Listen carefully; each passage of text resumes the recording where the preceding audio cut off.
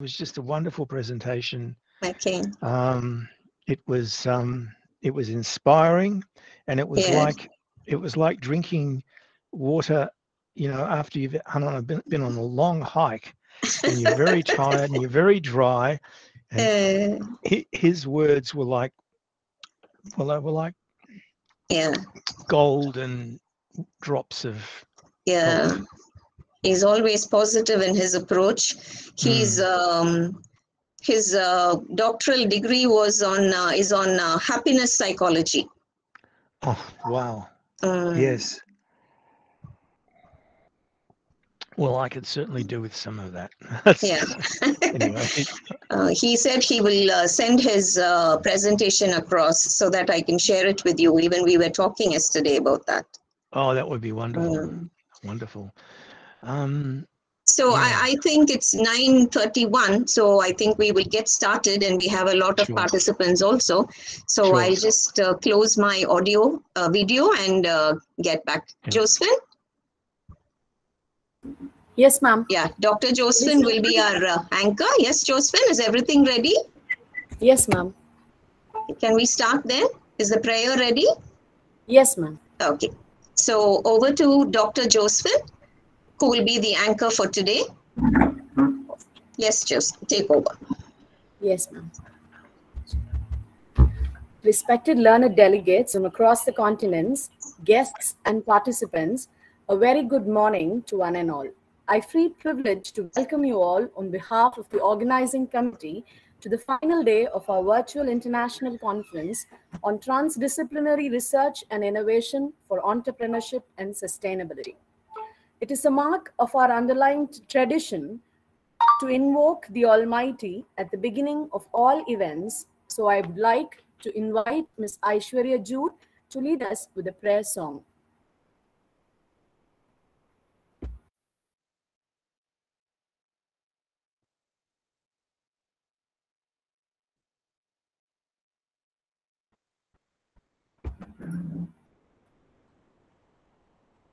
Come and celebrate. His gift of love we would celebrate. The Son of God who loved us and gave us life. We shout your praise, O King. You give us joy nothing else can bring. We give to you our offering in celebration praise. Come on and celebrate, celebrate, celebrate and sing. Celebrate and sing to the Lord. Come on and celebrate, celebrate, celebrate and sing. Celebrate and sing to the Lord.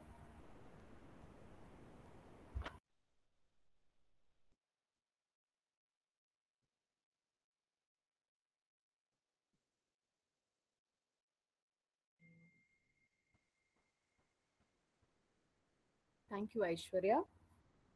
Before we move on to today's agenda, let's have a small recap of the two-day session in our conference. Over to Tarmi.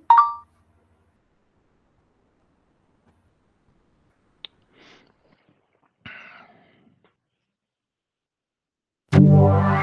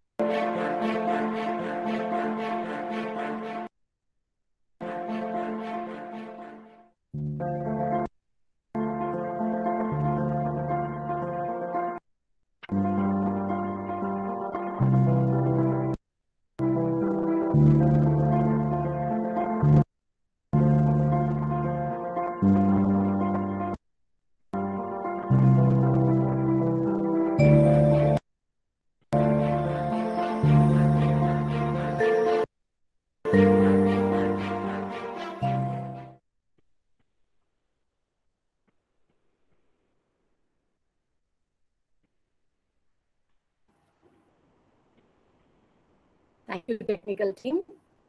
Sustainable entrepreneurship is a dynamic process involving the identification, creation, and exploitation of opportunities that can generate environmental value in addition to economic benefits. On the other hand, research and innovation can be considered as the instrument through which entrepreneurship succeeds.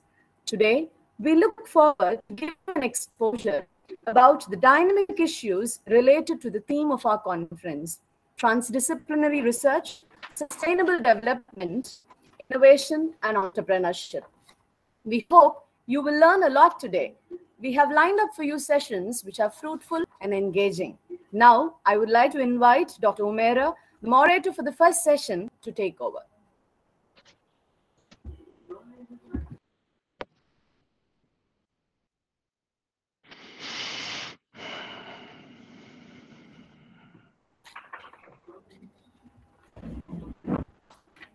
Going to all my friends from India and a warm good afternoon to our learned and eminent invited speaker of the session, David Faculty of Engineering and Technology, the University of Melbourne, Australia.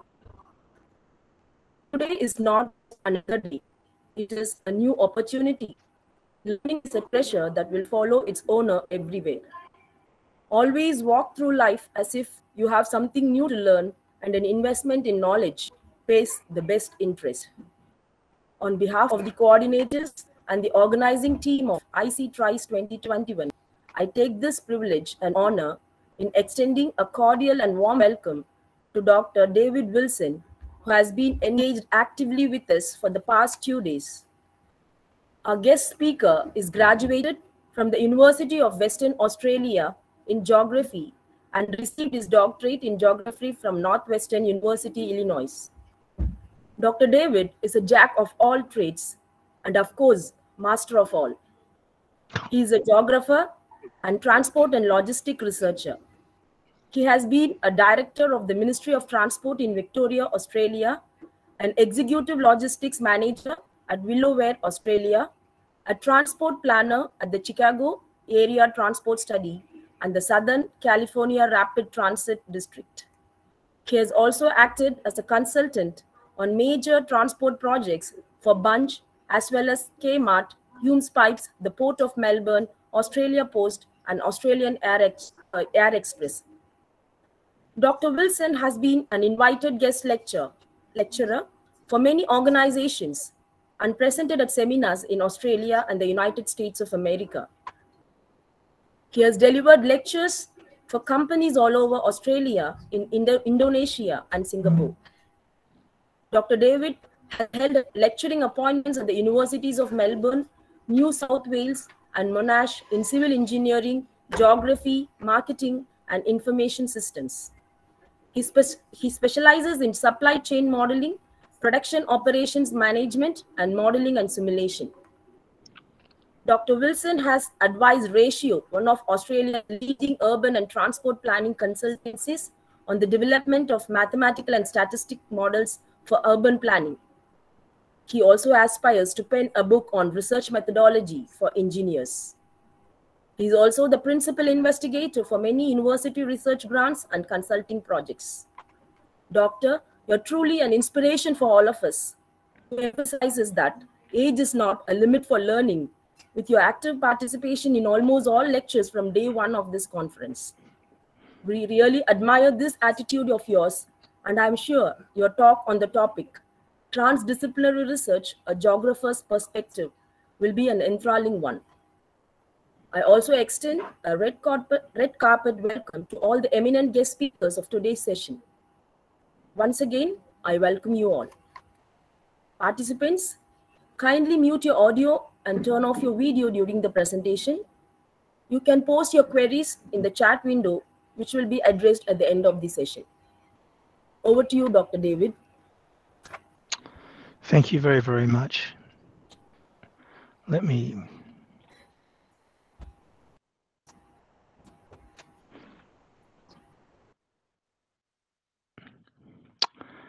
Okay, um, hopefully you can see my screen. Yes, sir. Yes, we can see you. We can ah, perfect, perfect. Okay. Well, it's um, it's an honour to be here, and um, I just wanted to. Well, first of all, I want to thank you very, very much for inviting me. I want to thank also um, Nikita Christopher um, for being the link to. Um, you know, she asked me if I'd uh, be able to talk, and I, I I said yes, and then then I met um, you know Dr. Christopher. So um, our, just really um, I'm overwhelmed. Even though I'm a long way away in Melbourne, I feel um, like I'm very close to you. I also want to um, pay tribute to that beautiful um, singer. That that was just just, just beautiful. I, I I I would love to be in choirs, and um, that was gorgeous. So thank you very much. It was a pleasure. Okay, so now to the um, details of what I'm supposed to talk about.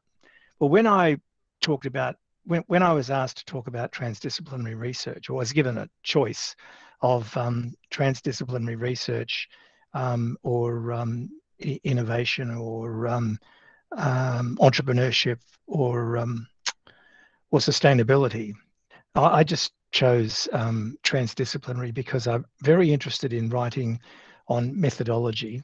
And as people, um, you know, who do this kind of stuff know, it's a huge area and it's it's, massive. So I I took up the opportunity to to get into transdisciplinary research. So I thought, well, what is it? So you know, you could talk about cross-disciplinary research, interdisciplinary research, transdisciplinary research, or you could talk about transdisciplinarity and they're all they're all a bit different. They're all a bit different, but let's talk about transdisciplinary. They're all in many ways similar, but um, they have they have different um, emphasis.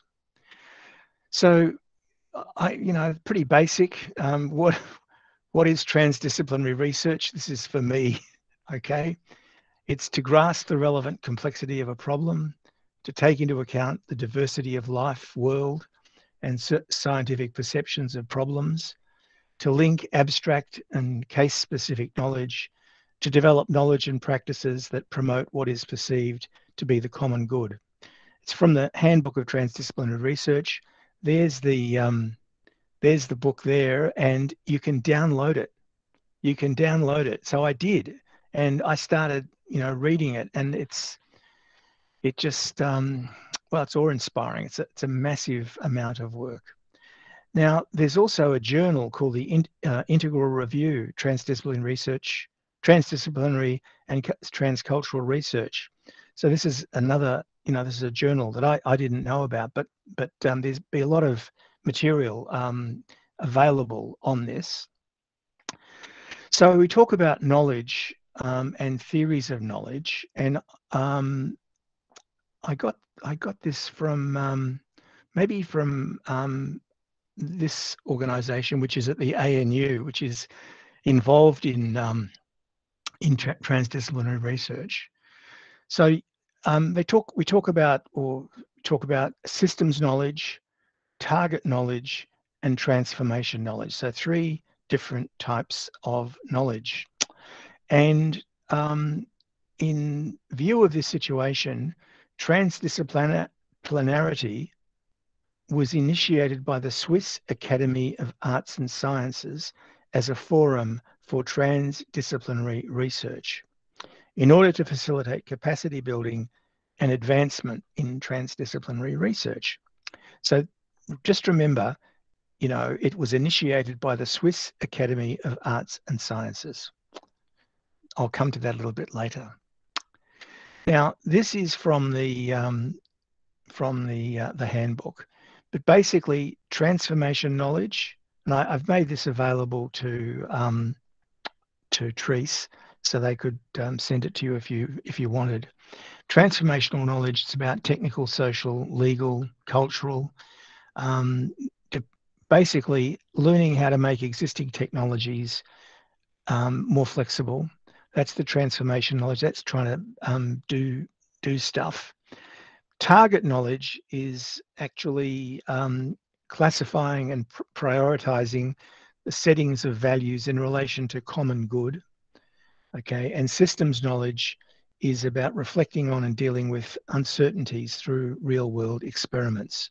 So these these three um, concepts together are different facets of knowledge and um, very important in terms of understanding um, transdisciplinary research.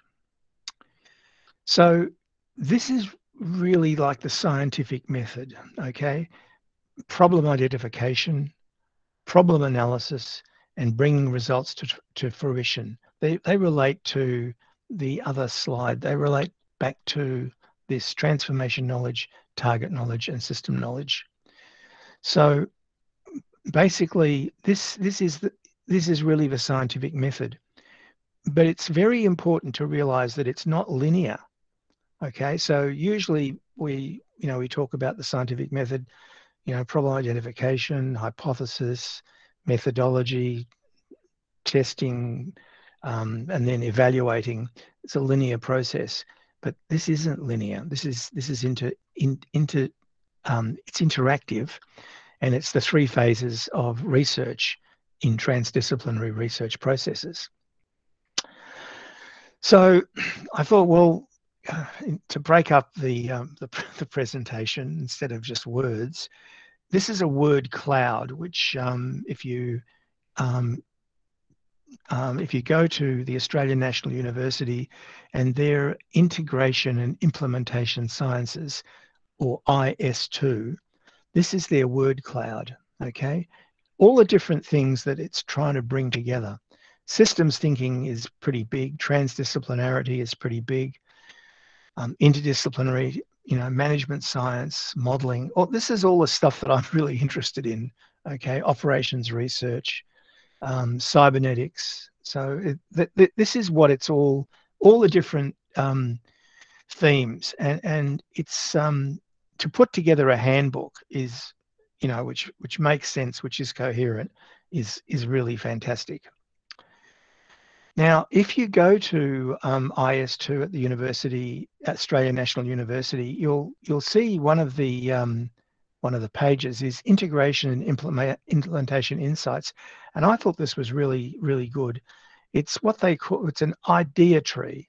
It's a tool for brainstorming ideas in cross-disciplinary teams. So um, I don't know whether you're familiar with the idea of a charrette, or um, at the beginning of a process you come together um, different um, participants to solve a particular problem. So they've got different perspectives. This is this is the same thing, but they call it an idea tree. I think it's a really good idea, and it's it's from the resources of the Australian National University. Okay, now remember I talked about um, you know um, where this all started at the Austrian um, in, in in Austria. Well, I reckon that this is pretty critical. This is uh, Ludwig von Bertalanffy. He was an Austrian biologist, and he's one of the founders of general systems theory, an interdisciplinary practice that describes systems with interacting components applicable to biology, cybernetics, and other fields. Comes from Wikipedia. there there is um, um, Professor um, von Bertalanffy, and that's that's that's his book. So I studied this a lot in geography um, way back in 19, 1960s. This was pretty new new back then. But since then, um, there's also been Jay Forrester at MIT, and and over in England, Stafford Beer, um, who was the president of the Operations Research Society, and he did a lot of work with um, British Steel. So these, there's many, many others, but I've just picked out um, von Bertalanffy because I think you could regard him as the father of uh, systems theory and the originator of the work in Switzerland, um, and or sorry, in Austria. But also look at Jay Forrester from um, I um, from MIT and Stafford Beer. Jay Forrester wrote a book called uh, Systems Dynamics, and he published it himself, and I've got a copy of it. So why did he publish it himself? Because nobody wanted to publish it. Okay, fantastic book. Okay, and the Club of Rome um, used his stuff uh, in in the modelling for um, for their for their work. They're, they're, all the stuff that's going on now, you could trace in in environmental um, sustainability, climate change, um, all all of those things. You can tr- all trace that back to the Club of Rome and Jay Forrester was a very important participant in the modeling of that. Okay, so here's from the handbook. This is the idea. This is these are the chapters in the handbook. It's a massive handbook. You can download it. Um, you can see here problem identification. These are chapters related to problem identification. Then there's chapters on problem analysis, and then there's you know bringing results to fruition. Um, these um, these chapters here. And then across here is participation, um, values and uncertainties, different, different themes, management, education. Really, um, you know, summarizes from what I can see the work at, um, at, at Holy Cross, uh, you know, what, what, what you're trying to do. Um, very much so. Okay, so how do we put this together? Okay, so I tried to, you know, come up with some ideas. So disciplines. Now, now in transdisciplinary research, the remember the four core core concerns were real world problems, integrating disciplinary uh, paradigms, participatory research, and a search for unity of knowledge beyond disciplines. So here are all the different disciplines, a bit chaotic, and they're all you know, different in silos. And you can tell they're in silos because at universities, they're all different departments, different baronial empires. Now, in terms of metaphors, I thought, well, this comes from the Australian National University. This is actually a sculpture at the Australian National University, and you can see it's, you know, it's a block of um, of granite um, with a piece missing, but on the other side, there's the piece, and if you put them together, they become integrated. So that's one metaphor for what we're trying to do, put things together, things that are actually whole together. Another another um, concept is, um, and this is a religious um, um organization uh, or based based um, on the on on on that. And so I was told this a long time ago in Perth by um, somebody who said, you know, imagine that the world was like a big diamond and uh, God created the diamond, but then it was shattered. So there's the shattered diamond, and we we've been trying to put it back together again since we began, trying to figure out well, what does it all mean. And so this gets back to you know the knowledge bases stuff, which you know philosophy of knowledge, epistemology, and also ontology.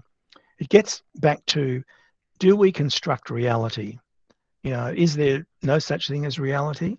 Um, and is it all constructed?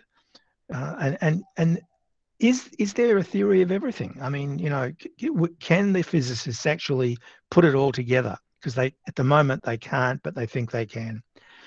So these things are really, um, you know, in terms of the, um, the of the worldview ab- about how how to do things. And there's a lot of stuff, you know, in um, postmodernism, which is about you know we're actually constructing um, everything and um, i take the view that um, actually there is a reality, and we need to understand it. And the and the reason why I like being in engineering is that it's very practical, you know. Um, and the test of um, an engineering um, uh, design is does it stand up and does it function?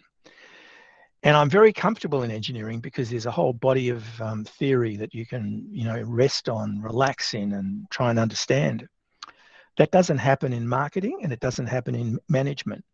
Now, I know that you're also in management science, but management management doesn't have core principles like gravity, except maybe it does, and maybe what you're talking about at you know in your college, maybe those are the core things. So it's, I think it's pretty profound. Anyway, we've got all these disciplines, and they're all they're all different. So now what I want to do is I want to turn to, um, I think it's four examples um, of different research that I've been involved with, also with um, my, my, my wife. I think that's the, the wrong word. Um, I think it's politically incorrect, my wife. Um, my, my colleague and my very, very smart um, partner. Um, so we did some work together on uh, the specialist alcohol drug um, advisory service, SADS. And we did this in a place called Shepparton. And the reason why it's discipline, interdisciplinary is because it involved the patients with drug and alcohol problems. It involved the general practitioners in the community, the doctors. It involved pharmacists, community health workers specializing in drug and alcohol, hospital medical officers, specialist drug and alcohol um, uh, doctor, uh, and, a, and a specialist drug and alcohol nurse, Rumbalara, which was an Aboriginal cooperative, hospital CEO, consultant pharmacist, the Dean of Pharmacy, and me, the geographer, and the Victorian Department of Health was the project sponsor. I can't, I mean, because this is a public, this is a public um, uh, forum, but I, I um, all, all I can say is that, um, you know, sometimes I doubt, is there a God? for us to get this job, there must have been. I mean, how the hell we wound up with it, we did, and we got it, and we did it. It's just amazing. So let me tell you a little bit. Let me unpack a little bit of um, of, uh, of of our story. Okay. Let me know if I'm running too much over time. I can I can stop very quickly. Okay, now here's Melbourne. So here we are in Melbourne, and you're in um, um, you're in in India uh, at, a, at, a, wonderful, wonderful place called um, Trichy. And um, this is where um, um the uh, hospital is up here in, in the Goulburn Valley in Shepparton. And this is a, about a th- two and a half to three hour drive um, along the highway. This is the river. This is the Goulburn River. It's just a beautiful, beautiful area. Looks fantastic. Looks really, really tranquil. Um, this is the town. This is Shepparton, um, the center of center of the town. The uh, the town is a center for farming, fruit and dairy. Um, the cows. So they've got sculptures of cows um, throughout the uh, throughout the town. Um, you know, for its dairying. It's also um, a fruit center, and there's a big fruit packing um, plant there called SPC Ardmona. And then this is again the Goulburn, the Goulburn River. So it's just a beautiful town. You think, gee, it's tranquil, it's fantastic. But un- underlying it, you've got real social problems, big social problems. And part of it is, um, you know, is, is drug and alcohol, uh, particularly with young, with young people. And so um, what we were, um, what we were investigating and what we were evaluating was this particular model of care that um, they were um, trialing uh, in in Shepparton. So um, you know you've got a a, um, a patient who has problems with drugs or alcohol. A lot of patients you might think with drugs they're drug addicts, yeah, but that, a lot of those patients were actually recruited through the through the medical system because of painkillers. So a lot of these people became hooked on painkillers so, um, and they needed them. Okay, so they were also part of it. So don't just think of you know heroin and um, cocaine and things like that. Also, um, a lot of people um, who had accidents and had to take very powerful pain medication, um, and then they became addicted to it. So, in order to help these people, a GP, uh, family GP, is the usual point of contact, or the pharmacist. They recognised um, a, guy, a doctor called Andy Lovett, who specialised in um, drug and alcohol and pain management.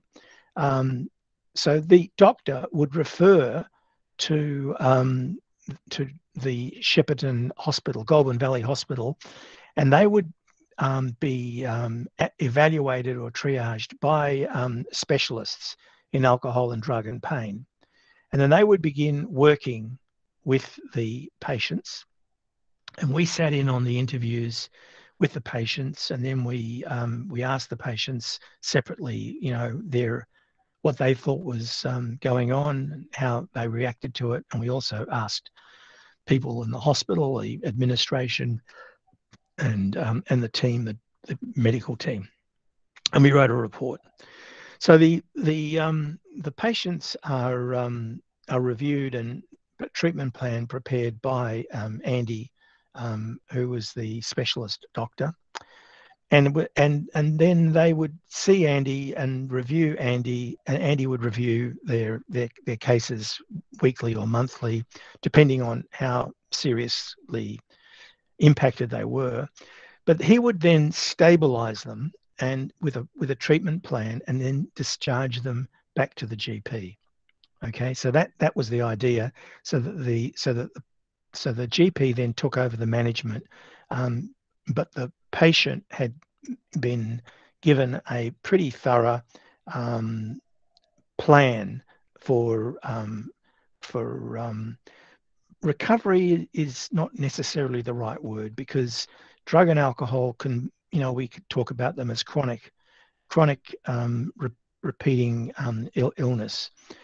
But if you can keep the patient alive um, you know through their critical period they can actually come out the other side naturally and um, and and live a fulfilled life okay they actually can recover but it takes a long time now the problem is that is this, and this has happened to you know us personally uh, in Melbourne. You got a patient who's you know severely um, impacted by drugs or alcohol or you know psychiatric um, issues, which can be related to the drugs and the alcohol. They see a GP. Um, they may go to hospital. They may come out of hospital. Um, they see a pharmacist.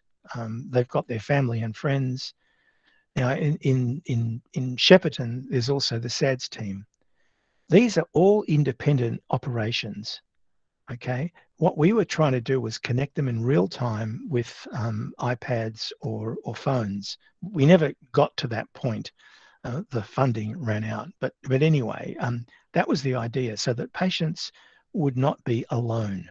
Because when somebody's alone, that's when, you know, things can go pretty bad so that maintenance of these relationships is critical and so that you know if if the patient doesn't talk to the family for a while they they can connect with this other part of the team and and and find out what's going on. Now another completely different uh, model that we were um, working on um, well i wasn't working on it but there's dr wilson down there um, and there's professor duffield and there's dr huey there. So I work with I work with these people, um, and in fact I'm tutoring for Professor Duffields and also for Dr. Huey, and um, and and Dr. Wilson. Now Dr. Wilson's a clinical pharmacist, and you might say, well, what's a clinical pharmacist doing, you know, on an infrastructure investment project? Well. Um, Dr. Wilson um, was working at Monash University on uh, another project called Radicals, which I'll also show you a little bit about. And um, because she was at Monash, this was a big study um, funded um, and run through the Australia Indonesia Asia Centre, but actually managed through Monash. Melbourne University, University of Indonesia, and uh, Gadjah Mada University we were working together to deliver uh, this project on infrastructure investment in Indonesia, but it was very difficult working with Monash. Um, and I happened to mention to Professor Duffield, look, you know, my wife Sally is is at Monash and she's just finishing her radicals thing. She could help you." And he said, "Well, yeah, look, that's a good idea because she knows the administration that goes on in uh, at Monash, and she could help us with the funding and the movement of responsibilities um, to actually run this big project." So that's how she got involved, and then she wound up um, you know, um, co-authoring or managing the editorial process for the book. So what this project was about was investigating economic, transport, finance, and policy for um, for for ports. So the, the study was about ports in Indonesia, and these these numbers here, like one, two, three, four, five, these are ports, um, and the ports have got special economic zones, okay, throughout Indonesia. And so we were looking at um, at at well, they were looking at the ports, particularly focusing uh, on the port at Jakarta, Tanjung Priok, and um, uh, Surabaya d- down here. But there are a lot of other ports uh, in you know in Indonesia, and these are the ports in Australia. So this was a study of ports and the people who manage the ports um, in Indonesia and Australia. You can see there's a lot of different ports in Australia. So Sally's Sally's job was to actually pull this, you know, diverse team together um, so that they could communicate, and that's what that's what she did. Now, the research process basically this comes from um, one of the professors in uh, I think Gadjah Um, he and but but it summarizes what we were doing um, or what they were doing in the study. Online survey, um, focus group, um, focus groups, uh, in-depth interviews, and then case studies um, of the ports, so data collection, initial findings, and then and then because the professor uh, in Indonesia was interested in the finance side of it, cash flow simulation, scenarios for financing, and alternative scenarios. So that's kind of like the um, the, the, research process. Now, th- these were the disciplines that were involved: engineering and project management, transport and land use, management finance, economics, corporate finance, research students in engineering, government agencies in Australia and Indonesia. So this was a true collaborative international research project. It was fantastic. Um, utilized the skills and knowledge of the various participants, developed strong research relationships which will continue, benefiting benefiting the uh, academics in Indonesia and Australia, and also our students in Indonesia and Australia. Help mentor the students and showed the value of research and how they could make a positive contribution. Allowed us to get a deeper understanding of each country and allowed us to develop potential business connections. So it was a very, very positive, positive study. So this is this is, you know, putting it together. This was who was involved. Port of Melbourne, another operator at the Port of Melbourne, another operator at the Port of Melbourne, Austrade, um, big international engineering company, Pelindo 2 and 3 ports. These are ports in Indonesia. Um, Bappenas, which is the Indonesian um, equivalent, I think, of um, of Aust. No, it's not Austrade. It's, Bappenas is an infrastructure planning agency uh, in Indonesia. It's also there's also the Indonesian Planning Agency and Deloitte Asia. So how it proceeded was scoping meetings. That's um, you know the um, part of the transdisciplinary approach is the scoping meetings, Australian research forums, meetings and field trips in meeting Melbourne and Jakarta, surveys conducted jointly by the universities in both uh, countries, um, online and focus group surveys, in-depth interviews, um, industry workshops in Indonesia and Australia, lots of teleconferencing between the research partners, and um, a final conference in Australia at completion and the production of the book. Couldn't have happened without high level government support federally, um, both in Indonesia federally and in Australia, and provincially, because um, you know the provincial um, governors in Indonesia were also critical in helping get us into these these places. It was uh, just better go back to that. It was one arm of a larger study funding through the Australian Indonesian Centre to encourage research collaboration. Now, last one, last example of, um, of transdisciplinary research. This is the one that um, Sally, Dr. Wilson was involved with um, at, the, at Monash University. It's called Radicals, Review of Airways, Dysfunction and Interdisciplinary Community-Based Care in Adult Long-Term Smokers. It was a National Health and Medical Research um, partnership. Um, it was a cluster randomized controlled trial in primary care clinics in Victoria, Australia. It identified smokers of over 40 years who were screened for chronic obstructive pulmonary disease, followed up by a spirometry intervention and a usual care arm. And they compared these two. Patients in the intervention arm were offered smoking cessation plus COPD management. If they had COPD, they had a home medication review and a home based pulmonary um, rehabilitation if they wanted it. So it was an interdisciplinary model of care which brought together public health experts, respiratory specialists, general practitioners, pharmacists, physiotherapists, health economists, biostatisticians, and nurses. And the partner organisations were the Lung Foundation, the Inner East Melbourne Medicare Local, Boehringer Ingelheim, which provided a lot of the money, matching funds with the NH and MRC. And the researchers came from different Australian universities. And this is a reference of one of the papers that were published in the Medical Journal of Australia. So, almost finished. Um, so, just to summarize it all, transdisciplinary research, what are the benefits and what are the issues? Well, there's no doubt that transdisciplinary research gives you a deeper and richer understanding of other disciplines. You can you can have new experiences and knowledge. There's a lot of value in new experience and knowledge, in new perspectives from different faculties um, mentoring of research students. There's an opportunity for relationship building. Um, is a fertile environment for innovation, and there's a and and it's a collaborative learning environment. So these are all the positive things that that come out of it. But in order to do that, there's there's issues because you've got a lot of different people involved, a lot of different people involved. And how do you bring them together? How do you coordinate it? obviously there's language and cultural barriers not only between um, you know different cultures but within different um, disciplines there's different language and you need to develop a common language so that everybody knows what they're talking about there's also a siloed mentality and, um, uh, you know a, uh, an obsession with control or loss of control by the administration so that that's very difficult to overcome. There's intellectual property issues. There's project management issues. There's the perennial funding issue.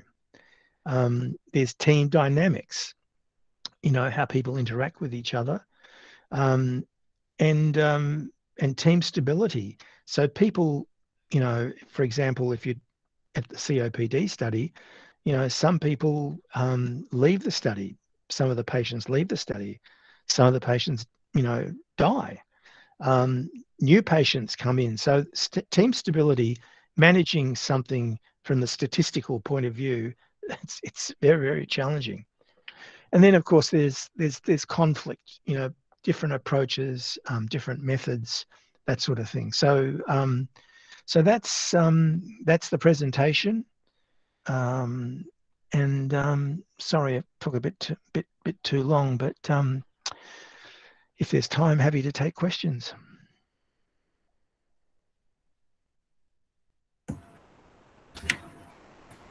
So thank you, doctor, for that captivating and engrossing lecture. Actually, we feel blessed. Your warm, your voice was warm and soothing, actually, and uh, it, it it doesn't matter even if it extends. Actually, your speech gave an implementation insights on understanding and acting on real world problems it showed us a different scenario of real transdisciplinary research from a geographer's perspective. I'm sure our participants would have enjoyed it to the fullest. Uh, so now it is open to the audience for questions.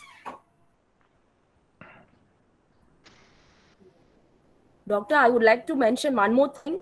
Actually, I'm impressed with your habit of voracious reading. The way you mentioned the various books, what you have read, and uh, thank you for suggesting those books to us also.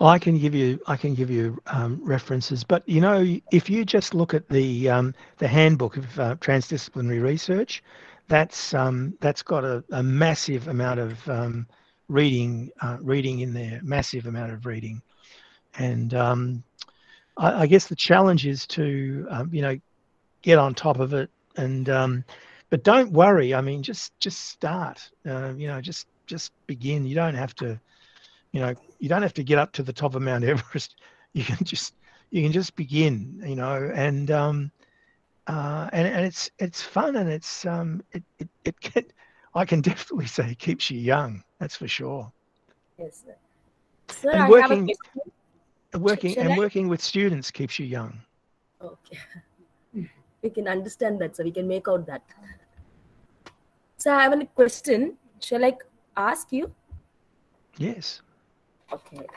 Uh, being a biochemist, I'm curious to know what made you choose alcohol consumption and what are the methods you adopted to collect data apart from questionnaire survey? That's a great question. Um, so I'm going to incur the wrath of the people who know me. So I apologize. But to directly answer your question, I am a non practicing alcoholic.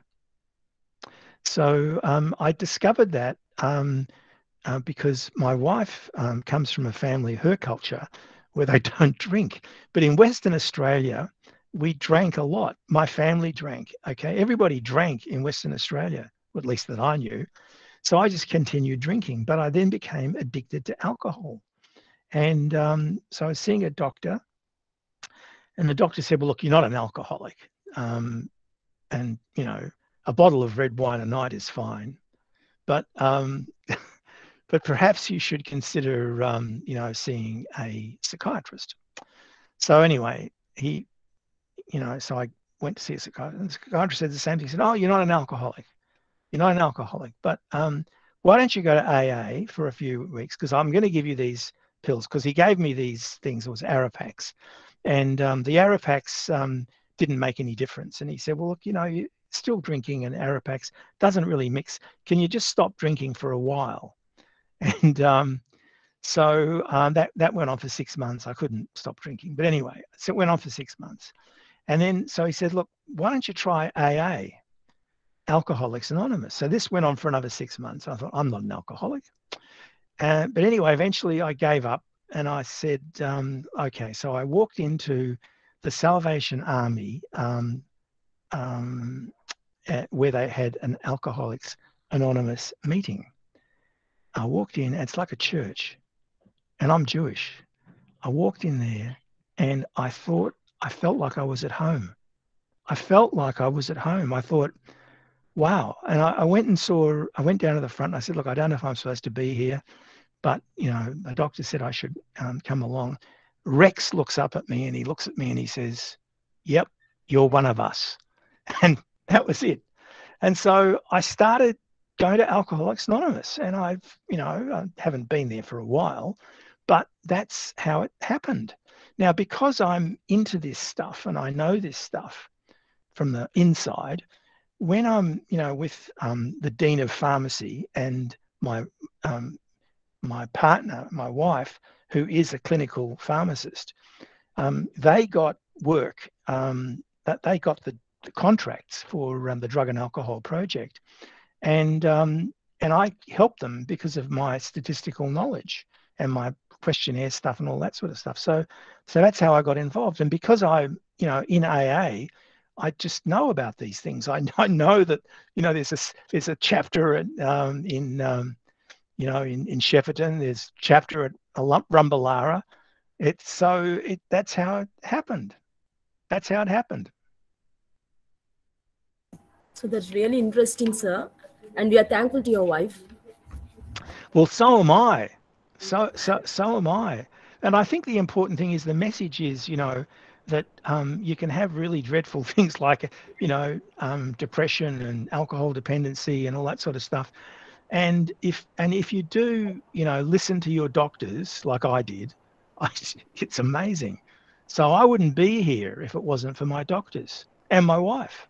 I wouldn't be, I, I wouldn't, I certainly wouldn't be at the University of Melbourne, which is a very high performing, challenging place to be at, Um, you know, so I'm very grateful.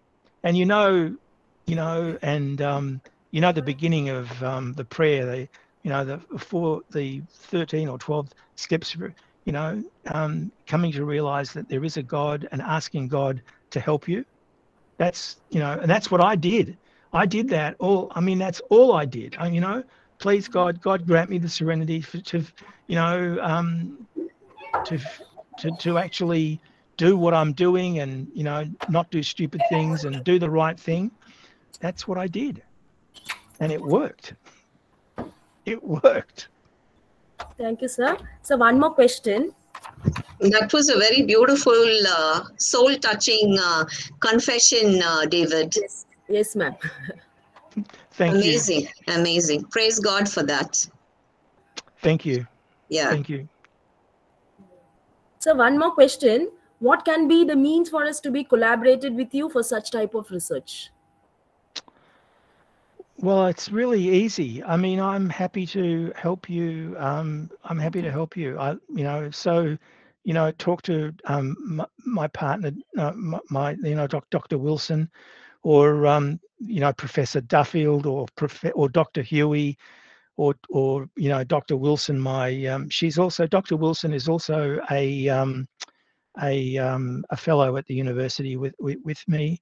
We at the unfortunately because of the lockdown we're we're all at home but we all you know work together um, in the same you know in the same building when we're allowed back together. So we can work together. It's um it's it's not a not a problem. It's happy to happy to do that. Happy to do that. So Thank you. the other the other other thing the other thing is um you know being in engineering i noticed that you know engineers also like to drink because my uncle was an engineer and um and he he was an alcoholic. In fact when i look back on my you know my family i had a lot of alcoholics in the family but this is the important thing. There are high performing alcoholics who just simply can do it and they don't and nothing happens to them okay? And they get just they drink and they, they they're fantastic okay? They manage it but i was one that couldn't okay? So a lot of the people that i work with and it's not that i work with but at the at aa okay we've you've got judges you've got you know serious actors famous people okay who've all had the same problem uh, along you know with people who are going into jail people coming out of jail. So we're all in here and we've all got this common you know affliction of addiction to alcohol so um yeah that's why i'm happy to share it and help because it you know that's what we do in aa we help Thank you so much, Doctor. If we don't have any other questions, uh, maybe we can move to the next session. Thank you so much, Doctor, for being with us and sharing your knowledge and also for that soulful uh, rendition, as ma'am said. So, thank you, participants, for your active participation. Now we it is over to Dr. Josephine.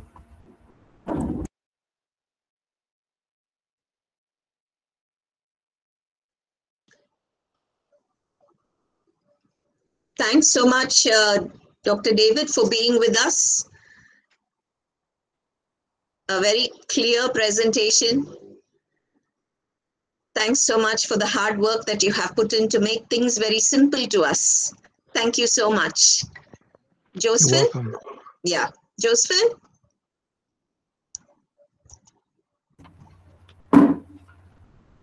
Thank you, Dr. Wilson, and thank you, Dr. Umera, for the wonderful moderation.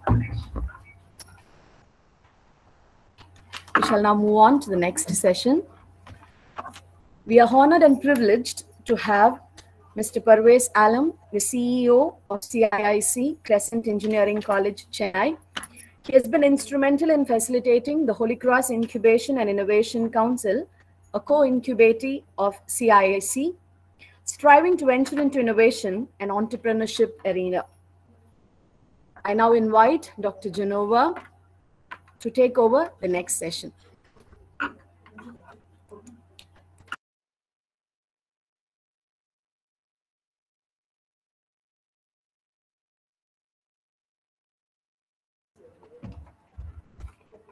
This is the day the Lord has made. Let us rejoice and be glad in it. Good morning, everyone. Entrepreneurs are the central to the country's economic growth, and we are the owners of defining the contours of the development. Entrepreneurial innovation is a mindset, survival skill, and key to strategic advantages. Successful entrepreneurship occurs when creative individuals bring together a new way of meeting needs and marketing opportunities. Capacity building of young talent in transdisciplinary research for a sustainable development of society is the need of the hour.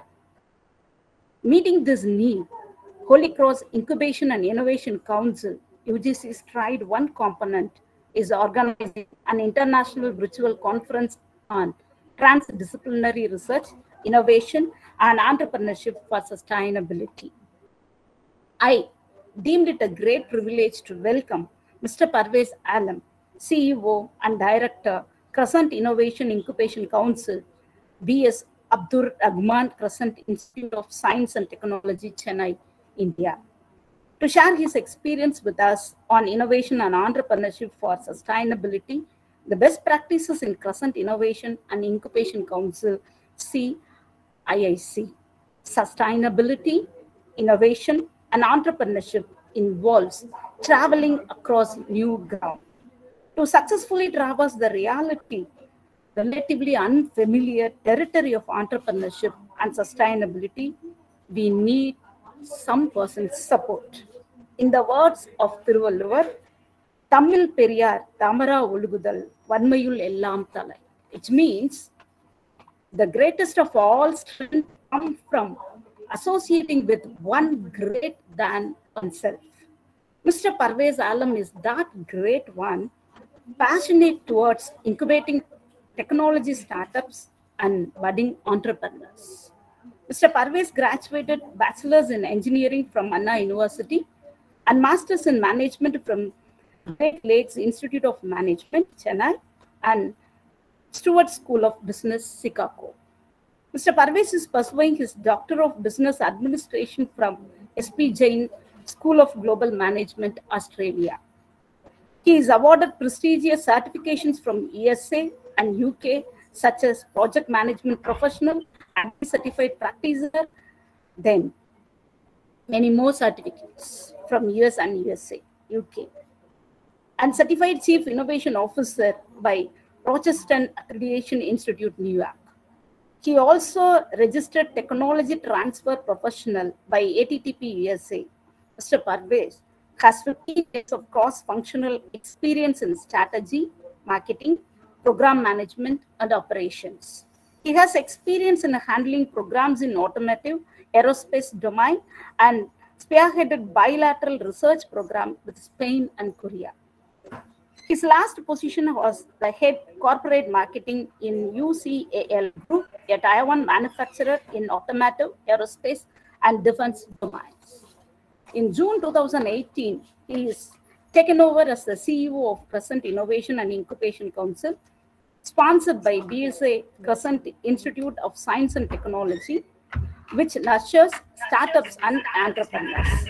In short span of two years, under his leadership, CICC has incubated 75 startups, 60 patents, having 50 more mentors, and received more than 10 awards.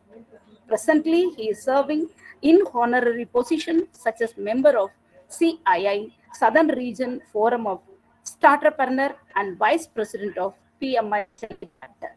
I welcome you, sir. And I welcome all the participants to this experience sharing session. Now I invite Mr. Parvez to share his experience. So thank you, madam, for the detailed introduction. Uh, good morning to all. Uh, can you hear me, madam? Can you can you hear me Yes, properly? yes, sir. Yes, yes, sir. Yeah. Can you also see my screen, the presentation? which I shared? Yes, sir. Okay. Thank I think the screen has the screen has to come into the full screen mode, sir. Yeah. Has it come now? I just made it. It's not on the full screen mode. Okay. now can you check? Because I just did that.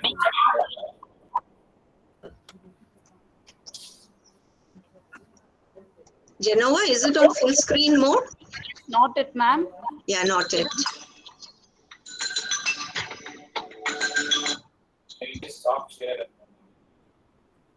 I just do the uh, stop sharing and then uh, super. Uh, yes, can you just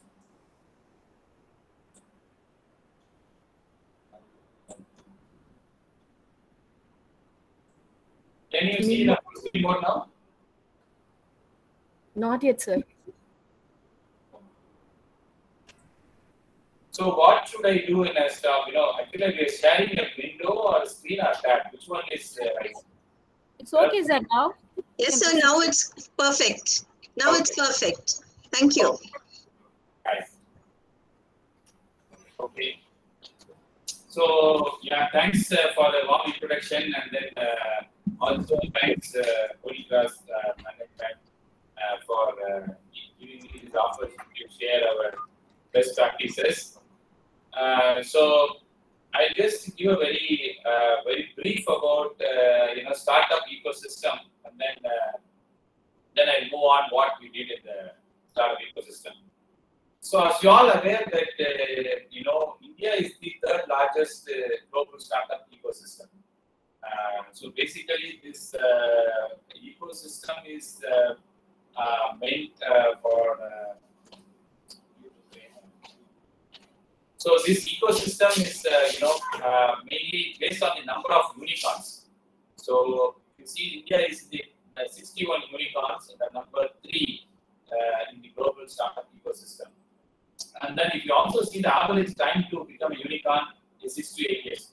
So uh, what is unicorn? Unicorn is a company, a startup company which just started, which become a one billion dollar valuation company. Let's say in a, in a six to ten years time frame, or uh, you know, like Freshworks, which you are keep hearing in the news today. It's a Freshworks is a company started in Chennai, and then uh, now they are uh, become a unicorn. Uh, so the unicorn is the one billion dollar valuation. So one billion is approximately for seven thousand five hundred crores. So India is already in the race of startup ecosystem. We are number three. Okay, not only we are number two in the population, but having said that, uh, now uh, you know India has 1.3 billion population, so we cannot uh, you know give employment for everyone. Okay, so we need to provide employment. That's where the startup uh, uh, plays a role. And then uh, this gives us statistics about how these new unicorns uh, getting added. As you see, there are 800 unicorns across the world, and India keeps adding a lot of new unicorns. Uh, so these are the some of the Indian unicorns like Paytm, Oyo, Byju's, Ola, Swiggy, Zomato, Paytm, and so on. Uh, uh, this is the unicorns added in the 2021 itself. Uh, so, you know, there are 21 startups uh, get added as a new unicorn in this uh, 2021. So, which shows that we are very aggressive and uh, part of the, you know, rising startup ecosystem in India. So, uh, what is this growth going to be, okay, in the next five years? If you see that uh, in 2014 we started with five unicorn, and 24 now we are, we are expecting to be in 100, uh, 105 plus unicorns in the future, and this is going to create uh, uh, more than uh, 10,000 jobs. Okay, that is very very important. So we are you know going to produce a lot of jobs to solve the unemployment problem. Our current unemployment uh, rate is 9 percent. Okay. So we are going to solve this problem through uh, having startups. So now, uh, okay, now the number of startups, which are the segments the startups are bifurcated.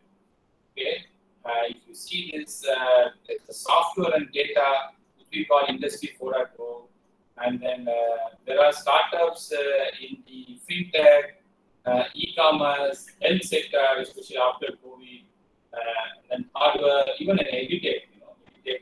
There's social uh, you know, impact startups. So these are all going to play a major role. I think these are the divided uh, based on sectors startups currently evolve. And then uh, now you may ask, okay, now we have a lot of idea. Now where is the money, right? So historically, people say that uh, three F, that is family, friend, and food, are the people who generally support startups. But if you see uh, the ideas in startups, there are so many government grants. So the one which I shown in the, the green color are the various government grants available. So earlier, historically, only three Fs will do, but here now there are a lot of government grants even up to prototype stage. But once you done the prototype, there are a lot of angel investors and venture capitalists who is waiting with the money you know, to support it. So there are a lot of provisions for uh, for young and ideas startups to go to the prototype stage. Now, why incubation center? Okay, now we so far talked about what is the importance of startup and then why it is important for India and then how it will solve an unemployment problem and so on. Now, what is the role of business incubator? What we call an incubation center. Uh, so, what is the role of business incubator?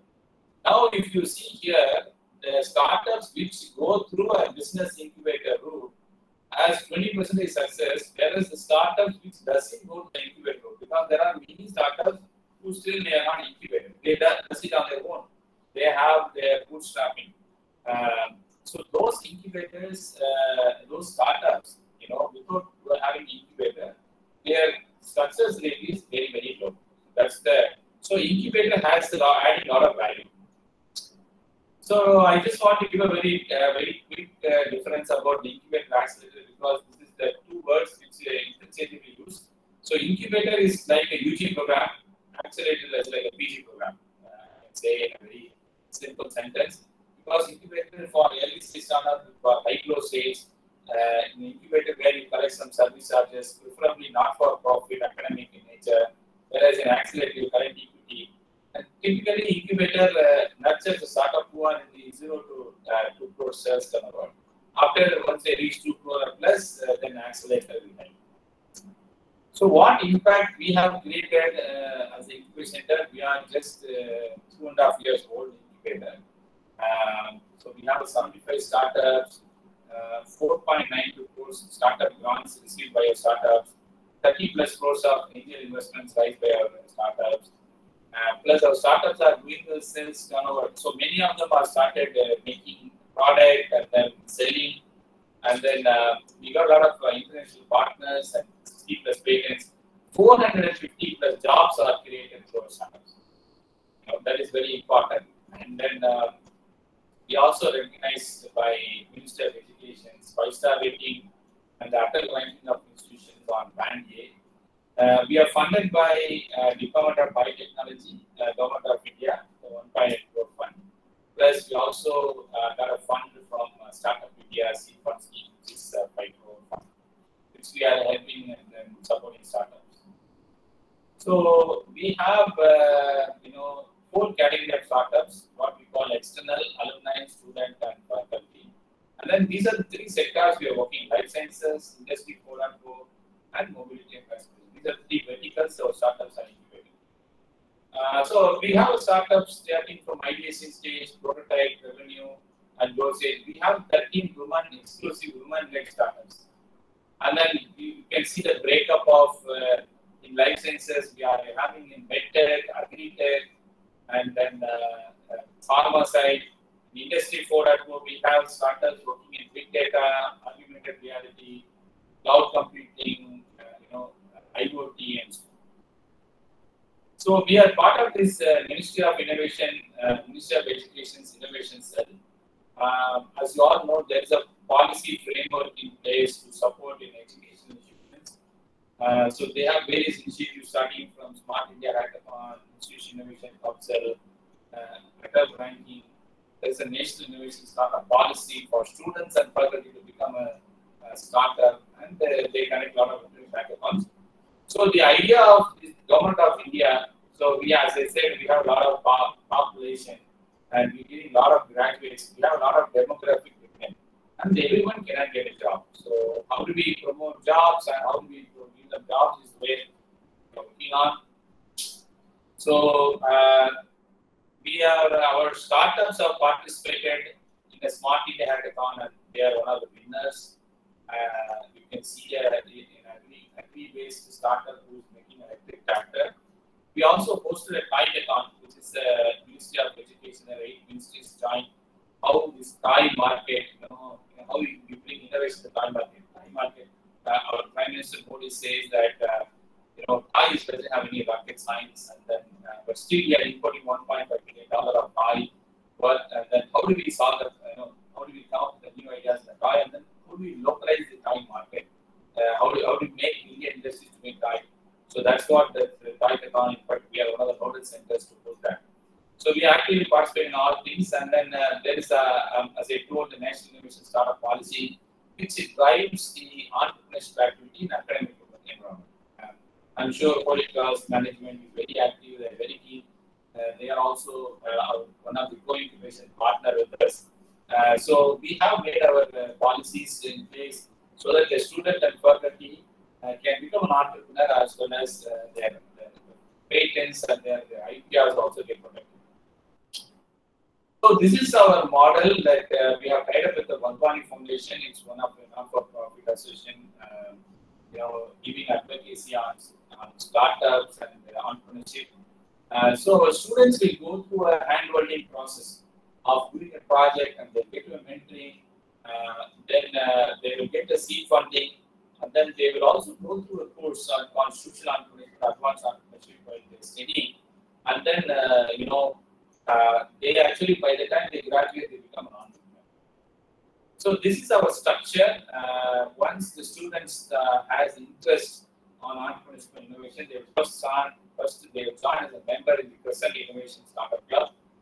Then, uh, you know, the APJ Innovation Center, which we have formed, where they will a seed fund of up to 50,000. Uh, so they will come up with a project. And then once they come up with a, you know, uh, product, then we help them to incubate. It's structured process. So we would say that, you know, the startup club is like a school, the Abdul Kalam Innovation Center is like a UG program, and CS is a program. So we have a step-by-step process.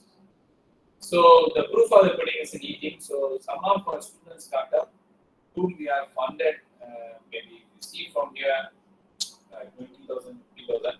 So they actually now they are full-fledged startup with a good government grants. This is a case study how a student started as an engineering, you know, as a student in a, he's a, a alumni startup.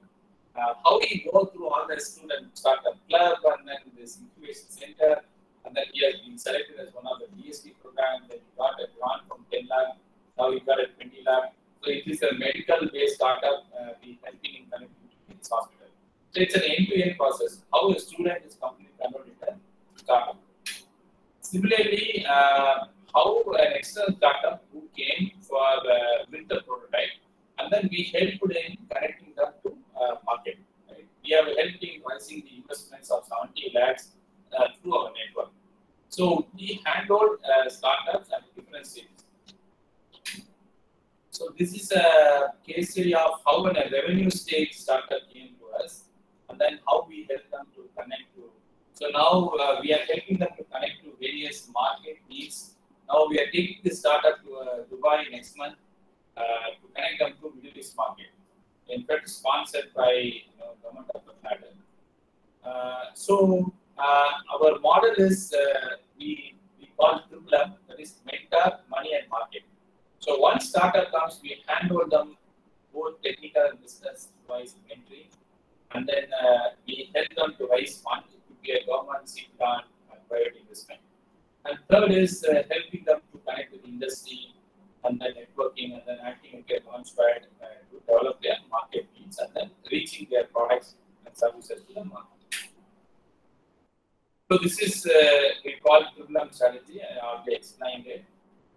Uh, so now uh, we also act like a launchpad. In the incubation center, if you want, you can't only you cannot only see only the chemicals and similar house. You can also see that uh, in our startup technology products, we adopted. In the sense we deployed in our uh, incubation center. So this is a startup product called Smart Water Meter, uh, which will prevent the leakage and blockage in the irrigation systems. through sensors. So it's application of uh, IoT in agriculture. Uh, again, this is another uh, you know startup uh, precision agriculture. So two startups jointly set up this unit. So it's available in CIC.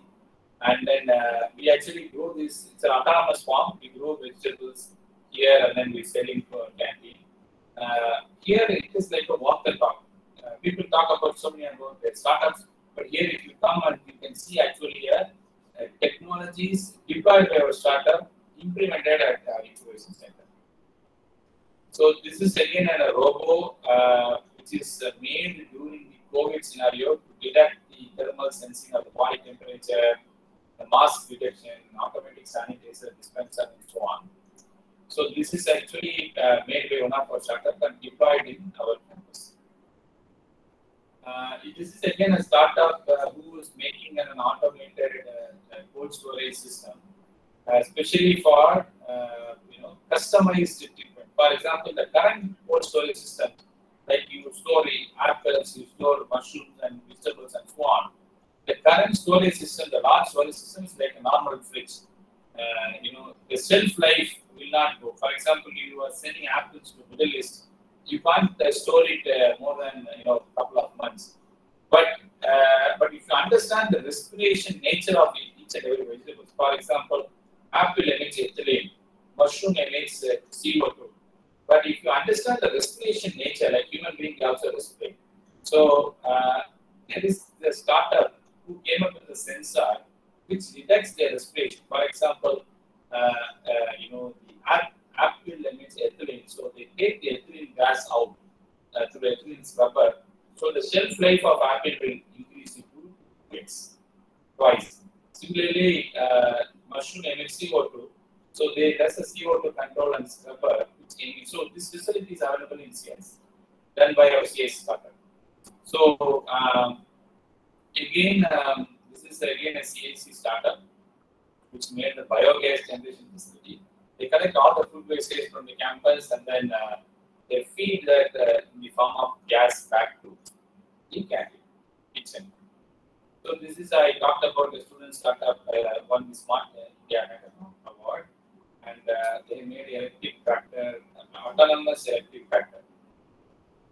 This is a startup who has uh, you know made a e-health content. This is deployed in the campus. So uh, we have our startup have received various uh, grants, uh, EDII grants. The EDII is uh, Entrepreneurship Development Innovation Institute We are the first incubator in the state to get large number of uh, grants for our startups. Similarly, some of our startups has gone and uh, raised uh, good grants, uh, even up to 120 lakhs, 1.2 crore grant from ICMR, the BIRAC grant of 50 lakhs, and one startup got this Indo Spain project uh, from PST, which is 110 lakhs. So we help the startups in getting various government grants, starting from 2 lakhs up to 1.1.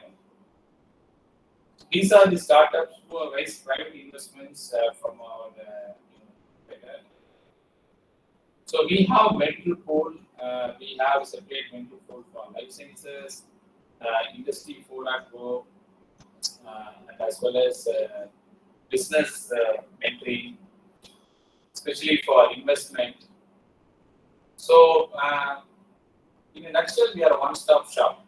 You know, from starting from office space, company corporation, patent registration, trademark filing, pricing investment, going to the market, uh, you know, connecting to the industry. So it's all as one-stop shop.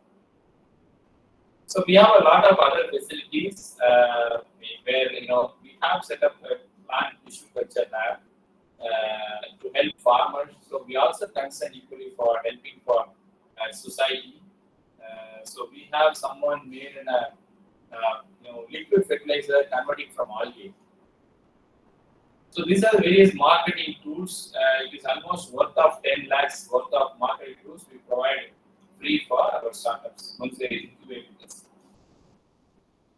So we also partnered, we are the first one in the country to partner with the IITM right Madras as a co-incubation. As the word co-incubation says, uh, you know, the senior business incubator helps the junior. Similarly, we co-incubate with the Holy Cross. Uh, you can see that, uh, and then similarly, we have two more uh, institutions where we do, uh, you know, we help them to nurture their business. So we also uh, have a tie-up with the C-CAMP, the Center for Cellular and Molecular Platforms, one of the BIRAC funded facility. We help them to act like a technology transfer. Uh, as you all know, maybe you would have heard about the word called spin-up uh, in West, uh, especially in US. There are a lot of spin-offs. Means the startup need not to go to their own idea. They can go to the universities. they will be office of technology transfer. Uh, they have a lot of patents. They will transfer it, and then the startup can go and take it, and then they execute it. That's called spin-up. Whereas in India, we call startup uh, where they have to come up with an idea. So, but there are many people even come and ask me, sir, I want to entrepreneur, give me idea. So that we don't give right now, but our technology transfer will help. So we started this process so that we collect all the patterns from academic world and then try to feed as an idea to the startup.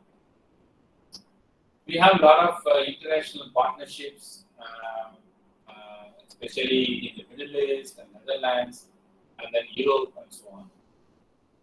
Uh, we, we are very keen for international collaborations, as I said. Uh, we want to take our startups and then we actually participating in the GITEX Future Stars, which is one of the flagship uh, Middle East uh, event. Uh, we are sponsoring four of the startups.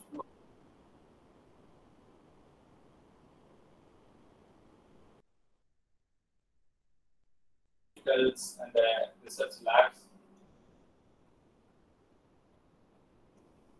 Uh, we promote a lot of women entrepreneurship. So uh, we work closely with FICCI FLO, uh, FICCI Ladies Organization, to promote women entrepreneurship. Uh, so these are various uh, partners starting from government and ecosystem partners. We very closely work with investors uh, as well as other uh, industries and international organizations. So our the proof of the pudding is in eating. So our startup have received a lot of awards, uh, starting from Silicon Valley Tech Award, MMH Krishna Award, uh, so Project Management Institute Best Project Management Award. So uh, so CAs also started uh, getting a lot of awards, uh, getting identified in the ecosystem. Though we are very young institution. So uh, we recently got the startup industry fund of five crores. We are distributing and helping, and then we uh, came up with the top 12 incubators recently by Tamil Nadu Startup Mission. Uh, recently, for we are helping the Greater Chennai uh, Police uh, Central Crime Branch for promoting their, you know, schemes to the public very innovatively. So we have a set of separate board of directors and board of advisors, and we have exclusive team who will help uh, for all these software startups. So uh, we have a long vision. Uh, being a young organization, we are looking for vision, and then uh, so our vision is to have uh, you know establish a you know, first of its kind bioengineering hub. Uh, we have engineering institution Plus, we are also now getting a post on biotech business incubator. So we want to combine both. And uh, plus, we want to create advanced facilities for startups. We have uh, 28,000 square feet uh, facility. Now we are upgrading to plus another 40,000 square feet facility. And we want to do a lot of more international collaborations, help the startups to grow uh, globally. And then uh, we also help them in access. I already told the different incubate accelerator. Though we are uh, incubator, we want to elevate ourselves to accelerator, a very blended mode, and then target more number of startups. Uh, so that's about the plan for setting up the bioengineering, combining biology and uh, all engineering discipline. And uh, these are the some of the world-class facilities we have planned uh, to establish uh, center, and then uh, more international collaborations and so on. And then we are tying up with various accelerators. CIM is one of the accelerators where we are collaborating with this. So that's about a uh, very uh, short uh, overview about best practices about what we do. Uh, it's, it's, my privilege to share uh, this experience at this uh, August gathering. Um, I think I thought I interact more and take more questions so that I can share some of our learning and also learn from from all of you.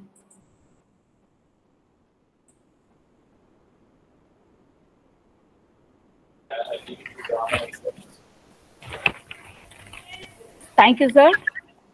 You have shared with a lot of data and statistical evidence of the startups and your CIC supports. And we are very much thank you for your experience sharing. If any student, your operation model is very helpful in all the ways to meet the requirements of the individuals to become an entrepreneur.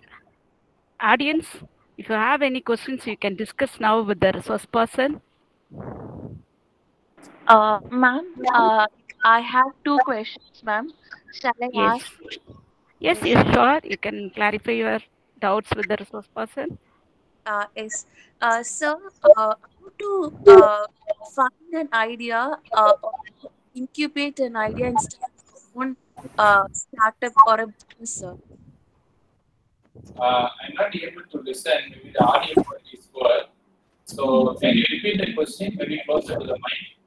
Sir, uh, how to uh, create an idea or uh, how to incubate an idea and start uh, Sir, can you share with us something about uh, CIC and the innovation work that you are carrying out there, sir? Yeah, yeah. So basically, I think if I understand the question, like you know, make an idea. So uh, as I told that what why we needed is uh, at the most is basically an idea. So you have when you have an idea, you have to approach the incubation center. For example, uh, like Holy Cross has an institution innovation council, and we have. So you can walk in anytime here. So what we does is that uh, you know uh, how this idea is scalable. See, today the startup, uh, you know, world is uh, very, very glamorous because of the investors, right? We see Flipkart, we see Freshworks, and scalable this idea is, okay? And then number two is they are looking at the passion of the founder, and the third is the innovation, okay? Now we look at all these aspects in a startup. I read. So she asked that she has an idea, she can come and talk to us we will evaluate that idea. We are we say that what is the problem you are going to solve, who are your customer, and then is there any singular solution already made? And like that, we are asked so many questions. So when you get the answer, you may be able to answer all the questions at the first time. But when you start answering all these questions, you will get an idea, and then your idea gets shaped, get molded. You have very raw idea it will get molded after we discuss with this uh, with this template. Then we will put across into a proper mentoring. So as I said, uh, we hand over mentoring, then we support them to raise fund through money, and then we reach out help you to reach out the market. So this is our program process. I hope that answers your question. Yes, thank you so much, sir. And one more query was asked from the audience. Uh, you are providing a lot of services, but a lay, pe- lay persons, how can approach them, approach you to fulfill their uh, startup ideas to become a startup? Yeah, you have to, you know, you can write it to us. You can, uh, you can go to our website. You can see our facility. What you want? You can write it to us. You can walk in anytime. We are working here. We have full-time staff will take care of our facilities. They'll explain that what we offer, what we have. Then you can think about what are the other services we provide. So, like it's like a one-stop shop. When I say one-stop shop, I really mean it from your one end to the till you, you need not to go out anywhere. So even we don't have such facility, you contact some other incubator who has a facility and then try to help you. So that's what we do. Yes, sir. Thank you so much, sir. One more question, last question. And the, the audience is posted over here. And we have heard that uh, your CIC provides a seed grant for startups. And what are the criteria to have to Yeah. you to set up, sir? Yeah, yeah. So the see, we provide a lot of uh, seed grants. Uh, one is Tamil Nadu government, another is uh, central government. Another is we are we do it on our own. Uh, but the state government is uh, give seed grant of two lakhs to five lakhs. And then uh, central government grant, we actually have a a startup India seed for a 5 crore. We can give up to maximum 50 lakhs. So in fact, all of our uh, so got uh, grant. Uh, so it will come either in the form of debt, equity, or as a grant. Uh, so there is an online form which you need to fill up. It's called Startup India Seed Fund Scheme Portal. You can apply online there. Similarly, for state government, uh, so the application comes to us. So you have to choose us our knowledge partner. Similarly, for state grant, uh, EDII IVP Innovation Voucher Program website is there. You can apply it there, and then you get an application form online. Here you have to choose uh, CIC Crescent Innovation Incubation Council as a knowledge partner. Then we will uh, guide you the help you in making the presentation, and then uh, once you there's a committee uh, which is shortlist this presentation and provide it. So, Thank you uh, so much. Yes, ma'am, carry on. Uh, uh, how to be successful in entrepreneurship? How to be successful in entrepreneurship? Very a very tough question. Uh, maybe you will, you have to hear about what other entrepreneurs says. But as you all know, uh, entrepreneurship is also clever, but it's also high risk. Uh, the failures are more. So that's why you uh, need to come to incubation center and then get incubated, where we will tell you what not to do rather than what to do. So we say don't repeat these mistakes. So uh, it's, a, it's, a, it's a very tough game, but uh, once you succeed, uh, you know you can be a billionaire, right? So that's what the FreshWorks uh, Girish Mathrubootham giving a message to all of us. So otherwise he could have continued as a, normal employee in Zoho. Uh, so he took a risk out. So, uh, so success is very difficult to define in entrepreneurship, but uh, you know there are steps you need to follow so that the success is guaranteed. That's what we as an incubator will help you do. Thank you so much, sir. Thank you. Uh, thank you, sir. One more question from the audience. And you are more informative and very resourceful person. It seems that a lot of questions are comes from the audience. Yes, sir. Uh, here one of the uh, staff member is clarifying her doubt. Uh, a student start with a product, but half of the way through they drop out. How do you manage in your center? This is your from your institution. Yeah, see, we help a lot of uh, student startups. One is uh, nowadays the placements are big down. So we encourage the students saying that you take this to alternate career. Give startup.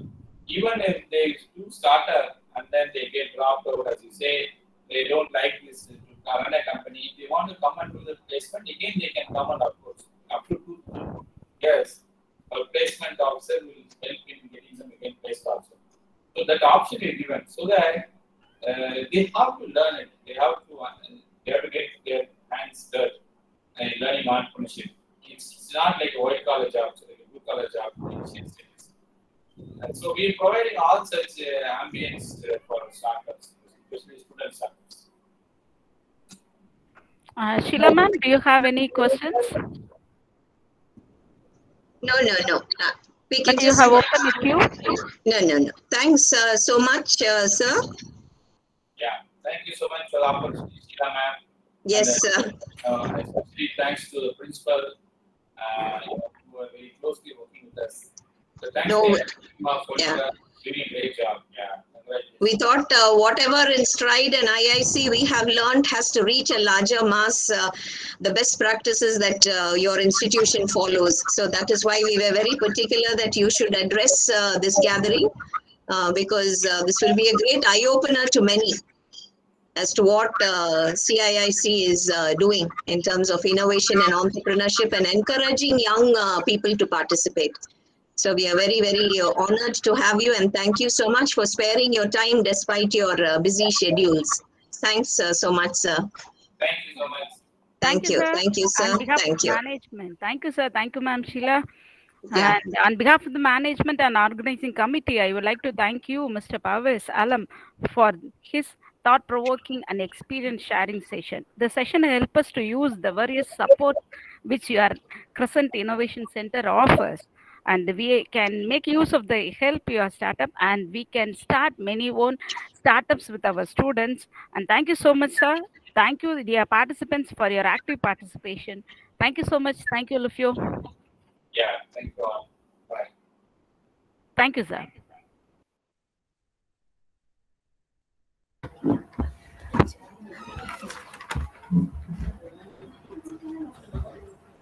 Thank you, Mr. Parvez Alam. Your speech was very inspiring, and it still shows us that we have a long way to go.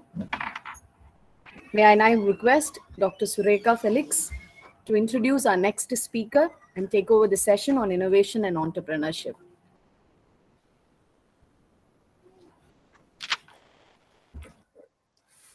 Hello, good morning, everyone. I hope you can hear me. Yes, sir.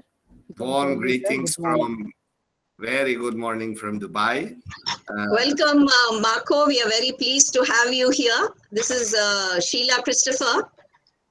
thank you, Sheila. God bless you, and a Yeah. pleasure to, to, to hear and see you. Yeah, thank you so much for joining us. We look forward to your presentation. Uh, this session will be uh, moderated by uh, Dr. Sureka. So she will introduce you first, and then you could do your uh, presentation. Sureka? Thank you. Yes, ma'am. Yes. Good morning to one and all connected virtually.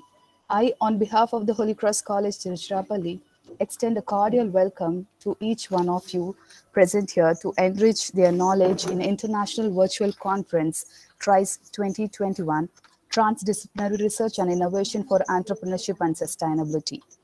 With eagerness and anticipation, I'm happy to welcome and introduce the resource person, Mr. Marcos Selakovic, Director, International Institutional Development, Head of Chamber of Commerce and Industry of Serbia, for this session on innovation and entrepreneurship, how to thrive from an emerging country.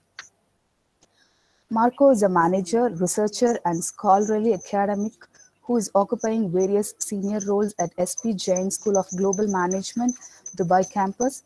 He is a strategic management and communications professional with more than 15 years of top-level experience in Europe and the Gulf countries.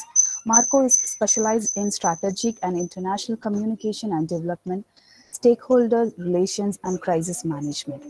He is also head of Chamber of Commerce and Industry of Serbia Dubai office, business director of Expo 2020 Serbia, and vice president of International Association of Business Communicators Gulf chapter. Marco is author or co-author of numerous research papers related to the education, innovation, strategy crisis, and internal communication. I extend a warm welcome you to sir. With eagerness, I hand over the session to Mr. Marco. Over to you, sir.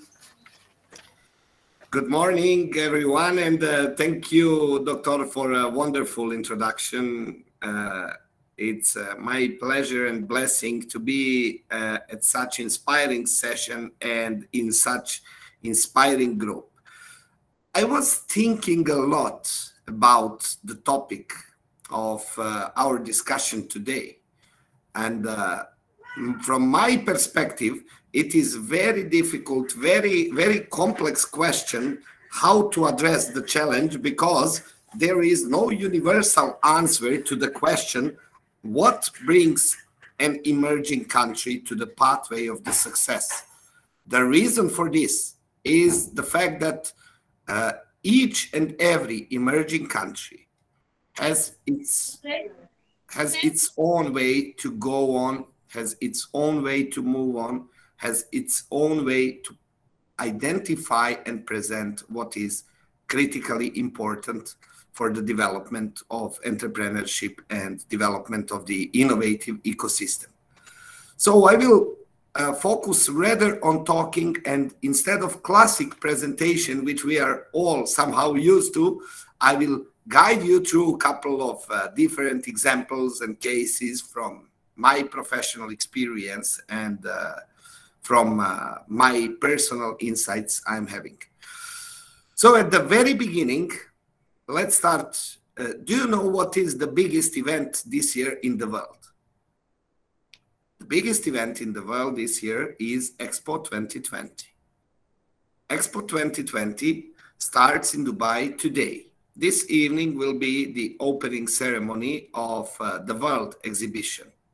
And uh, at the World Exhibition, 191 countries will present the best they have, the most innovative they have, the most competitive they have across the globe and present it in front of more than 25 million different visitors spanning across schools, business people, universities, governments, uh, public institutions, and so on and so forth.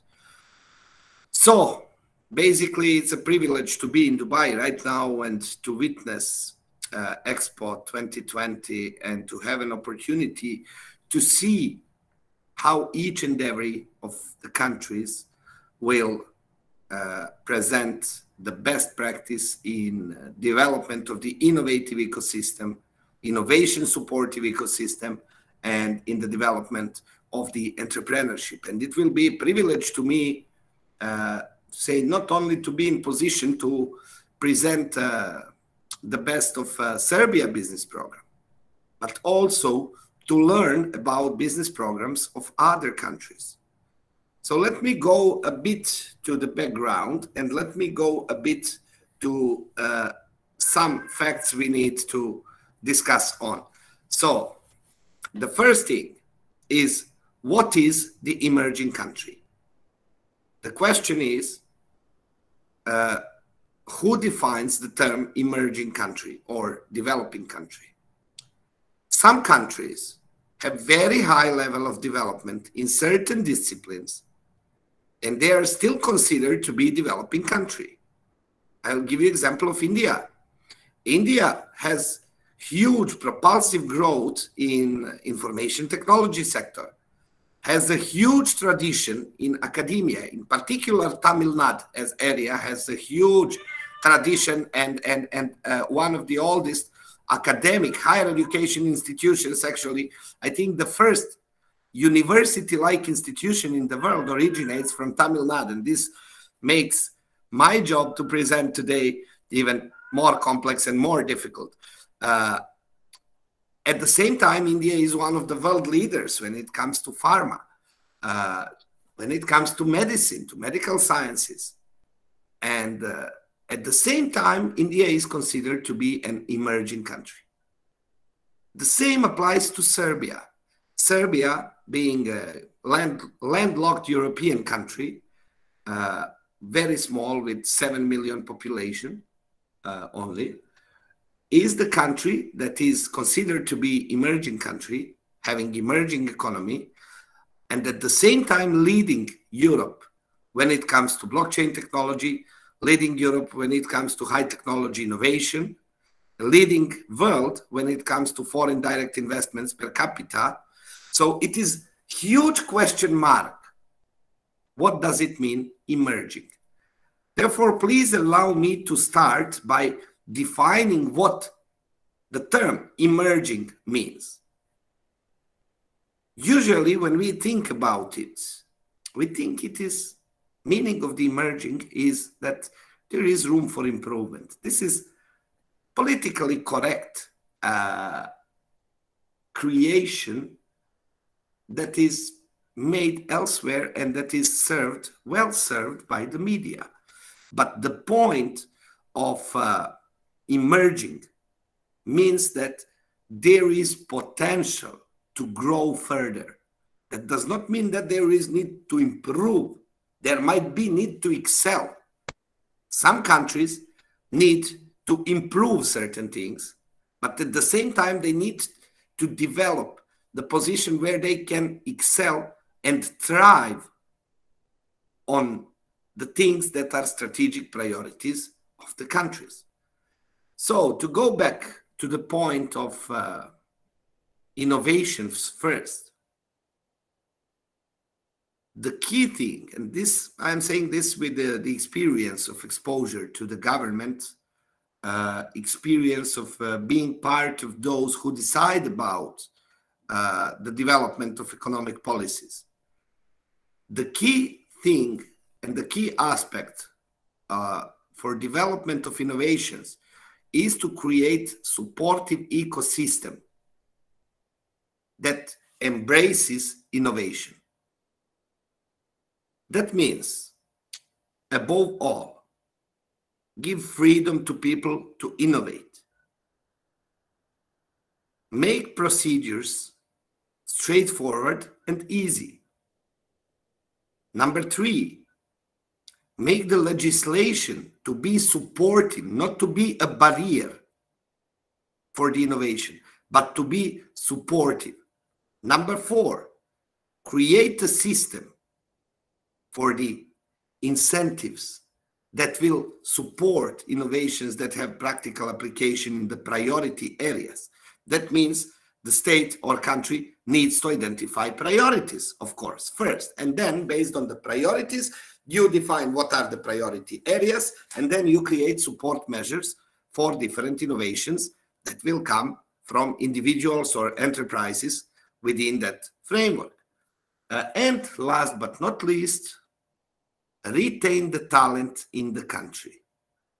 Sometimes this is what countries that are still economically not as strong as some other countries, sometimes uh, the countries forget how to retain the talent. And then they pay very high cost on other end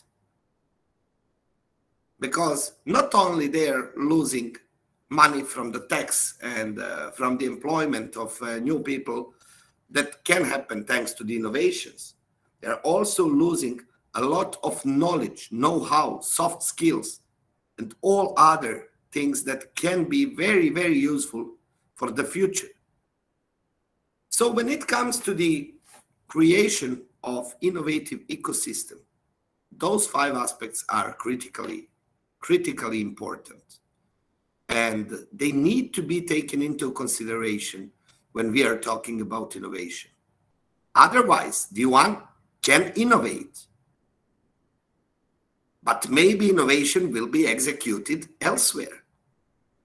So the point is to create the ecosystem that will keep both innovation and innovator inside the country, within the country.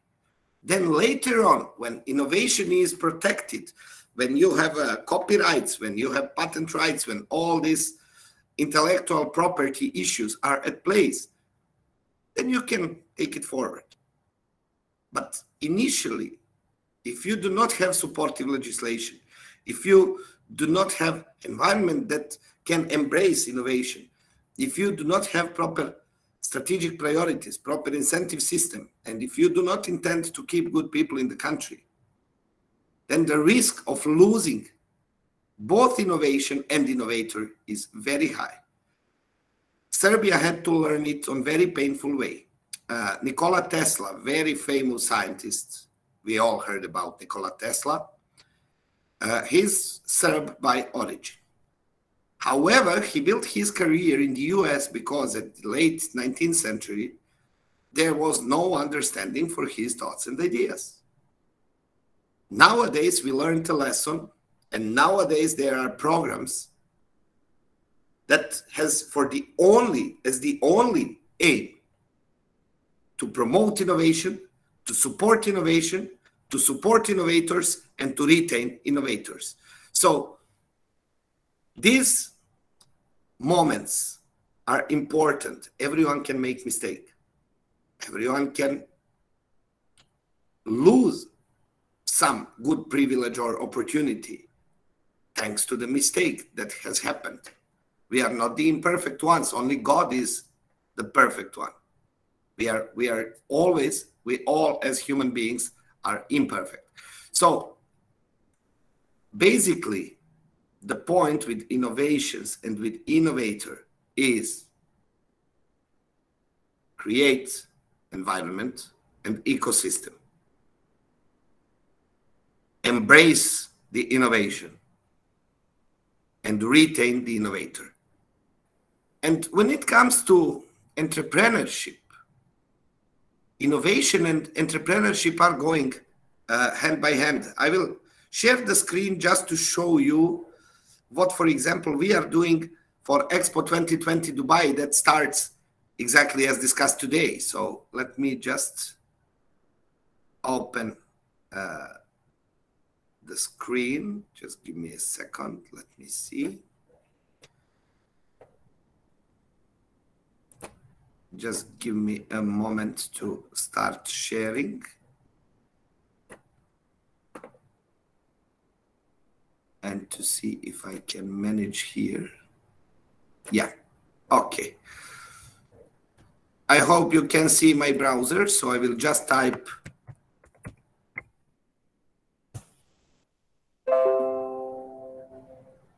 and go ahead. So for the need of Expo, we want to present uh, our country being an emerging country as innovative economy. We want to present it as a country where entrepreneurs are innovative, where academic institutions are innovative, where uh, it is all about creation and innovation. Uh, even if you look into how Serbia presents itself at Expo, uh, the topic is inspired by the past, we create the future. So we use the theme of 7,000 old, uh, 7,000 years old Vinča civilization to describe uh, that Serbia was hub for innovation even thousands of years ago. And I see strong similarity with India and Tamil Nadu in particular. Tamil Nadu as a state is one of cradles of innovation. It is one of cradles of trade. It is one of cradles of academia, one of cradles of international relations. My belief is that uh, countries and states need to leverage on that. It's critically important. So let me go and uh, just guide you very quickly uh, through what we are doing and how we are doing.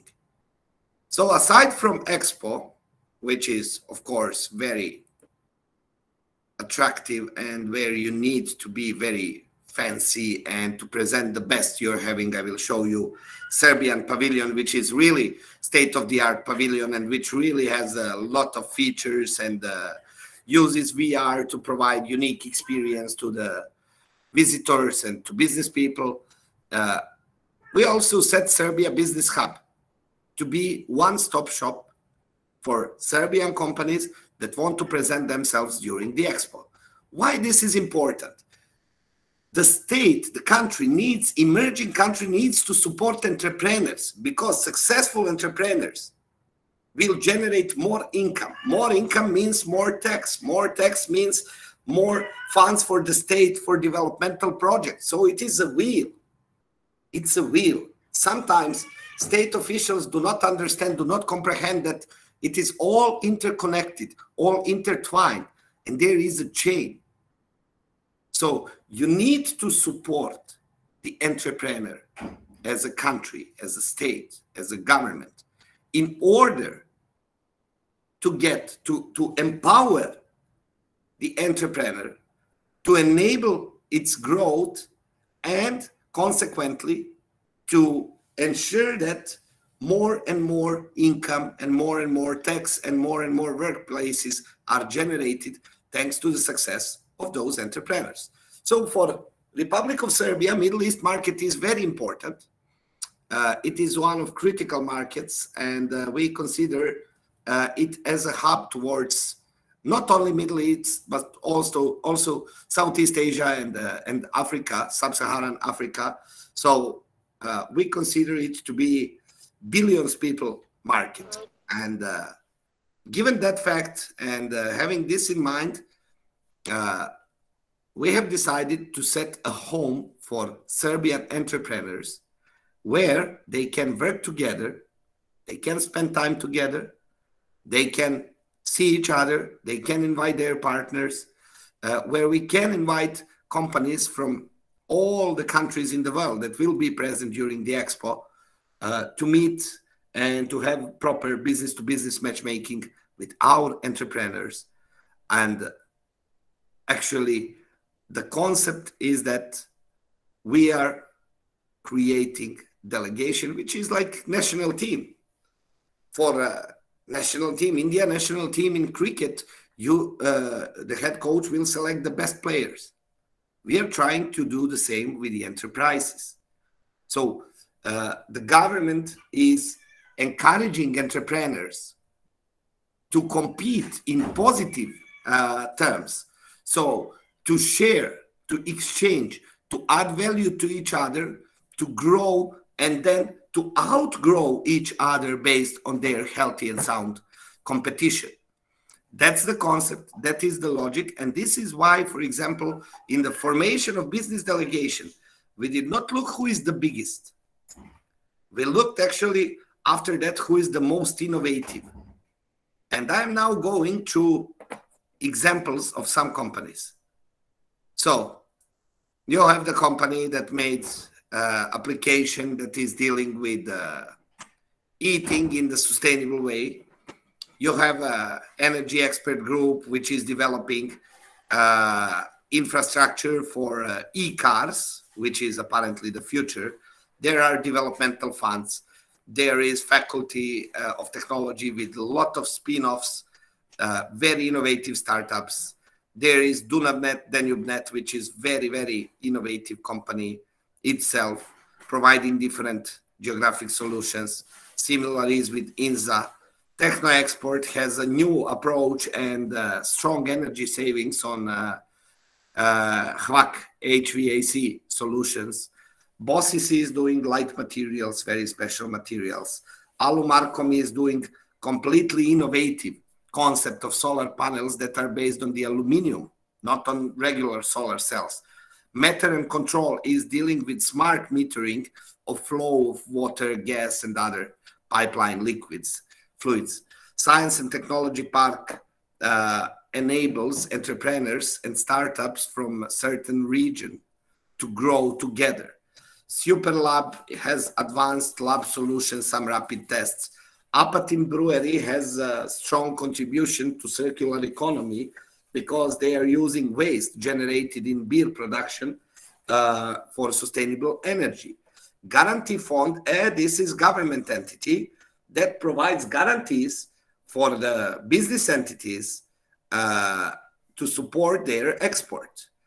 Then we are having Comet Consulting, which is creating, again, innovative energy saving solutions uh, for reducing fuel consumption of trucks and machines in the construction. CirEcon, as the name says, circular economy, is dealing with the circular economy solutions. We are having another science and technology park uh, gathering together uh, startups from South Serbia. We are having NLPS, which creates uh, new sustainable solutions in energy, uh, electric energy transportation. We are having Ono bikes that created together with Harley Davidson. They have created entirely new generation of e-bikes. It is a breakthrough, one of the breakthrough products. Uh, Media is also dealing with uh, green air, with air purification. Torlak Institute is a state-owned institute that is specialized for smart testings, vaccines production, and so on and so forth. And we are having integrated engineering solutions, ASW. Further on, there are waterworks. Uh, there is, uh, you can see some, Poduhvat is the company that is doing some, again, specific uh, solar turbines. Michelini is dealing with uh, wood. Esotron, you can see machinery. Biotechnica, again, testing and metering construction cluster that supports innovations, World Wildlife Fund, and Law Office just to support the efforts of the companies. So you can see the concept. All the companies that will be presented only during the first thematic week. So only during the first thematic week of Expo. This is only for week one, and Expo will last six months. All, almost all the companies have innovation in the center of their operations. And this is something what actually adds value because when you have highly innovative companies, then it is not overly difficult to attract the interest of the investors.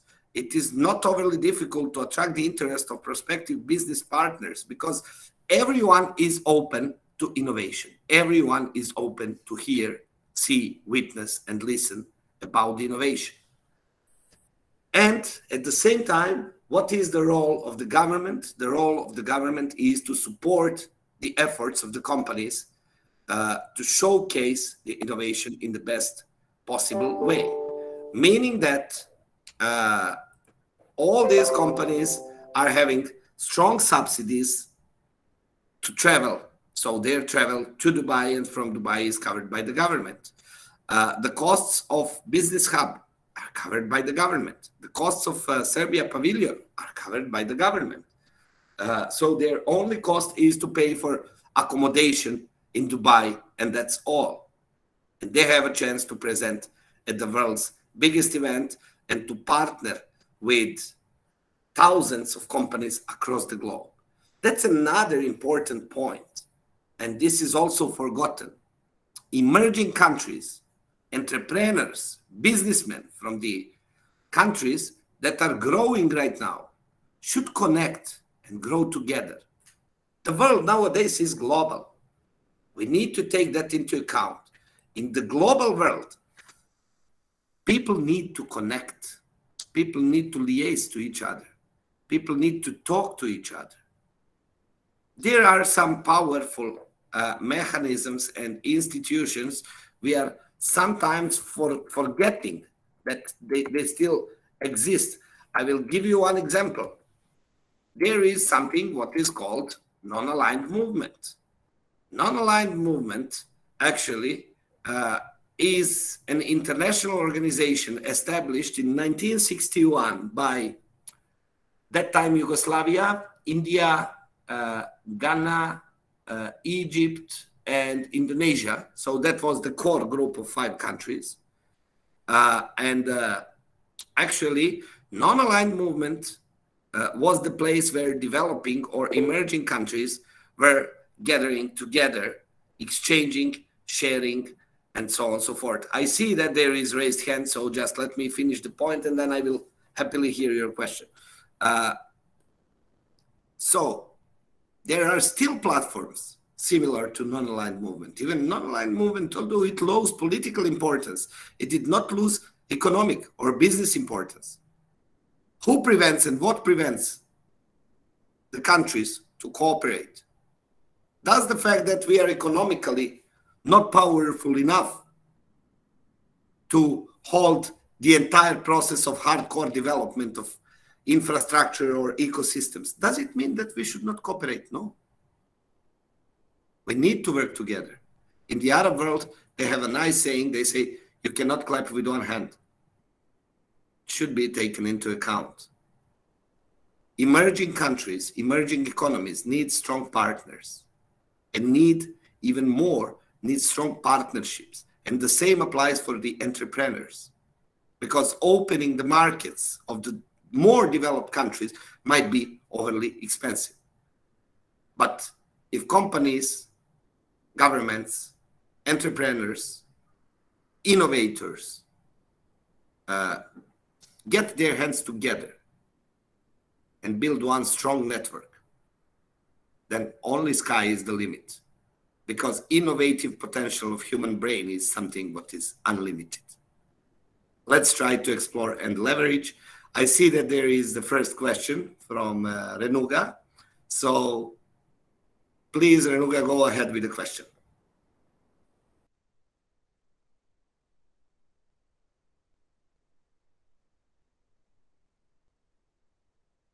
We cannot hear.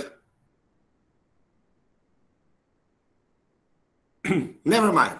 Anyway, let me let me finish let me finish the, the, the, the point we have started. So where is the future? The future is in connectivity, technology, building ecosystem for development of entrepreneurs, building ecosystem to embrace and retain innovation and innovator, as we just discussed, and in building bridges, building networks and partnerships between the companies, individuals, governments, and end of the day, countries. If those pillars are at place, my firm belief is that the countries will thrive and go up. And another important aspect for both innovation, innovators and entrepreneurs is define the priorities. We cannot, we cannot run hundreds of races at the same time. Choose your races, choose your battles, and go for those where you see not a quick win. Go for the battles where you see long term growth. This leads to the success. This leads to sustainable success and long term success. And this is what emerging countries, emerging economies, and entrepreneurs and innovators in those countries need. Thank you very much. Thanks for uh, attention. Thanks for wonderful attendance. I see more than 200 people continuously on board, and it's a real privilege to be here and to present in such inspiring and uh, powerful environment. God bless you all. And uh, I am here at disposal for any comments, questions, and if you allow me, I will be happy to open the discussion. If anything comes to your mind, just send me an email, contact me, contact me on LinkedIn, wherever. I'm sort of very social guy, so I will happily respond to any question or point. And I am really and eagerly looking forward to seeing all of you together live as soon as possible, as soon as we get rid of those restrictions that are at the same time opportunities. But this we will discuss at some of the next sessions. Thank you once more. Thanks, Professor Sheila, for the invitation. God bless you. And once more, it's my pleasure and privilege. Thank you. Thank you so much, uh, Marco, for being with us. It's indeed been a great pleasure to have people from across the globe on this uh, platform. And you are very special to us for inspiring us this day. Thanks so much. Thank you and God bless you. Sir, sir, there are a few questions. Please, I am at disposal. Yes, sir. So the first question is, what is the best way for a country to increase entrepreneurship? Well, again, there is no one size fits all solution because growth of entrepreneurship is strongly associated with the culture. People very often make mistakes, especially international consultants. I had an opportunity and privilege to work as international consultant for a while. You cannot take solution that works in, I don't know, for example, India and apply it to Costa Rica or to take solution that you have in Ghana and apply it in Serbia it's impossible. So each and every country needs to set up its own entrepreneurship growth ecosystem. I can tell you example of Serbia taking into account elements of Serbian cultures. Serbs as a nation are very social, very active, very outspoken, very eager to, to work and uh, very committed to the success. You can see it from the sports. I mean, 7 million country that is having Novak Djokovic, that is superpower in a number of sports, starting from basketball over football, uh, handball, water polo, and so on and so forth. So uh, Serbs love to succeed. And what is uh, the government? And that's part of the culture. Success is part of the culture. So what government understood? If you make pitches and competitions for entrepreneurs, they will grow, they will compete. So one element was to empower uh, and encourage entrepreneurs to compete between themselves and to win on different contests and competitions for technological best innovations, best developmental project, and so on and so forth. Another thing, which is general for all the countries, you need to regulate the framework. You need to create the framework. If there is no stability of the legal system, if laws can be interpreted in different ways, then it is difficult for entrepreneurs to grow and it is difficult to nurture the ecosystem because uh, entrepreneurship requires two important things to grow. Aside from innovation, aside from mindset, it requires stability and predictability. Those things are provided by development of proper framework. Framework means legal system that provides stability and additional governmental measures, incentives, subsidies, uh, and so on and so forth, tax holidays, whatever is at disposal, depending again from culture to culture, that will provide, and that the, uh, the entrepreneur knows that he or she can rely on the state support in this, that it's not a gamble to get the state support, that if it is written that they will get tax holiday, that they will really get tax holiday. So that sort of predictability that needs to be taken into account. I hope this answers your question a bit, but full answer to this question would require separate half an hour session.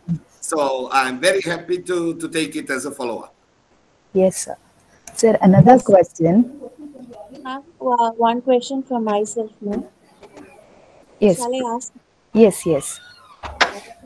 So, um, how to start uh, an entrepreneurship or a business and how to be successful with our own ideas, sir? Well, uh, first thing is to understand your very own idea. So take the idea and analyze it 100%. Analyze it from different angles. So don't take one angle. The fact that I like something does not mean necessarily that I will be successful in doing that. So you need to analyze the idea from different aspects. That's step number one. Step number one. So to analyze, to study idea, and to understand if there is really potential for the success.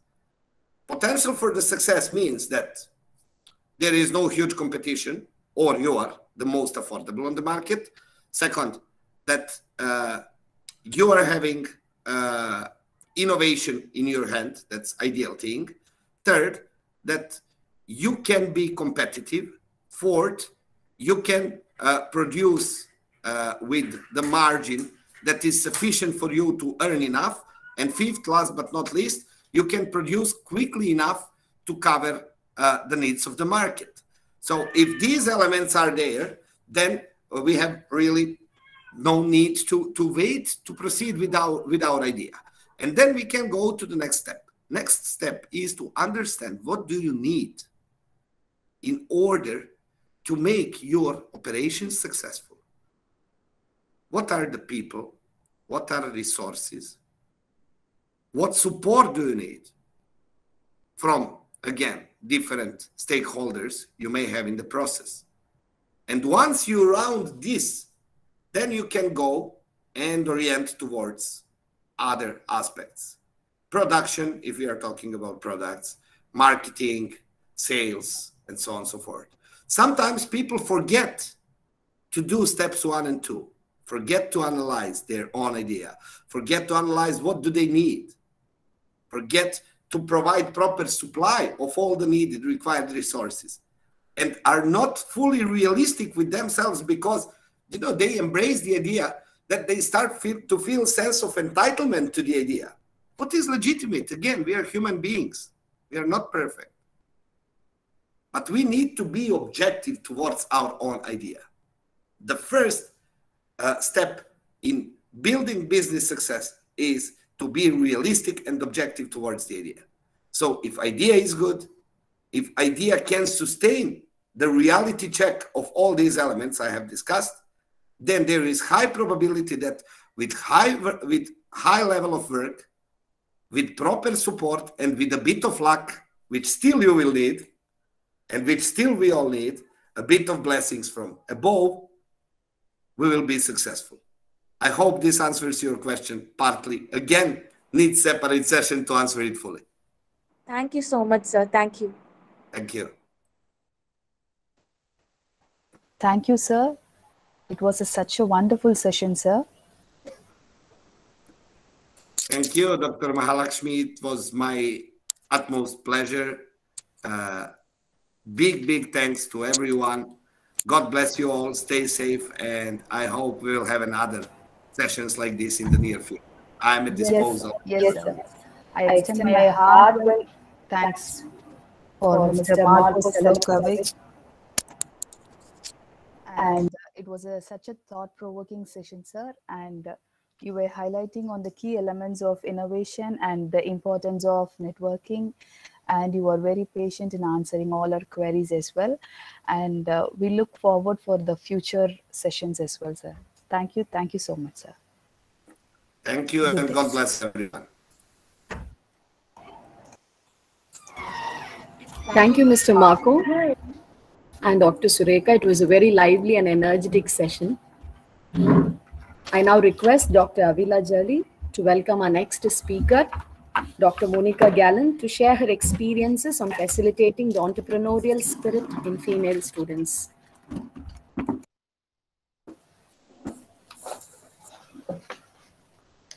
Respected dignitaries, faculty staff, and my dear students, very good afternoon to you all. I'm Dr. A. Avila Jolly, Assistant Professor, Department of Zoology of this college. Feel privileged and humbled to take this opportunity to introduce our speaker. To be inspired is great, but to be an inspiration is a honor. Yes, our guest speaker of this. Can you please open your video? Can you please open your video, please? Yes. As you speak? Yeah. Yes. To be inspired is great, but to be an inspiration is a honor. Yes, our guest speaker of this session is one of such inspirer, Dr. Monica Gallant, Associate Professor in Accounting, Assistant Dean of Executive MBA Program, Dubai On Campus, and Middle East Online, Jain School of Global Management, who will enlighten us on the topic facilitating the entrepreneurial spirit in female students and experiential approach. Ma'am is a qualified as a chartered accountant who hails from Canada with a master degree in education technology and doctorate in education. She began her career at Deloitte as a senior auditor and then founded her passion for teaching as community college instructor. Dr. Monica has worked in the education sector in Dubai for 25 years. She was an associate dean of business at the Higher College of Technology and more recently as a president and CEO at the College of Fashion and Design and dean of ESMOD French Fashion Institute, Dubai. She enjoys bringing creativity, technology, and authentic learning experiences into the classroom and finding ways to actively engage her students. In addition to financial accounting, her research interests include intellectual intelligence, entrepreneurship, and women issues. Dr. Monica is a certified mentor, certified trainer for intellectual intelligence, certified trainer for personality dimension and qualified site evaluator and mentor for the Accreditation Council of Business Schools and Programs. She has won Global Teaching Excellence Award as well as Research Excellence Award in her free time. Excellence Award. In her free time, she enjoys creating ceramic arts, sewing, quilting, yoga, and communing with nature with her Cocker Spaniel. I thank her for accepting our invitation and find you as an optimistic choice to serve as a resource person in today's session. Please join me in welcoming our renowned speaker. Once again, I welcome each and everyone in this gathering. Thank you. It is over to our speaker, Dr. Monica Gallant. Ma'am, platform is yours. Thank you very much for that warm welcome. I'm going to try to share my uh, my my slides. Let's see if I can do that.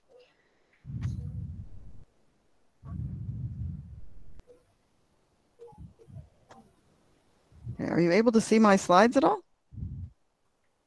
Not yet, ma'am. Okay. Hmm.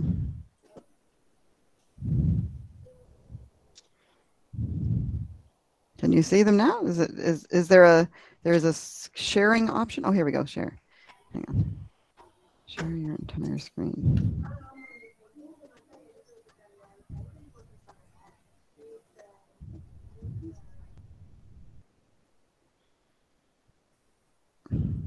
Okay. Hang on. Let me try once once again. There is an arrow upward, There's an arrow upward. and that's the that's the present now mode. You got to go to the present now mode. Yeah. And then should I choose Yeah. a window? Yeah, and Or- then you choose a window. Choose the window Okay. where your PPT is opened. There we go. Yeah. Can you see it now? Mm, not yet. That's a heavy. Ah, yeah, it's almost there. Yes. There we go. How about now? Yeah. And then Yes. you can click the full screen mode. Okay. Can you see it now? Mm, full screen?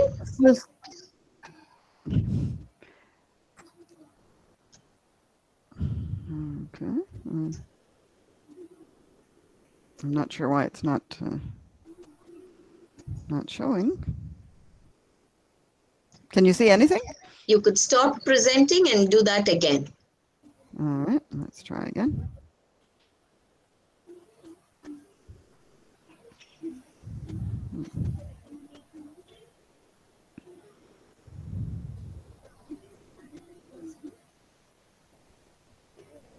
The upward arrow, present now, and then you choose a screen like you did last time.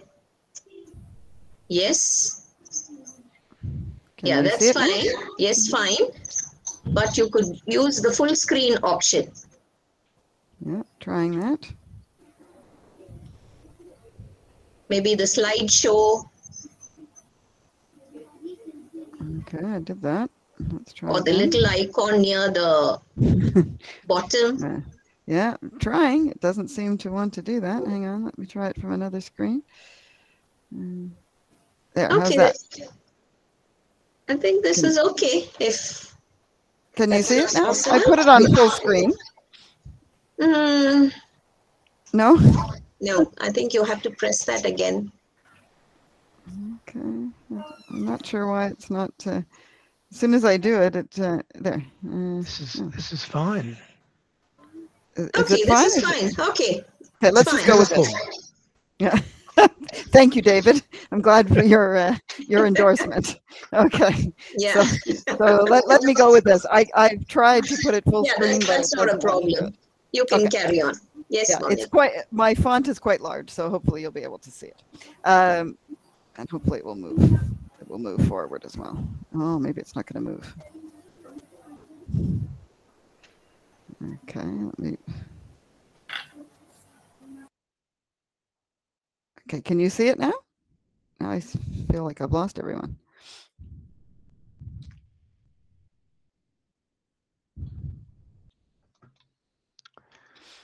Hello? Ah, It, it, it seems I can't move the slides forward. ah. I'm going to try one more time. Hang on.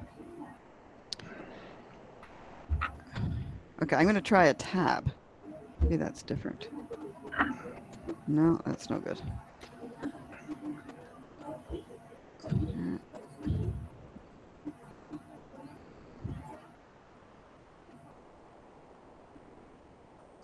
Ma'am, you can select entire window also, ma'am, if possible.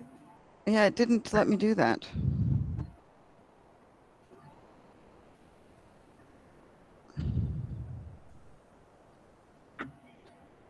Yes, Sorry. I'm just okay. Yes. I'm just going to go Yes, ahead. Okay, ma'am. so hopefully you can all hear me. I can't seem to see you at the same time as I can see my presentation. And uh, yes, I can uh, move it forward. Anyway, um, thank you for coming to my presentation. I'm going to be talking about uh, a project that I did a few years back, which was uh, designed to create an entrepreneurial spirit in Emirati women. So this uh, this was a, a very successful project that ran for more than 10 years. So I'm going to explain to you how we developed this this project. So I, I don't need to introduce myself uh, very much, I don't think, because I was so well introduced, but I am living here in Dubai for the last 25 years. I'm currently uh, working at SP Jain, but this project was something I did when I was working at the Higher Colleges of Technology, which was uh, focused on educating Emirati women. Uh, are you able to see my slides as I move them forward? Yes, ma'am. Yes, yes, okay, yes. Good. Okay, good, good. Okay, so um, so a little bit about the context of where I ran this project. So it uh, was at a government-funded college for Emirati women, a very large college system. We had a very huge campus, very modern, 2,200 students. Um, we had a whole number of different programs, including business. The students' first language was Arabic, but we taught them in English. So a big part of our challenge was teaching the students English first and then uh, teaching them business concepts. We were very highly uh, technology enhanced and we focused on project-based learning. So we were really, the whole school was focused on um, experiential learning, which was, was really very exciting. Now, the challenge in trying to teach business to these Emirati girls was they didn't really have much of a background at all no experiences. They were all um, 18 years and over so they were they were young adults but they had not had any work experience. Some of them had very little uh, exposure outside their homes so it was really difficult to try to teach them concepts like decision making for example. So i would ask them if you were going to make a decision how would you go about doing it? And they really couldn't couldn't think uh, they, they didn't have any uh, practical context to apply this. I would try to make it, um, you know, make it personal by saying, well, if you went shopping and you saw two dresses that you liked, how would you choose? And, and they would laugh and say, oh, we'd choose both of them you know or I, i'd say how would you how did you choose to come to this college and they'd say well my dad said i had to come here so we really had some difficulties in finding uh, examples that we could use in the classroom to uh, make the, the, the, course come alive.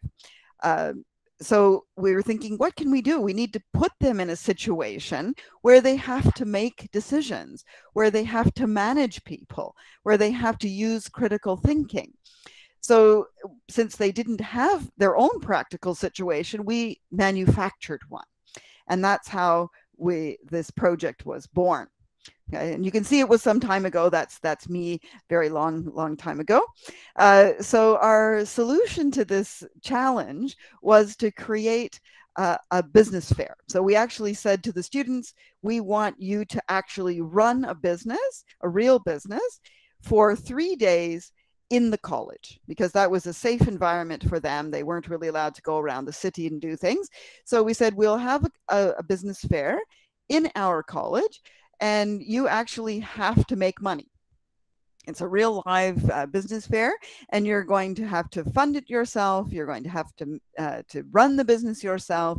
You're going to have to design everything. So it was a huge project. It took uh, the entire semester, uh, and all of the year two courses were uh, integrated into the project. So every teacher had a part to play and all of the skills in marketing, management, economics, business communications, and accounting were assessed also uh, in this project. So it was a very high stakes project for the students.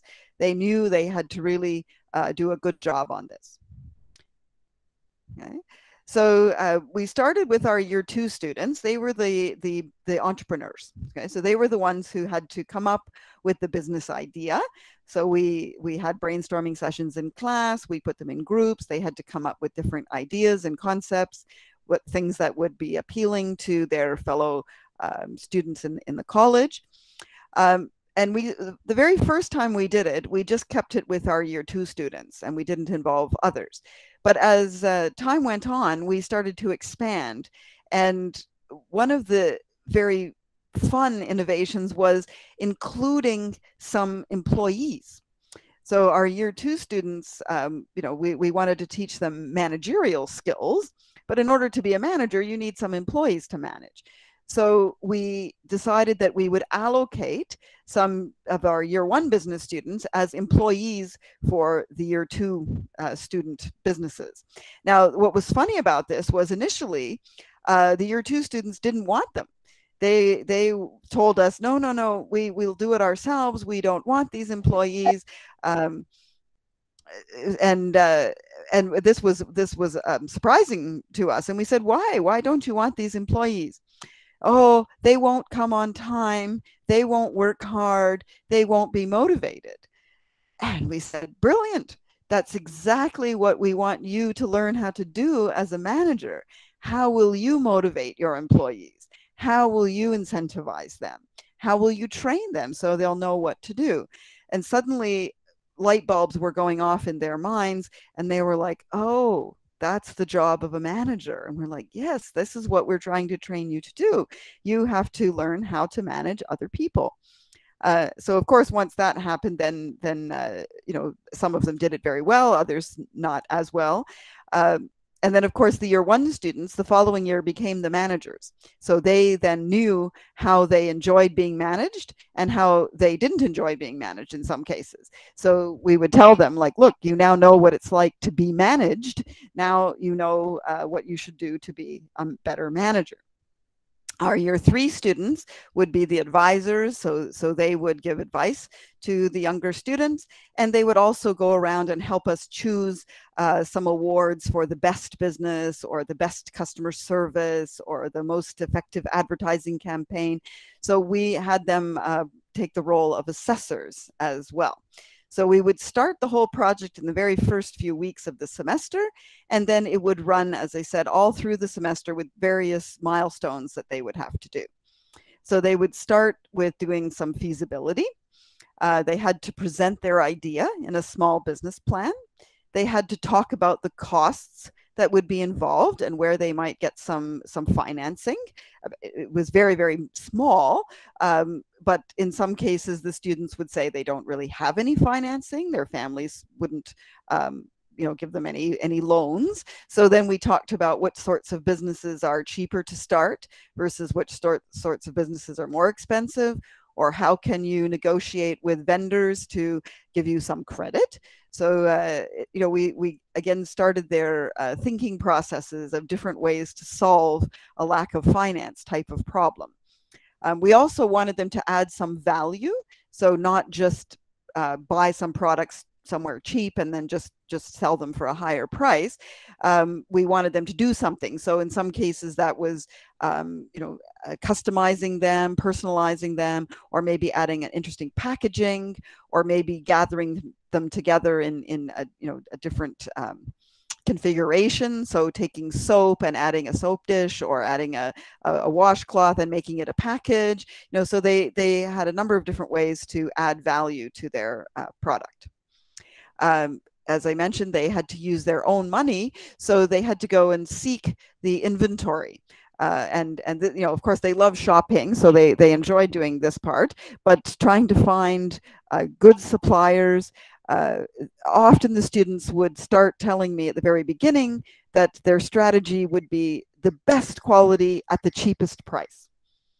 And I would just smile and say, well, you know, that's a nice theory, but in practice, how do you do that? The best quality doesn't normally come at the lowest price. You have to compromise on one or the other. So uh, they then saw that in action as they went out and went, oh, wait a minute, you know, this high quality item, um, people aren't going to pay a premium, an even more premium price for it. Uh, this low quality item is so low quality that um, you know, even at this cheap price, people won't, um, you know, won't won't uh, purchase it.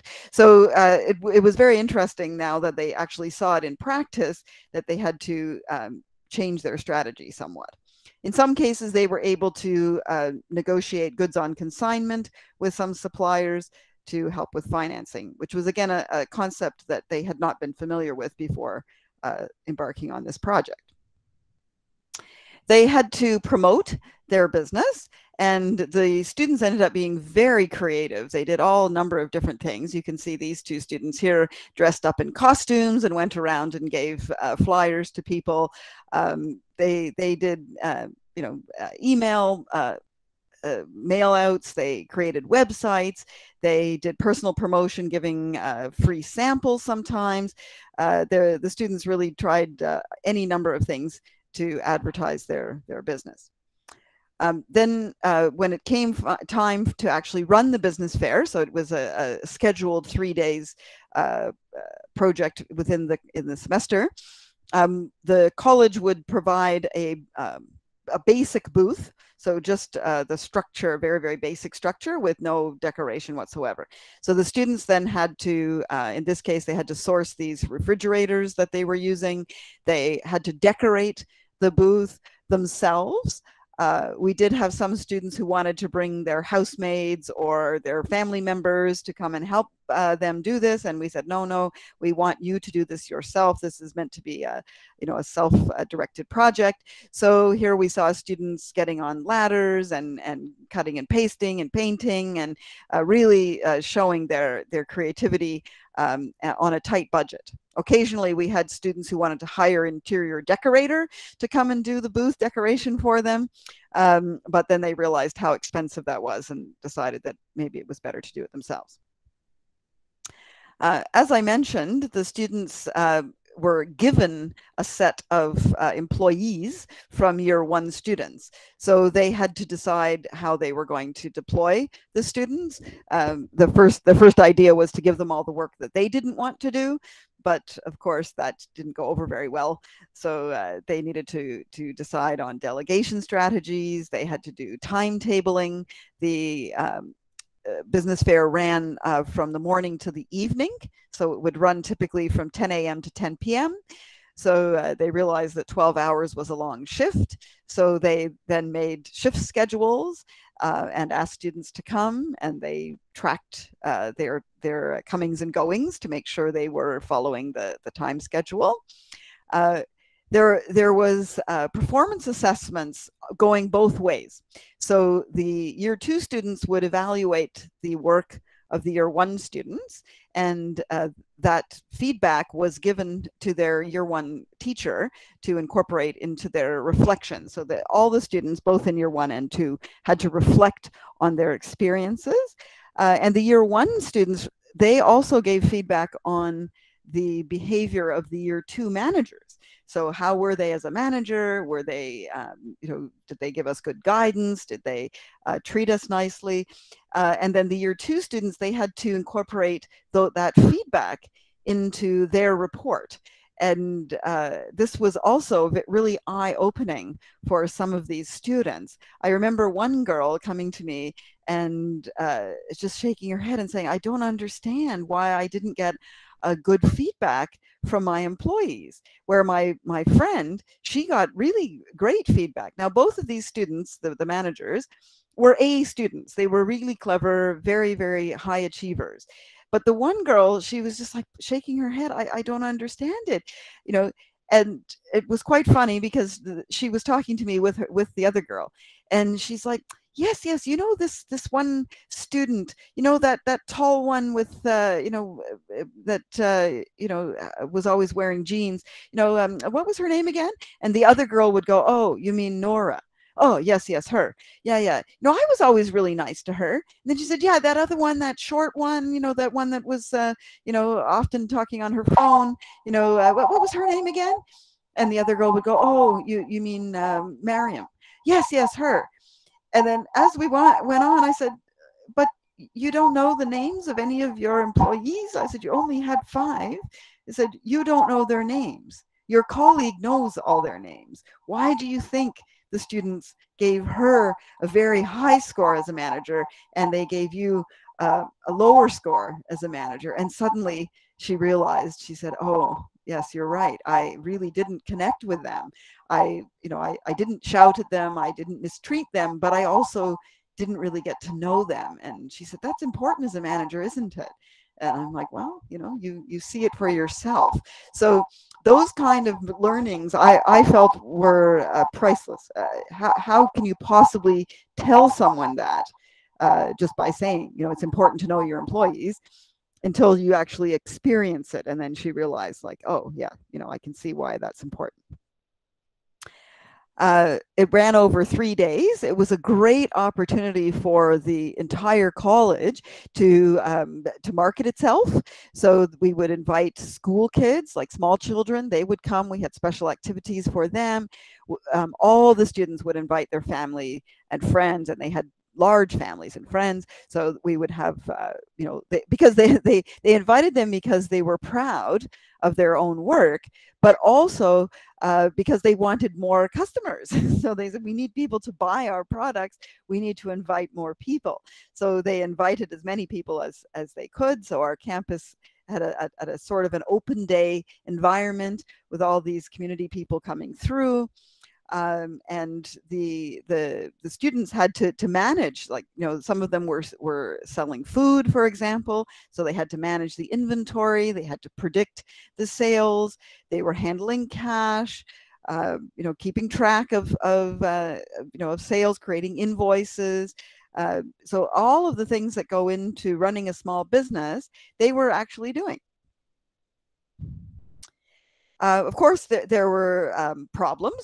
I mean, sometimes we we I mean we didn't create the problems, but the problems created amazing learning experiences. So if you're familiar with Dubai, normally we don't have much rain. It's it's normally very nice weather. We would typically have this event at the end of November, early December. So it was usually quite a good time of year. The weather was not too hot, but um, from time to time we would get a big rainstorm. And then suddenly you know uh, there were all number of problems. And the students were just amazing. They they would do everything to, to make it work. Um, and it really again gave them real life experiences of how to handle a crisis situation uh, we had students from other majors at our campus. So we had, um, for example, in this picture, you can see some of our um, health sciences students. So other um, departments would would uh, initially I think they were a bit, bit, envious of the excitement that was created by the business department. So uh, they then jumped on the bandwagon and decided to have their own activities during this time because as I mentioned, it was like an open day for the community to come. So they would uh, think of their own uh, sort of entrepreneurial activities. They may not have been profit oriented, but uh, certainly they would set up uh, different kinds of activities that suited their major. So for example, the health sciences students set up a health check and medical screening and so they they set up a, a, a you know sort of a, site where people could go and and uh, have their blood pressure checked or have some um, uh, you know uh, blood sugar checking and this type of thing. The journalism students, they would go around and act as reporters and uh, take videos and take interviews and write uh, stories about uh, all of the activities that were going on. So we, we tried to involve the entire campus. Uh, they couldn't really help but be involved because uh, the buzz was so uh, big happening on the campus that they really couldn't miss it. But it was it was quite fun. Uh, in this picture, you can see Sheikh Nahyan. He was at that time the Minister of Education. Uh, so he um, was also very proud of our students. So he would come through and uh, talk to the students. And uh, you can see here some of the students were a bit shy, uh, but they, they uh, really were thrilled if the uh, the sheikh came and spoke to them. Um, and we had any number of different uh, business people coming through uh, the business fair to admire what the, the work of the students. Uh, the we had we also had an education department they put on special activities for young children uh, so they would come and and uh, this is one of our education students dressed as a clown here uh, giving some special um, activities for young children who also could um, of course, wander through and be inspired by the um, entrepreneurial activities of uh, the rest of the, the, uh, the students. We also tried to encourage uh, corporate social responsibility. So we uh, instituted a very novel idea uh, uh, and we had bazaar, it was called bazaar at one time or business fair um, currency. So, so what happened here was if you wanted to spend at the business fair, instead of just spending dirhams, you had to spend these special um, business fair dows, we called them. There was a special kind of money. And uh, so you would take your actual dirhams to the bank uh, which was run by our financial services students, and they would exchange uh, your actual dirhams for um, money that you could spend at at the business fair. And then when that money was then brought back by the businesses to convert it back into dirhams, they would take 5%. So it was basically a 5% sales tax, if you will, but we uh, managed it like an exchange rate. So uh, this was great experience for the finance students, but it also was uh, an opportunity for us to collect up some uh, revenues that were then donated to charity. So people felt that if they uh, were you know purchasing at, at at the business fair they were also giving a small small donation to charity uh, when the uh, the whole event was over, uh, the learning was was not over. Then the students had to write a comprehensive report. So they had to go through the whole experience, reflect what on what went well, what didn't go well, did they achieve their goals, did they not achieve their goals, why did they, why didn't they. Um, if they didn't make money, you know, why was that? Uh, it, they certainly weren't graded on whether they made money or not. It was more about their critical thinking. You know, were they able to actually articulate what didn't work well? What would they do differently if they were going to do it all again? Um, you know, was there some, you know, additional competition that they hadn't anticipated? Did they set their prices at the wrong level? Uh, you know, what actually, um, you know, caused uh, the business to fail or caused the business to succeed. Um, so they had to present their learning uh, in a written format as well as in an oral format to a panel of their teachers and different teachers again were looking at different aspects of the project. So the marketing teachers would look at their marketing efforts, the financial accounting teachers would look at their uh, control of finances, and so on. So uh, they ended with a with a wonderful report.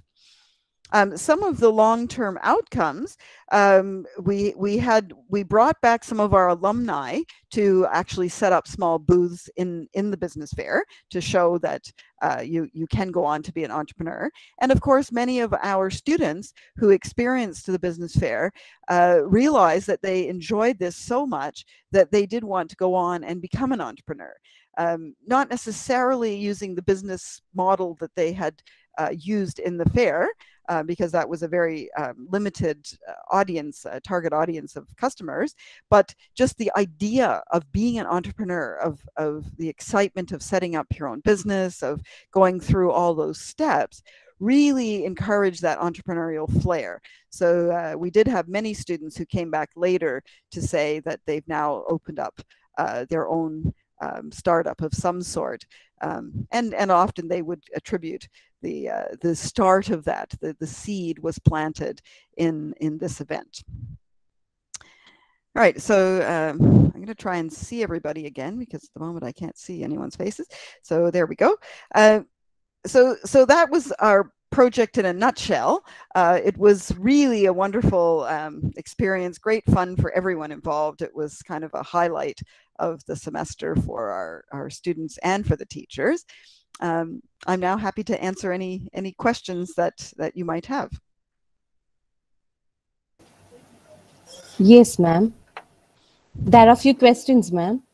Okay, go ahead. Uh, yes. Uh, what do you think is the biggest weakness in female entrepreneur? Uh, okay. Um, I, I think sometimes uh, lack of confidence, uh, fear of failing.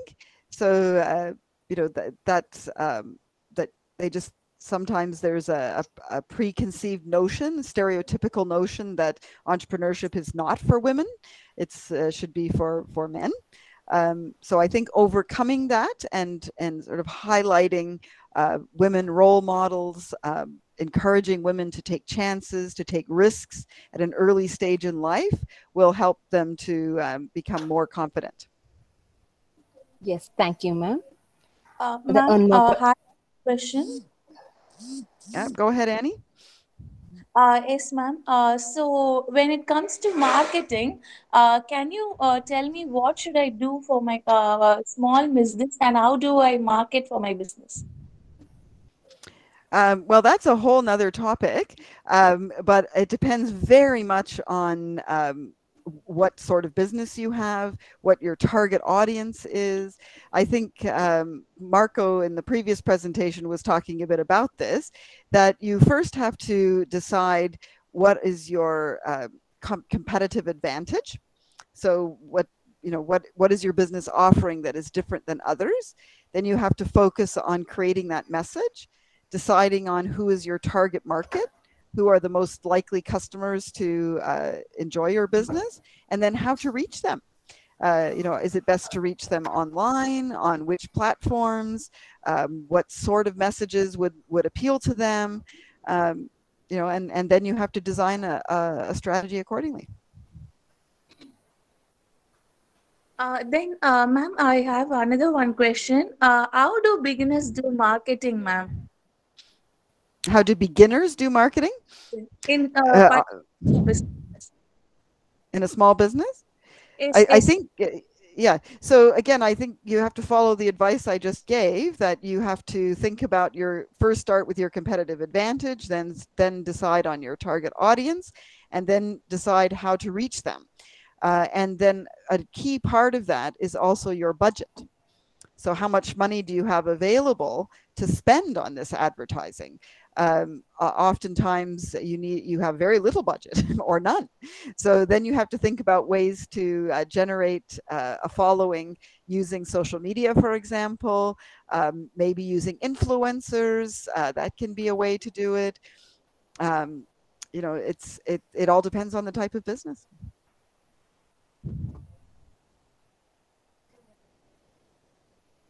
Any other questions? Yes, thank you, ma'am. There's one more question. Yeah, go ahead. And there was one more question, ma'am. Uh, how? What are the tips you would suggest us to face or tolerate the failures or opportunity neglig- negligence? What are the tips you will give us to face? Tips to avoid failure? Failure. Yes, ma'am. uh, research.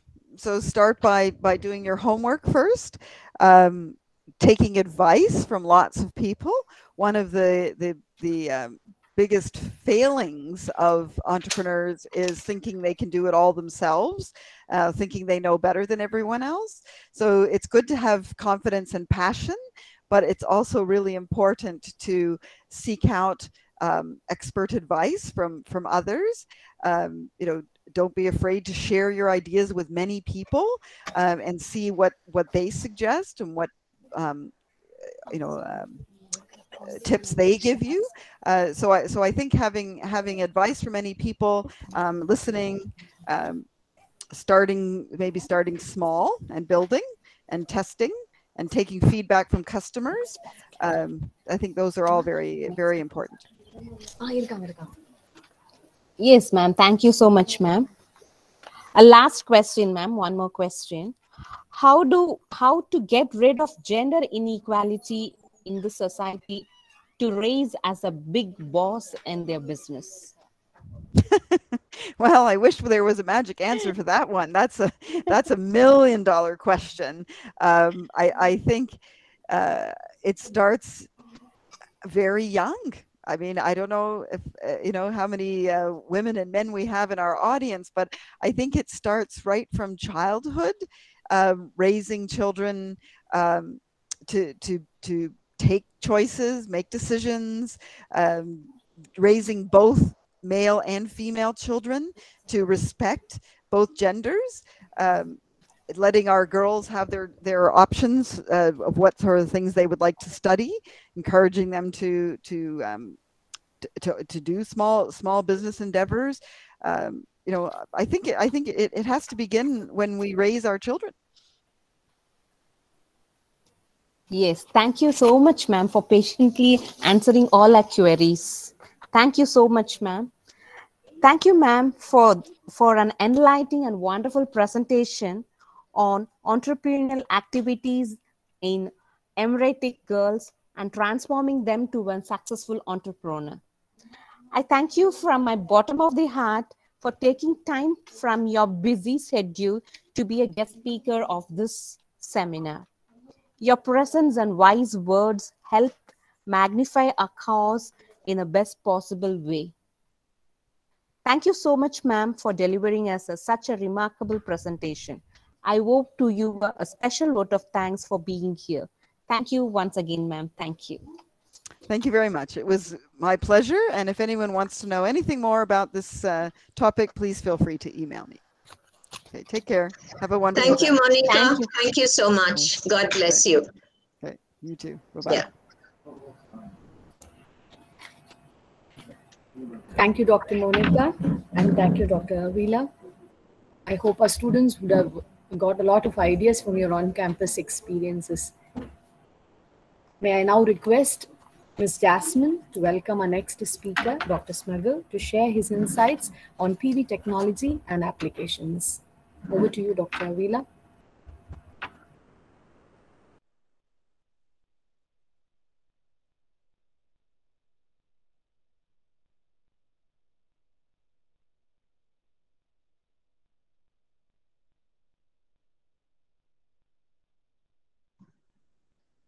Dr. Jasmine, are you there, Jasmine? Yes, ma'am, I'm here. Yeah. Please open your uh, video and you can start.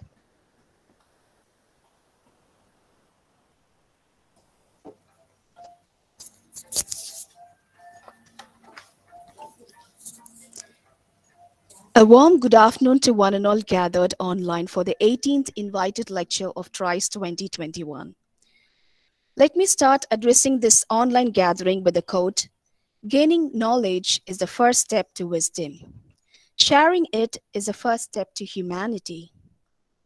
To witness it, we are gathered here for the International Virtual Conference on Transdisciplinary Research and Innovation for Entrepreneurship and Sustainability 2021.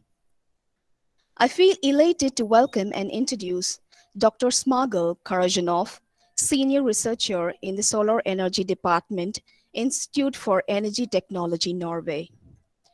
Dr. Smagul received his PhD in the year 1993 from the Institute of Physics and Technology, Tashkent, Uzbekistan. Presently, he serves as a senior researcher in the Department of Solar Energy at Norway and works as a professor at the National Research Nuclear University, Moscow, Russia Federation. Dr. Smagul has supervised five postdocs, seven PhDs, and 12 master grads of the Solar Energy Department in the Institute for Energy Technology, Norway. He had been as a guest editor for four topical issues of the Elsevier journal Materials Letters, guest editor of the Elsevier journal Solar Energy for the special issue on third and fourth generation solar cells.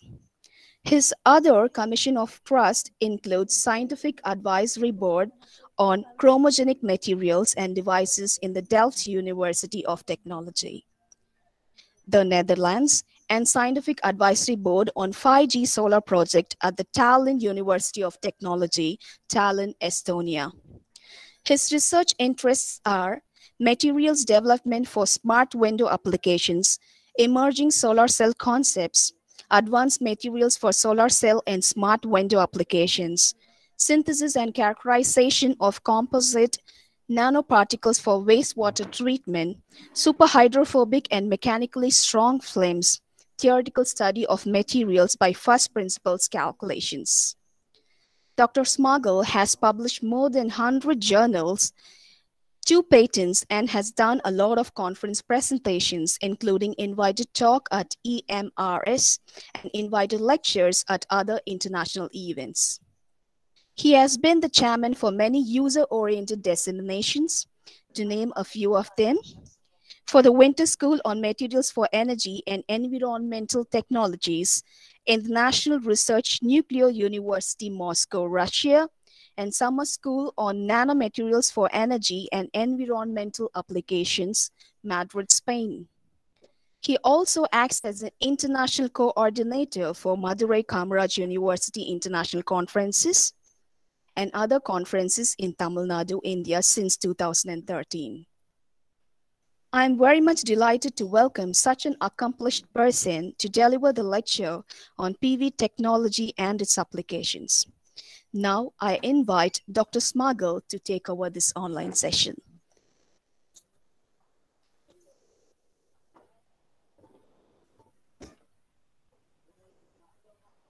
Dr. Smagul, please unmute your audio. We are unable to hear you, sir. Okay, yes. Uh, so it's, uh, it gives me great pleasure to deliver this talk uh, in your audience. And uh, thanks for a very nice uh, introduction. and uh, today I would like to, to tell about photovoltaic technology and its applications. And yesterday I did the sharing of my screen, but now I'm unable to do it. I don't know why what happened. Do you see my screen, my presentation? Yes, sir. I can see your presentation. It Yes. is in slides, uh, slideshow. Yes. Yeah. Now it is perfect. Yes. So, um, Institute for Energy Technology, this is uh, where I'm working. We call it IFE or IFE. This is one of the unique institutions in Norway that has focused uh, research, and that research is related to energy. Here we are working with wind energy, solar energy, petroleum energy, and um, energy storage materials and devices, hydrogen storage, hydrogen energy, blue hydrogen, green hydrogen, and environmental technology also. Lithium ion batteries, for example, sodium ion batteries, and uh, uh, there are uh, more than uh, 600 employees in IFE. This is International Institute.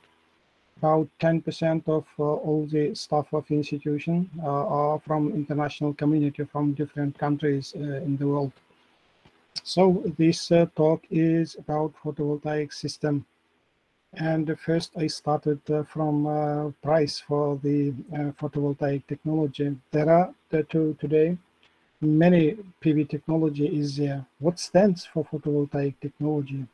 This is a technology for developing uh, devices, equipments that converts sunlight into electrical energy. And to today, there are four um, uh, generations of that uh, technology. And each uh, these generations uh, include um, it's uh, plenty of varieties of solar cell designs and uh, materials. And the price for the solar cells, of the PV technology, is uh, reducing from year to year. However, uh, this is dependent on market. For example, now silicon-based solar cell uh, with the durability of about 25 years, 30 years, and uh, the price is um, about 10 cents of US dollars uh, per watt. If we consider multi-junction solar cells, uh, they have very high efficiency and very durable, but they are very expensive. 250 US dollars per watt. And this technology uh, is uh, used mainly for cosmic space. They are radiation tolerant, whereas silicon is not. And uh, as I said, uh, the price here, it depends on material, on market. And uh, in the price estimations, there are um, a few issues. One issue is, uh, as I said, it's materials price, which is dependent on market. And as you know, uh, there is no trade war between China and the US, and the relationship with Europe is not also good. And uh, because, and the most of the materials used in PV technology is coming from China. So then the price can be somehow influenced, regulated. And uh, 40% of palladium, for example, is coming from Russian Federation. And from 2009, they are reducing uh, and uh, the palladium to, to, to bring it to the world market. And the same situation is ongoing on materials. And as a result of these um, uh, uh, issues, and each and every country, they are looking for now uh, materials in their own place. and so uh, you can see in this picture reducing the price. And in the last years uh, there is some tendency for increasing. So this is what stands for materials price. And uh, also another issue is environmental issue one thing is when we develop these uh, photovoltaic devices in the laboratory derive its price and efficiency but when it comes to concrete applications then we see um, uh, strong dependence of this performance of the devices in concrete environmental condition. Uh, for example, if one uh, builds um, builds um, solar electrostation, photoelectrostation in Sahara, or for example in the former Aral Sea region in Uzbekistan, there are dust storms.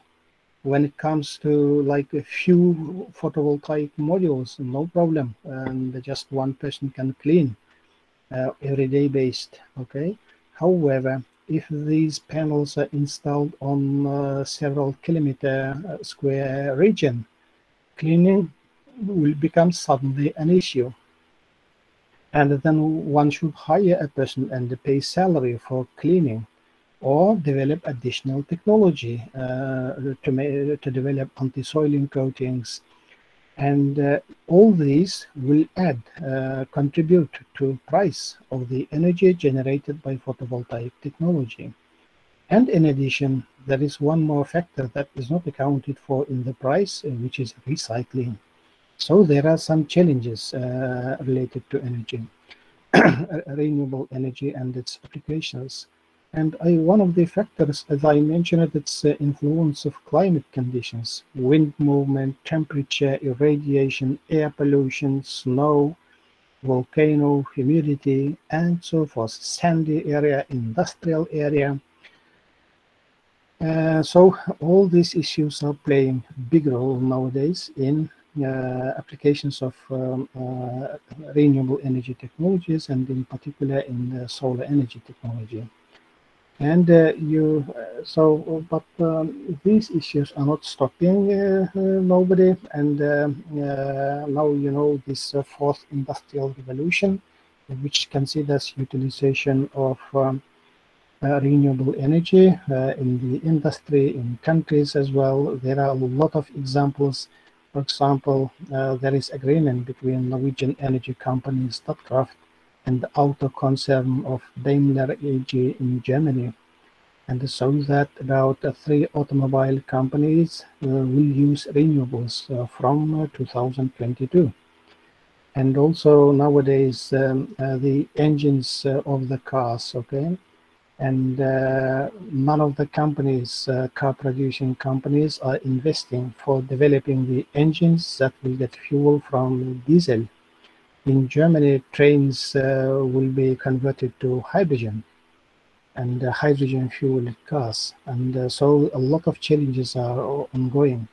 So to today, except renewable energy, solar energy, hydrogen energy, and hydrogen energetics is uh, uh, one of the very important uh, issues and one of the very important topics for scientific research. And there is another emerging topic called artificial photosynthesis that will um, split water molecules into hydrogen and oxygen and so that the hydrogen will be reacting with CO2 gas and converted to fuel like um, methane, methanol, ethanol, which are much more safe than uh, uh, hydrogen. Because uh, if one gets hydrogen one needs to transport it okay? How to transport it? Through pipes. Common pipes don't suit for that purpose. It's suitable for transporting gas and oil but not for hydrogen because hydrogen can react with metal and crack it.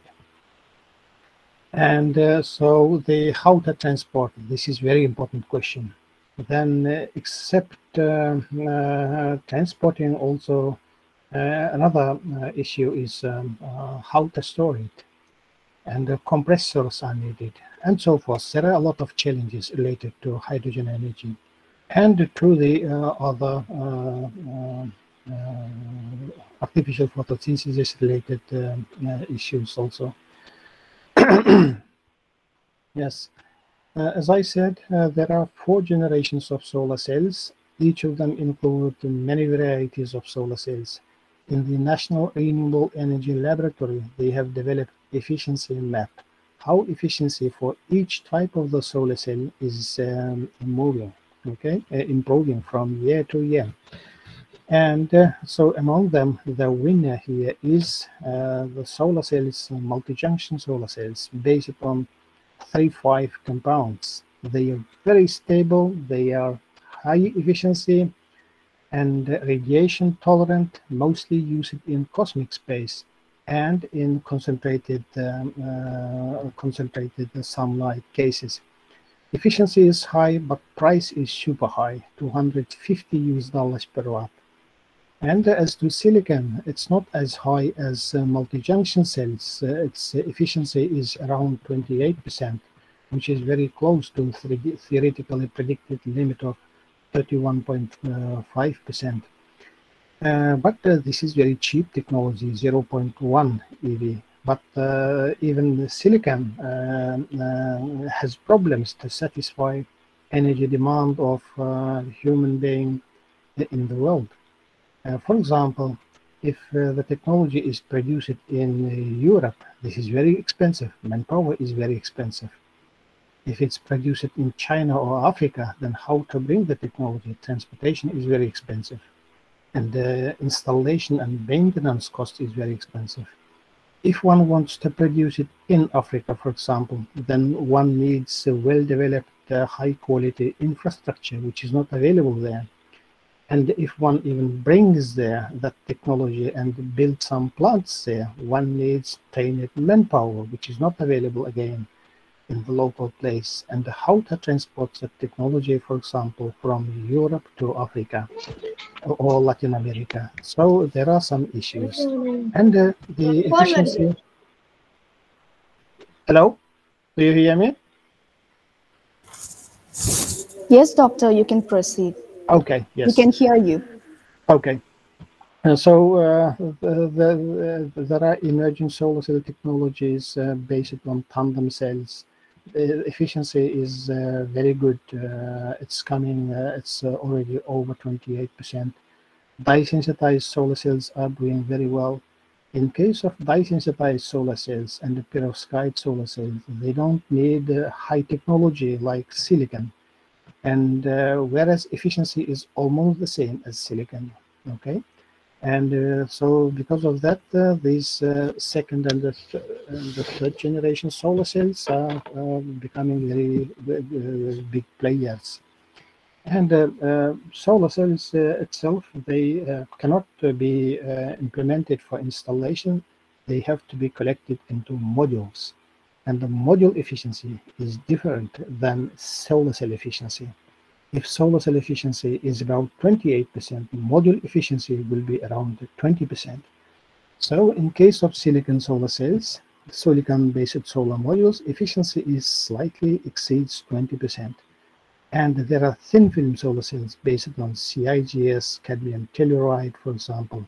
Their efficiency is much larger than silicon. However, production cost for those cells is quite low.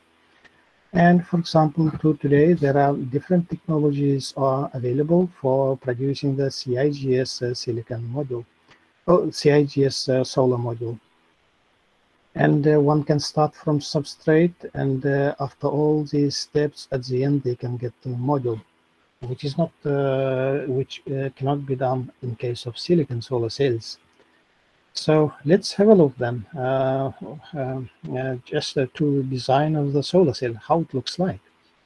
So one needs to have silicon and to make emitter. For emitter, one needs, um, so this base layer, the wafer, it should have certain electrical conductivity.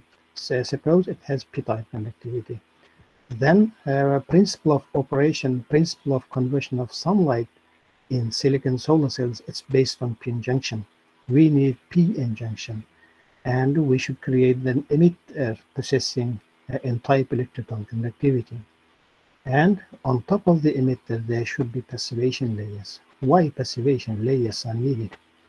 Because the outermost silicon atoms, they don't have, they, they have some dangling bonds not connected to uh, any atoms. And those atoms will connect to uh, atoms from environment uh, to different gases. And those will create a combination center for free electrons and holes. So when we eliminate it from this front side, Electrons are holes and generated, and they will all die at the interface states. To prevent it, we have to encapsulate it. And that encapsulating layer is called passivation layer. Role of this passivation layer is to reduce charge carrier recombination at the surface. Then on top there will be silver contacts. And from bottom, one can prepare aluminum contact. Uh, this is uh, called back contact. Okay. Then if we have a look to this solar cell from the top, then we will see these type of very thin uh, parallel lines and uh, very thick uh, and vertical lines. And these vertical lines are called bus bars. And very thin parallel lines, they are called uh, fingers. Okay. So, and here I would like to mention the following. Uh, these uh, yellow lines are made of silver and uh, their thickness, their width, all is optimized. The distance between them must be optimized, and for silicon solar cell technology, it's already developed. And nowadays, even uh, uh, yeah, this is example of the solar cell that has three bus bars. And nowadays, uh, companies are producing multi-bus bar cells. Initially, they uh, converted this technology to five bus bar cells and afterwards they move to nine bus bar cells. Nowadays they are moving to multi-bus bar cells. And in some big producers uh, of uh, solar cells, it, it's very hard to find even in the storage room five bus bar cells. And uh, then uh, when solar cell is developed, one must connect it in series or in parallel.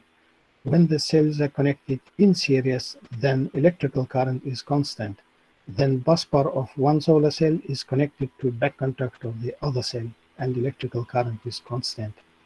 And whereas voltages are added, if the solar cells are connected in parallel to each other, then voltage uh, others are constant and electrical current will be added to each other. By this way, uh, uh, one can get a module in one module contains, uh, uh, uh, it depends on what voltage, what watt, and what current customer needs. Depending on that, one module can contain 36 solar cells, 64 or 72. Uh, so uh, then uh, suppose we have the module, then the power of the module uh, it's not enough for customers, then these modules should be connected to each other as well in series and in parallel.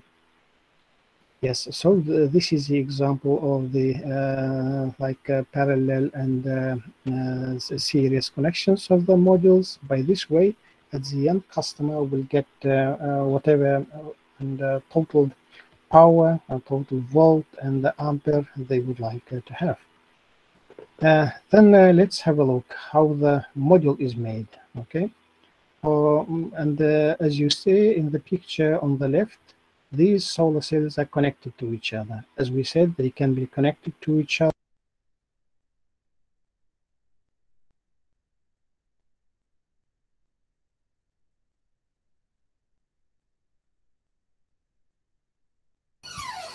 Dr. Smagul?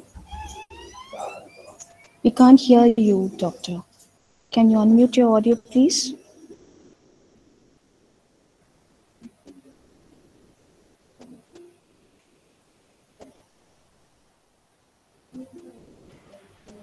Oh. Now it is okay, doctor.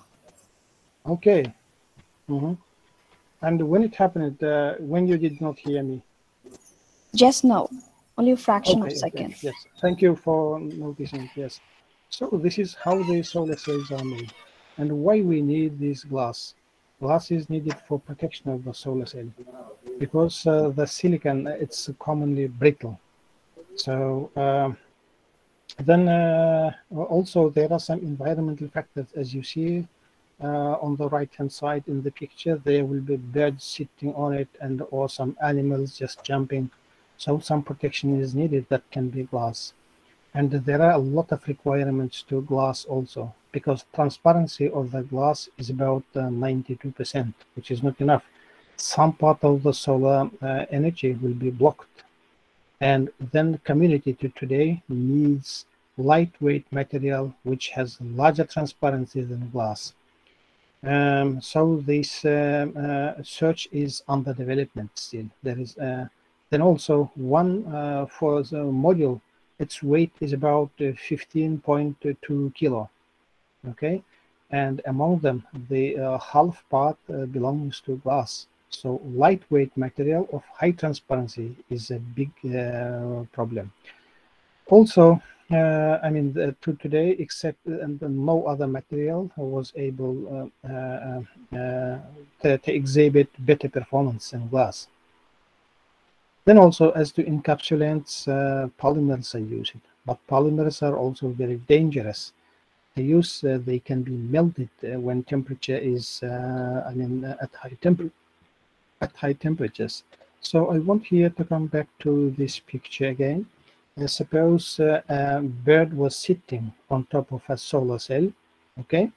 And then here that the solar cell uh, will be exhibiting very small electrical current because it's shadowed, whereas the other solar cells are not shadowed. And electrical current here should be equal to each other. And it means that one should use bypass diodes Otherwise, if not bypass diodes, then it might happen that uh, this uh, solar cell that has been shadowed will be heated up. Uh, so huge current was uh, flowing through it, and then uh, these uh, encapsulants made from polymer they can be melted, that, and the solar panel, solar module can be out of order. So uh, to avoid it, uh, it's better to use uh, inorganic material or polymer, but um, that can withstand high temperature. So module performance uh, can be characterized by this uh, uh, mathematical formula, and one should know number Do of solar. Dr. Smagul, sorry to interrupt. Can you put it in full screen? Oh, Is okay, it in slideshow? Okay. Yeah, yeah, yeah. Okay. Good. Yes. Thank you, doctor. Thank you. Mm -hmm, mm -hmm. Yes. One should just know here a uh, number of uh, solar cells connected in parallel and in series. And by this formula, one can estimate module performance. To today, there are um, different types of module designs are available. Standard PV modules and the paving, tiling, a half-cut design. Half-cut design has been developed by Norwegian company uh, Renewable Energy Corporation, REC, and the shingle design. And uh, we are making in our lab shingled uh, solar panels.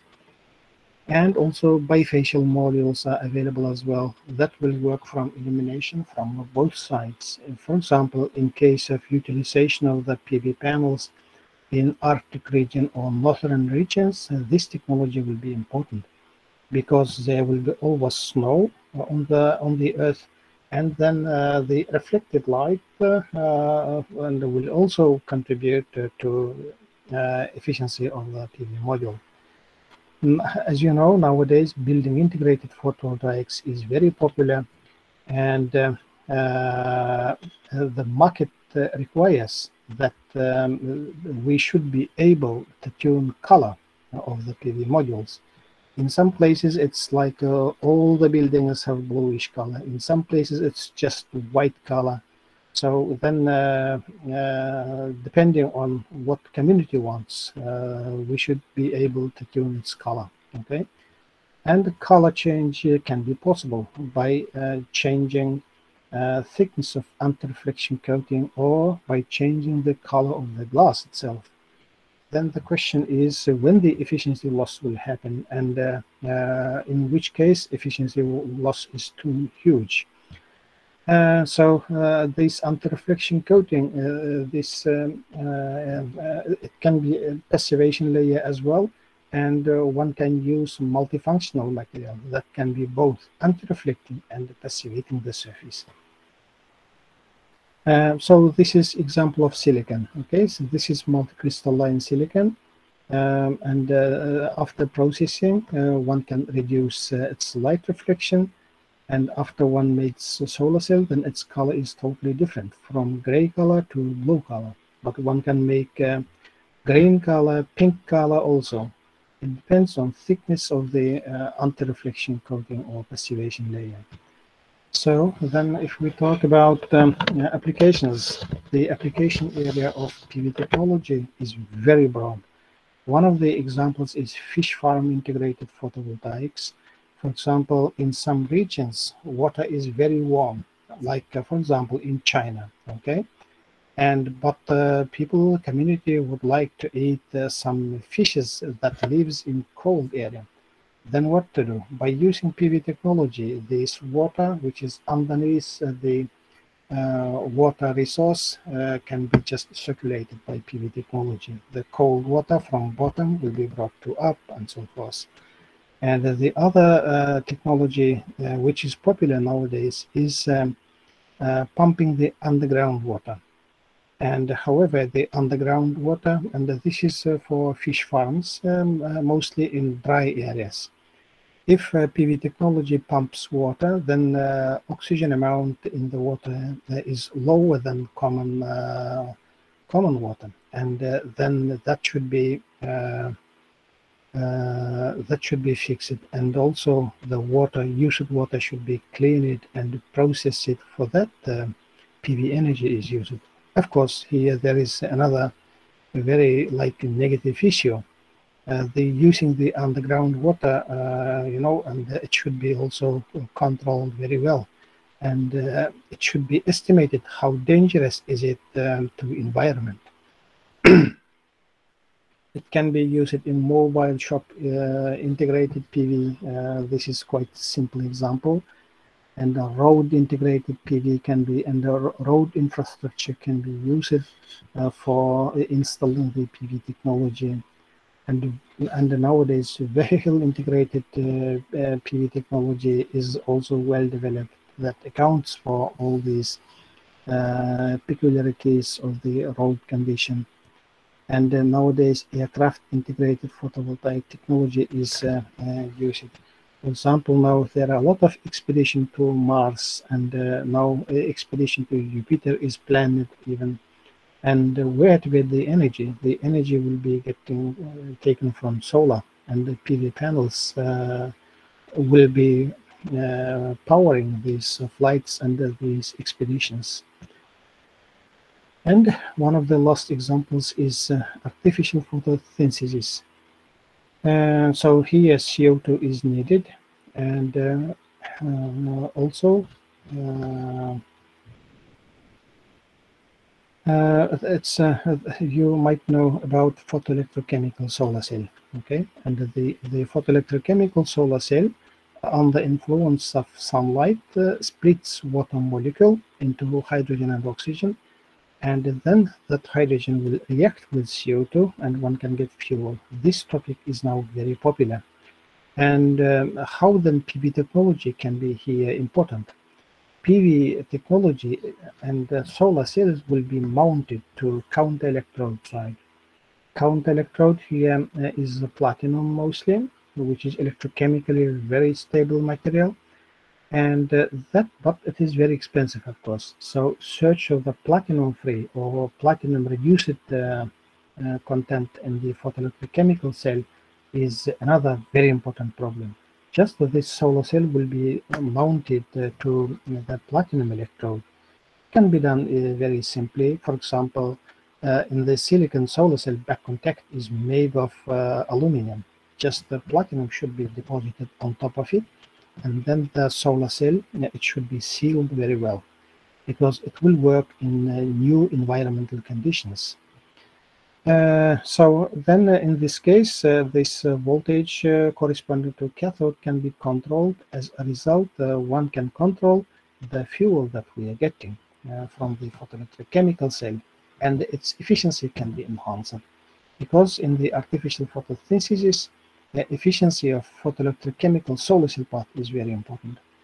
Also, uh, the water molecules can be split by electrolysis as well, which is uh, also another uh, good point. But uh, in Norway, by the way, now a hydrogen uh, uh, energy strategy is developed. In Germany, in many European countries, in Netherlands, in um, Portugal, for example, in Russia, they all have the hydrogen strategy.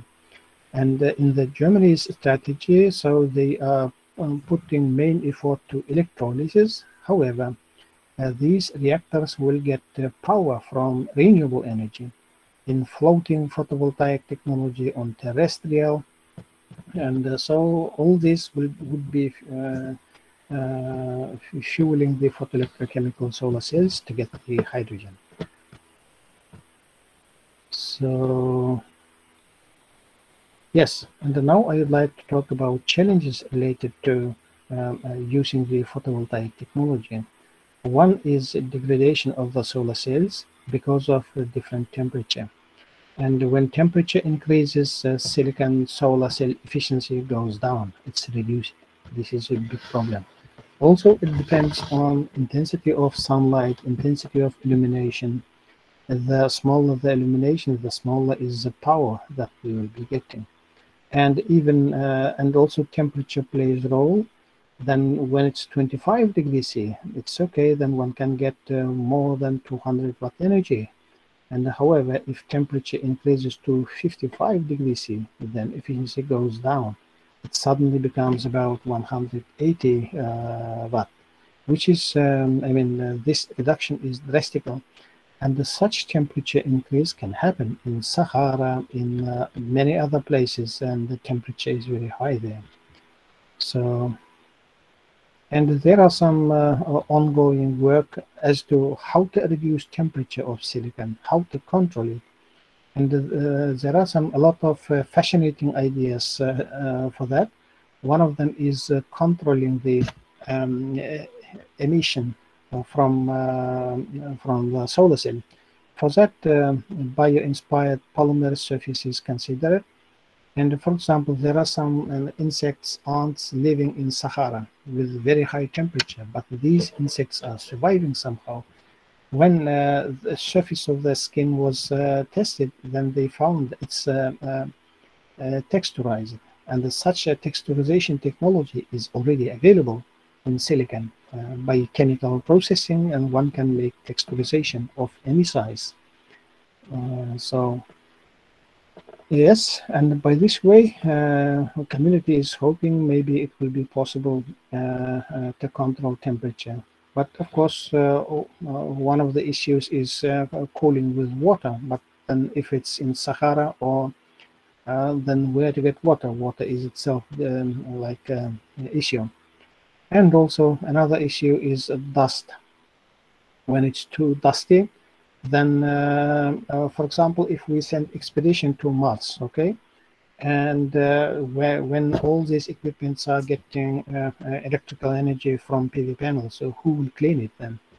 Then uh, some cleaning technology must be developed, and also the protecting layer, for example, glass. It should have certain like coatings that will repel the dust, and then cleaning would be, for example, by wiping relatively easier so one of the technologies uh, developed is, um, uh, I mean, not technologies developed, it's uh, ideas was that let's texturize the surface of the glass to make a regular structure that will increase hydrophobicity. And uh, then one can control anti, I mean, uh, soiling properties also. Uh, but then one should study physical and chemical properties of dust as well.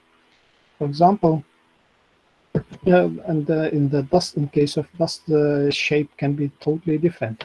If, for example, one makes this type of structure, and just uh, the dust can come into it and stay there, and uh, it will be very hard to withdraw it from there. So this is uh, quite challenging. For example, if this type of dust happens, then I think it's within one day it will be totally dirty.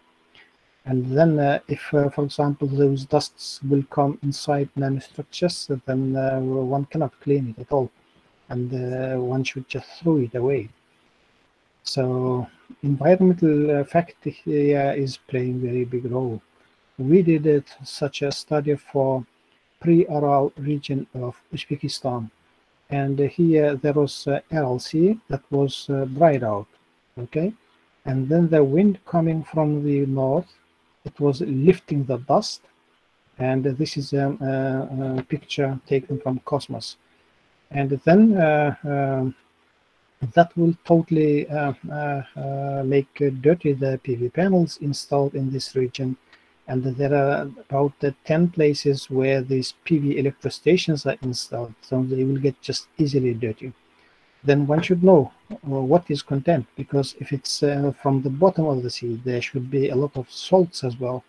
So these are the composition of the dust that we have uh, installed, that we have uh, examined and uh, we did the study uh, for uh, in the multi-floor building on the third floor and on the terrestrial case on the earth just one meter from the earth's surface and in a village on roof of a house so then uh, also it was done for uh, within, uh, for example, three months time to one year here in the picture, just mass collection uh, of the dust, uh, it was changing from uh, timing. Okay.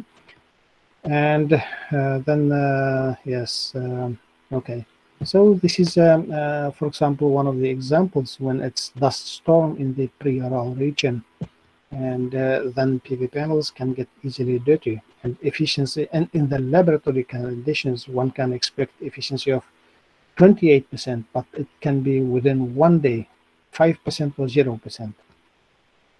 So, and uh, this is content of the air and the such study should be done for each region where these PV installations will be ongoing.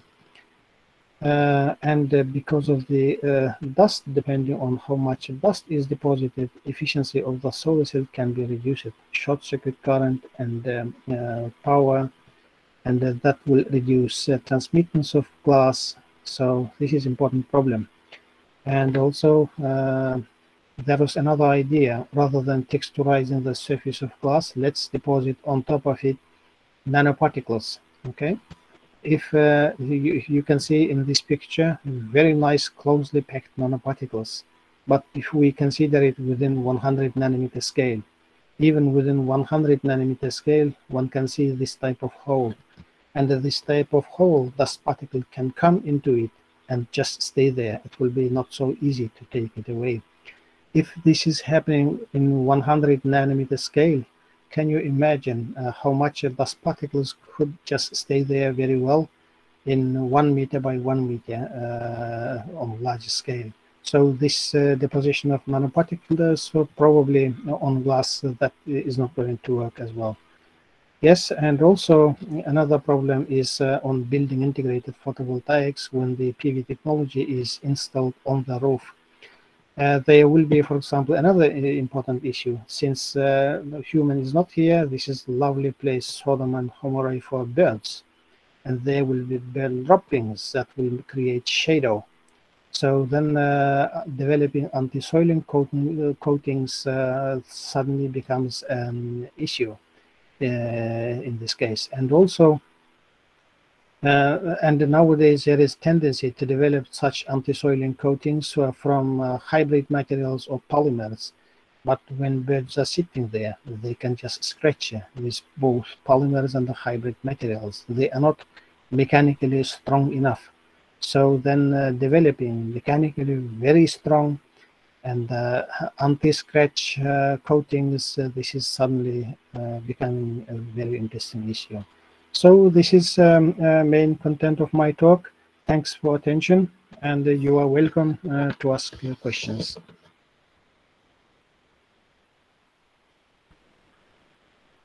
Thank you so much, Dr. Smagul, for your wonderful presentation.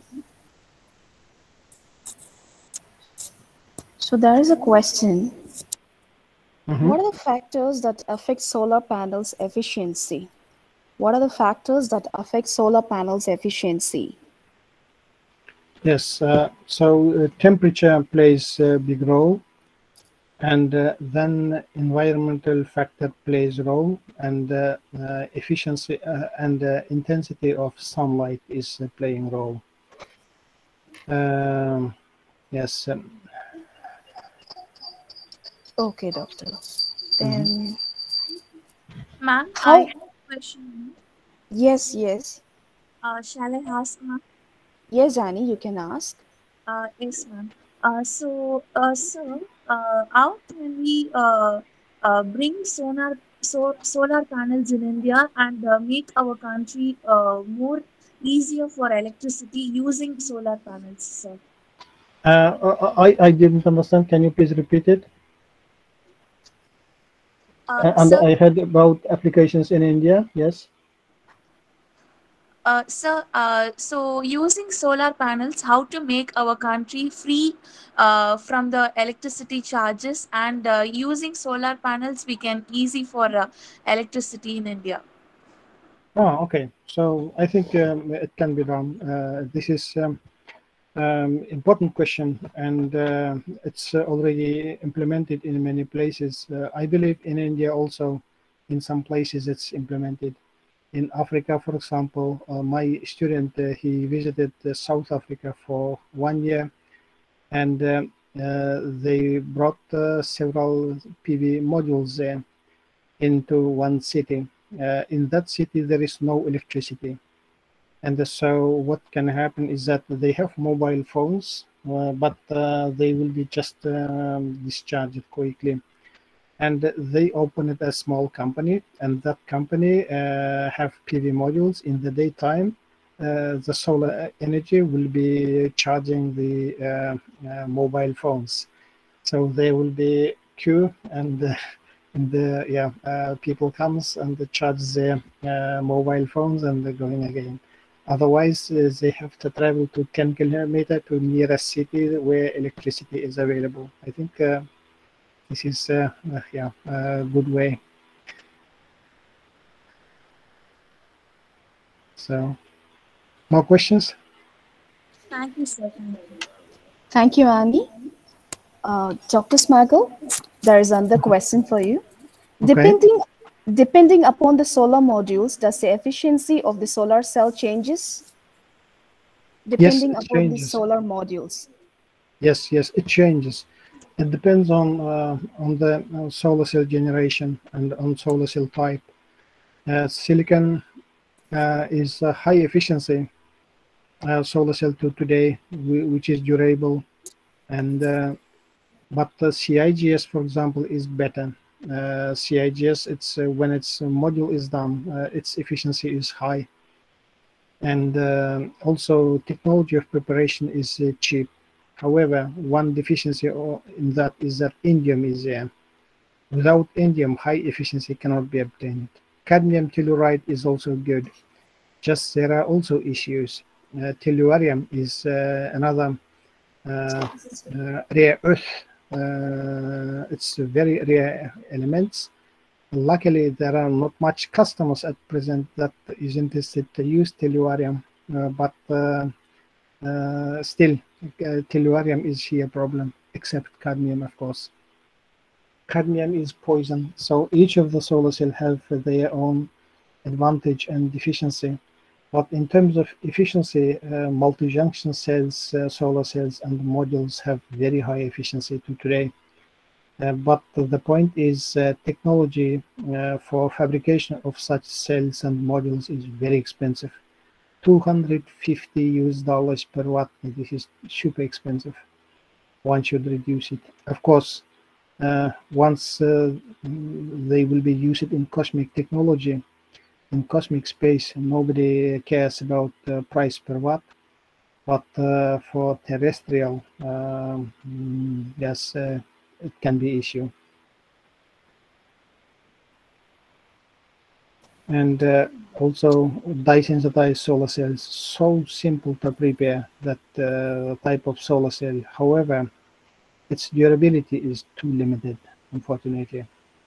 But um, durability one day can be solved. If uh, it's solved, then of course uh, it will become a really popular type of uh, solar cells.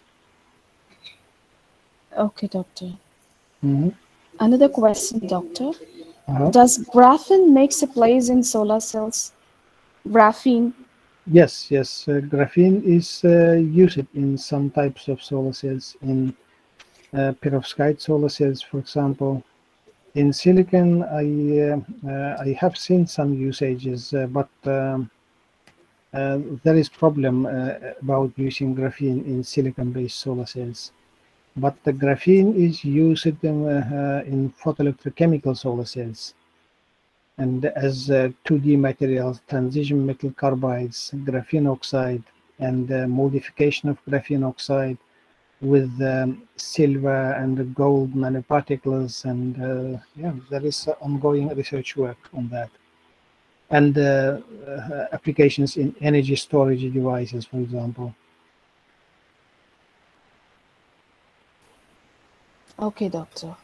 Mm -hmm. thank you. Yes thank you. Since there are no more questions shall we wind up this session doctor, doctor Yes, please. Jasmine, you can wind up. Thanks so much, uh, Dr. Smagul, for being with us. Uh-huh. Thank you, Doctor, for your informative and uh, interesting session on photovoltaic technologies and its applications. Yeah.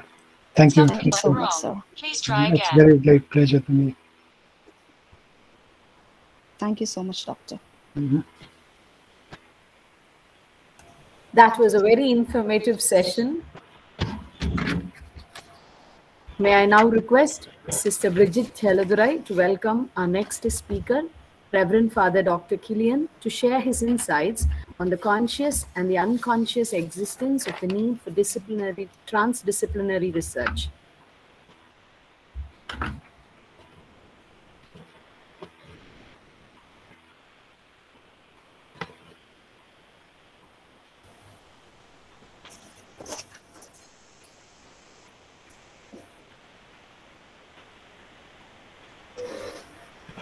Good afternoon, everyone.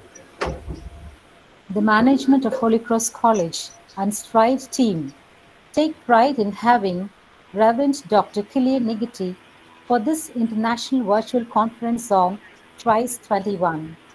I deem it a great privilege in introducing the esteemed resource person, Reverend Dr. Killian Ngitir, Professor of Psychology, Salesian Pontifical University, Rome, Italy, to the galaxy of intellectuals connected through Google platform online. The renowned speaker will address on the conscious and the unconscious existence of the need for transdisciplinary research. He has obtained his first degree to doctoral degree from the Salesian Pontifical University of Rome. He has been in the field of formation since 1998 He's working in the areas of vocation discernment, pedagogy of formation, leadership qualities, and the conscious and unconscious motives that can condition human behavior. Presently, Father is teaching in the Pontifical University. Being psychopedagogist, he teaches materials related to psychology and pedagogy. He is also one of the general counselors of the Capuchin order and working in the area of formation at the gender level. Dear Father Killian, we are indeed delighted to have you with us. We kindly request you to take over the session.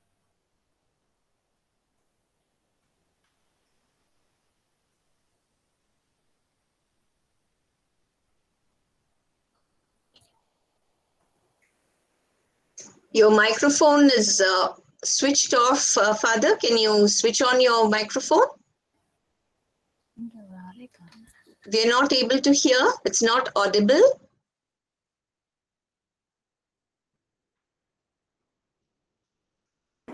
Hello, Not Father. yet. Not yet. Your microphone is still not working.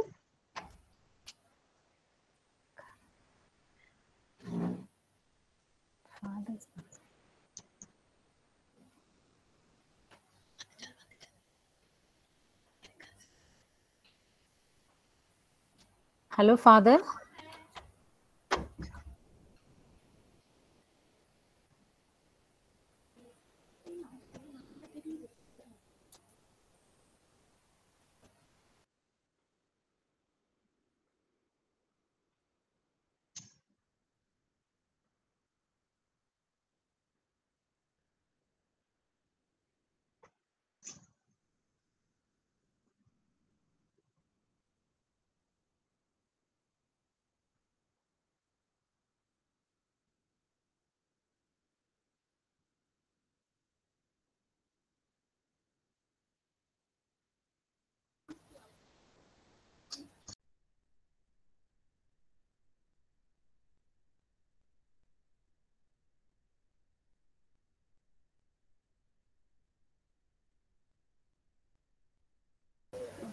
Something else.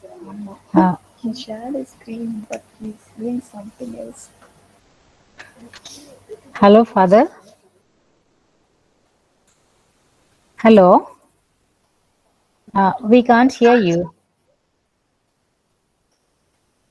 Can you, uh, Father, can you just remove that uh, earphones and speak without the earphones, Father? Yeah, from the system also. Ah, yes. If you can remove the earphones from the system also.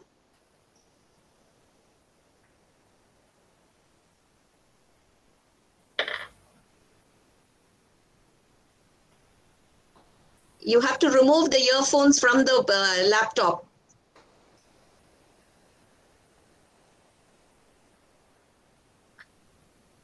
Are you connected with your phone?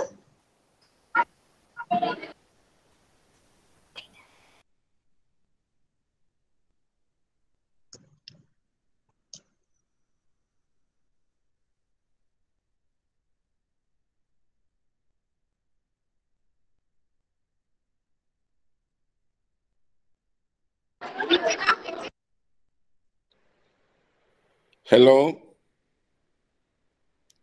Yes, Father. Hello? Now it's audible. Now it's audible. Oh, wonderful. Okay. Okay. right. Let, let, let me try to share my, my screen. Yes. Uh, Just click that upward arrow which says present now, and then you can share your screen. The upward arrow on the bottom of your system. yeah, yeah. Okay.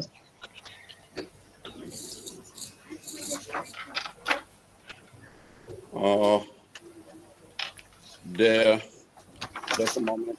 Uh,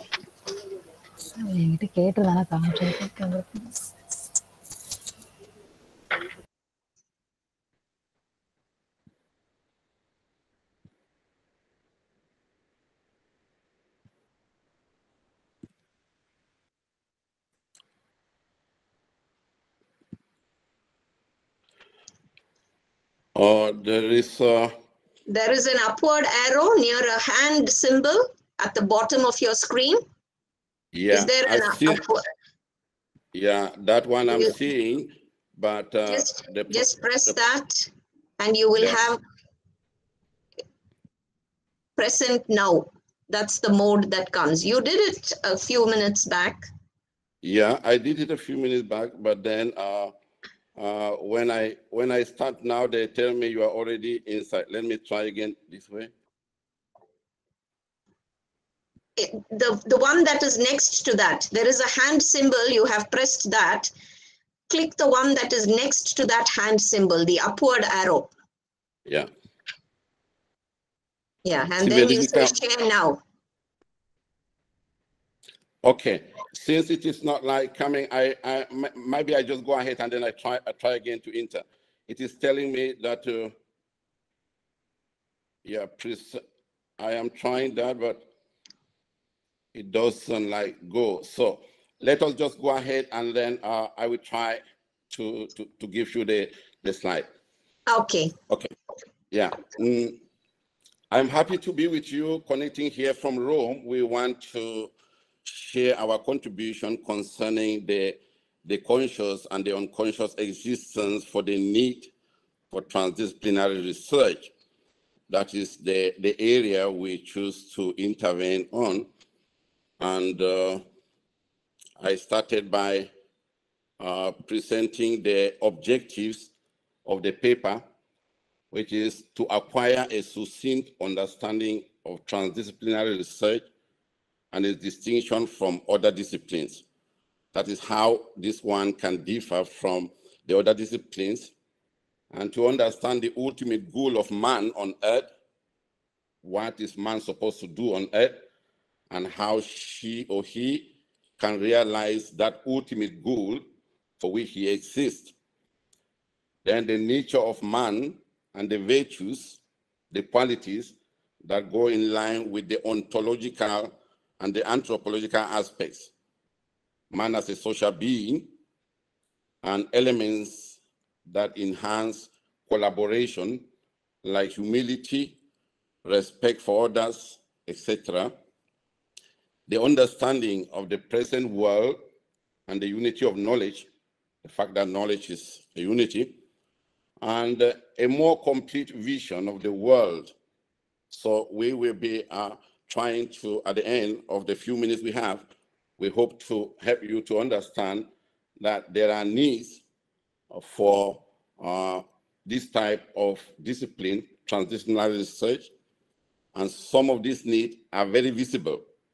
Some of them, unconsciously, we are not aware that we need to go above the single disciplines to look at the reality as a whole from above.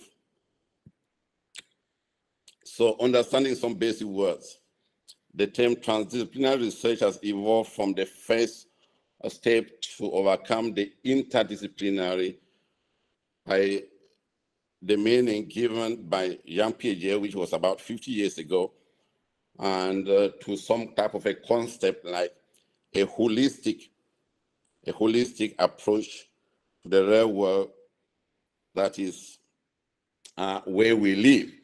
So transdisciplinary research concerns, as indicated in the prefix trans, that which is above and goes across any other discipline.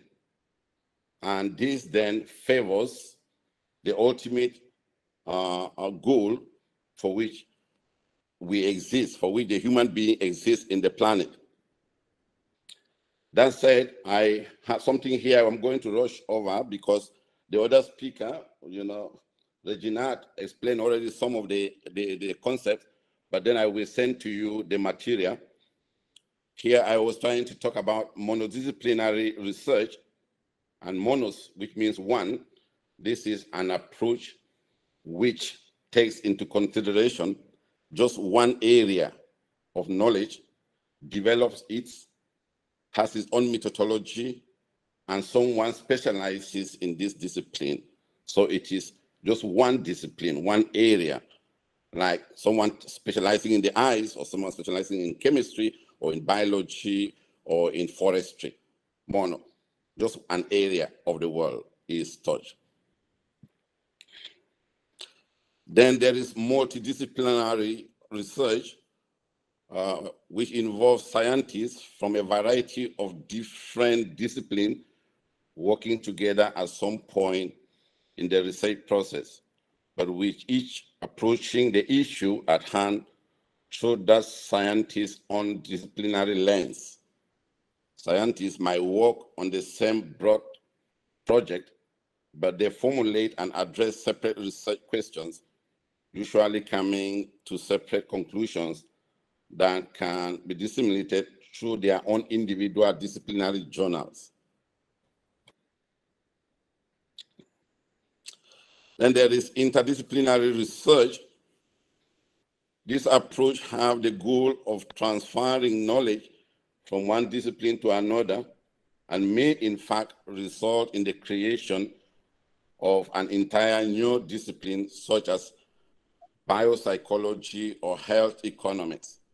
So this one is when system and areas begin to interact among themselves and form a union.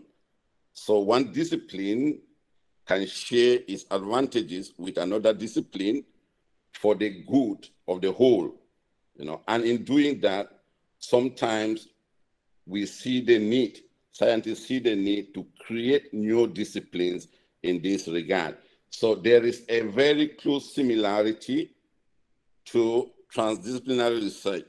So inter is when they come together. Now I try to put it here uh, on the diagram form. There is disciplinary, monodisciplinary, multidisciplinary, interdisciplinary, and transdisciplinary. It's a pity that you can't like see the, the, the graph. I will try that later.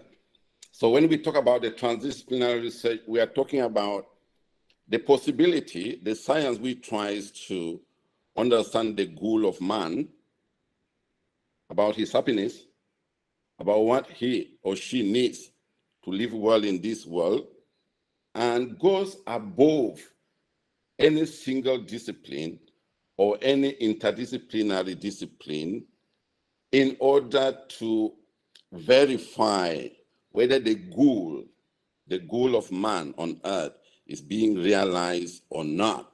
So it is a type of lens which uh, gathers from all, but with the objective of helping the, the human being to be happy and to uh, uh, live well on earth. So it will go beyond health, you know, uh, uh, climatic conditions, economy, money, prayer, and all the other disciplines so as to understand the human being. So that said, we uh, want to talk about the consciousness. Consciousness then, it means you send a child to school, you want the child to come up and do something. Now we are here in the area of transdisciplinary research. Children in school do not learn isolated discipline just in isolation. They need to begin to learn to connect ideas. Ideas that they learn in chemistry, they connect it and see how it is useful in biology and in physics. And the ideas they learn in statistics and the practical life.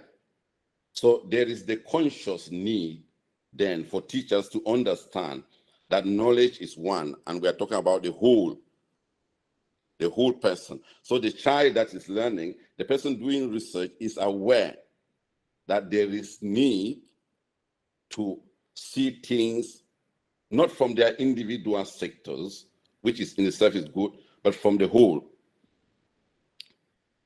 So here we are talking then about what are those conscious needs for transdisciplinary research. So there is the need to develop thinking out of the box and creativity. Thinking out of the box so as to create creativity. There are traditional ways of thinking, and when the knowledge or teachers or curriculums in school are prepared with this in mind, uh, children are taught how to think widely and uh, to experiment and to bring their knowledge for use. So the modern education system fosters convergent thinking, convergent thinking, which means applying a fixed set of rules to arrive to a single solution to the problem. On the other hand, thinking out of the box is a more free flowing process, free flowing process, leading to several creative solutions to a single problem. Both divergent and convergent thinking are important, but encouraging only the latter can lead to a loss of creativity and critical thinking, which are the essential skills in our world. So, uh, uh, modern people coming and living in a modern world and born in a digital society may have lots of insight that traditional education, educational system didn't think about. Researchers see more meaning in the way they learn. So with the transdisciplinary research and uh, teaching methodologies, those who are in the field, they see a more meaning to what is going on, even children. So many students, researchers learn because they are told so by their organizations, schools, and their parents.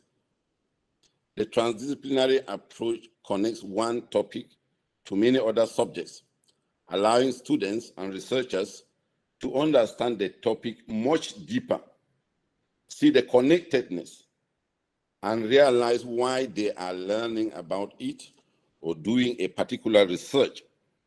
This system also makes it easier for them to remember what they learn and make the necessary connections.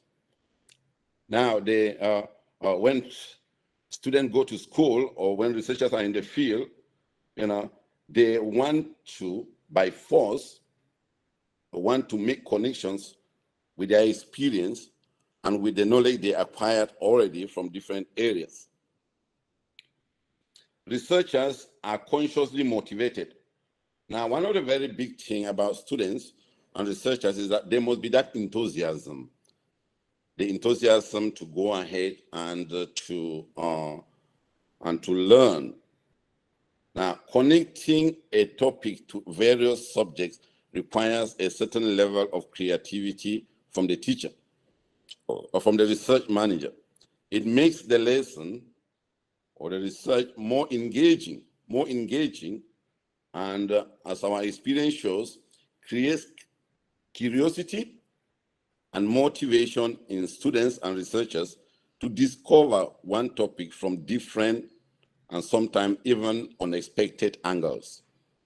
Okay, when they are motivated and we know the world is changing, maybe what the research director or the teacher thought he or she knew can then be challenged and improved upon when students or researchers are motivated to think out of the box and with their own experience of the world around them. Students learn a language of the specific problem. So we are saying that uh, transdisciplinary research learning encourages researchers and students to look at one problem under various angles. Students and researchers, they look at one problem from different angles. They have the light of different areas. They learn the versatile nature of a real life situation. Develop critical thinking and understand that there is usually more than one way and more than one right solution to a single problem. This kind of thinking is very appreciated and sought after by many headhunters these days. Now, uh, uh, for those who are listening, sometimes you can ask yourself whether people are actually thinking. It's like being specialized in one area and remaining stuck in that area. And it's like the whole world depends on that knowledge. Now, critical thinking, critical thinking and connectedness means that we allow what we have learned to influence us and we put the objectives of our life. Well, that's the concept. We put the objectives of why we live or what we want to gain after school, after studying and getting diplomas and doctorate in things what do we want to gain? How do we want to the society to be? How do we want to live in the society?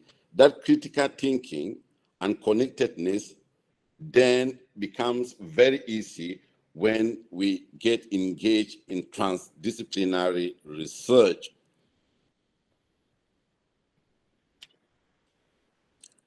Researchers build up confidence Transdisciplinary approach encourages researchers to speak up their opinion in the field, even though it might be wrong.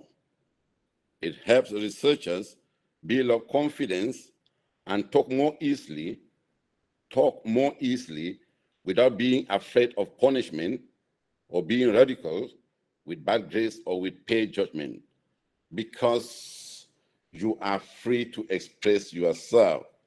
So it builds confidence. You know, when um, I listened to the speaker yesterday, uh, Dr. Regime from Ghana, he was talking about the difficulties of specialized discipline researchers to engage in interdisciplinary conferences and exchange of ideas because when I remain in my own discipline, I'm very comfortable. So when I have to leave my own discipline and listen to the other person and leave my own method of doing research in a particular discipline and uh, open myself up to see what the other person discipline can offer so that together we can go to a different level because we are talking here about transdisciplinary approach which means it must go above my own single discipline and above your own single discipline so as uh, to arrive at a new level that new level must be arranged, arranged at before. So we must know where we want our society to go. If we don't know where we want to go, and we don't have a goal that we want to realize in a society, transdisciplinary research does not help us because we must be looking at whether research research centers in different areas and different sectors are helping us to become more loving and happy human beings inhabiting the earth. We need to check that out. If not, then transdisciplinary research approaches will not be able to realize its goal. Now, that said, we are we try to look at some of the things that very often are, on, are hidden. It is not as if to say we become conscious that our existence in the planet Earth is supposed to be a happy existence. And that happy existence means that I need food to be able to uh, uh, uh, to live. I need to do sport. I need moment for myself, which is a silent moment. I need friends and other needs. So all those needs, they come together and they help me to be a happy human being on planet Earth. It is true that with all these many needs, we may go back to Abraham Maslow, with all these many needs, sometimes we can capitalize on one. Like you need to sleep a lot, you need to drink a lot of water, or you need to, to do sport, you need to eat this food and not that. Now, we may forget that we have all of these needs that are necessary in a good proportion to be able to have a human being that is inhabiting the earth and who is happy. So now we understand why there are unconscious, because we fight and we work as if to say one area was a totality. We are looking as a whole. We looking at the total human being from different different angles. And when that is put in place, then the society will change. So I said here in the first place, we are saying that a human being is a whole, is a totality. He or she is not only a physical being or a spiritual being, a social being or with economic needs. He is also a rational being. A rational being means he's capable of drawing conclusions and projecting the future. A human being needs food and in good proportion, physical exercise, sleep, friends, security and silence, etc. So one spe specialist cannot satisfy a human being.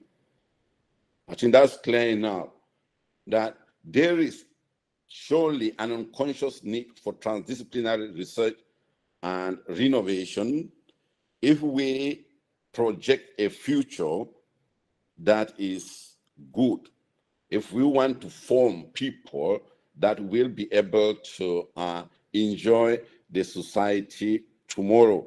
So we cannot like neglect that. Now we need to take into consideration that the, the society, we are, we are talking about the unconscious needs for transdisciplinary research. The society is very complex. We live in a postmodern world. In a very complex society, we don't have to pretend that the tradition and the way of doing things that were very valid a few years ago, we continue to remain there and we'll be able to satisfy the needs of, the, of a human being who is growing in a fast globalized changing society. No, no. We need to be aware of that. If that is true, that society is complex, and that individuals in this world now may be more complex and have different needs and different difficulties and problems than those some years ago, and they might be very fragile, very fragile because of the environment we they are living in, then we need to enhance. You see, so this becomes a very big need for transdisciplinary research so as to address the fragility of the society. 30 years ago, maybe our parents, they used to support a lot of difficulties and they were happy and they could support and remain in a specific vocation for long or a specific job till death. In a complex world with a need for change, and change is very fast, if we don't engage in this type of research, we will be left behind. So we wrote here that the complex and individualistic nature of things, a lot of specialization in different areas, the holistic transdisciplinary approach provides a comprehensive perspective on life. We have as its support the problematic questions, the heuristic and research, the research, the insight into various levels of knowledge and reality as a link between abstract and concrete dimensions of experience. So we cannot, we cannot like uh, just satisfy ourselves without thinking of the whole and seeing the difference between theory, theoretical knowledge, and practical knowledge and real knowledge. So very often, specialists in different domains are very much gifted. And our children in education, in schools, may also be very much gifted intellectually. That means being capable of acquiring knowledge in different fields, but that knowledge becomes, you know, uh, divided from the real life. So with transdisciplinary research, we are seeing how knowledge, abstract knowledge, can be correlated with existing reality and real living. So the passage from, uh, uh, you know, uh, intellectual assent of knowledge to real assent. So you not only the notions, abstract, but the real thing. You understand it, you meditate it in the heart, and behavior is conditioned by the knowledge that the students and the researchers are bringing forth in society. So we need to be aware that that society, the society in which we live in, is asking us to do that. This need is unconscious. So that doing this research and this program, as sisters have beautifully organized it, we may become conscious of this need. There is also a specific methodology.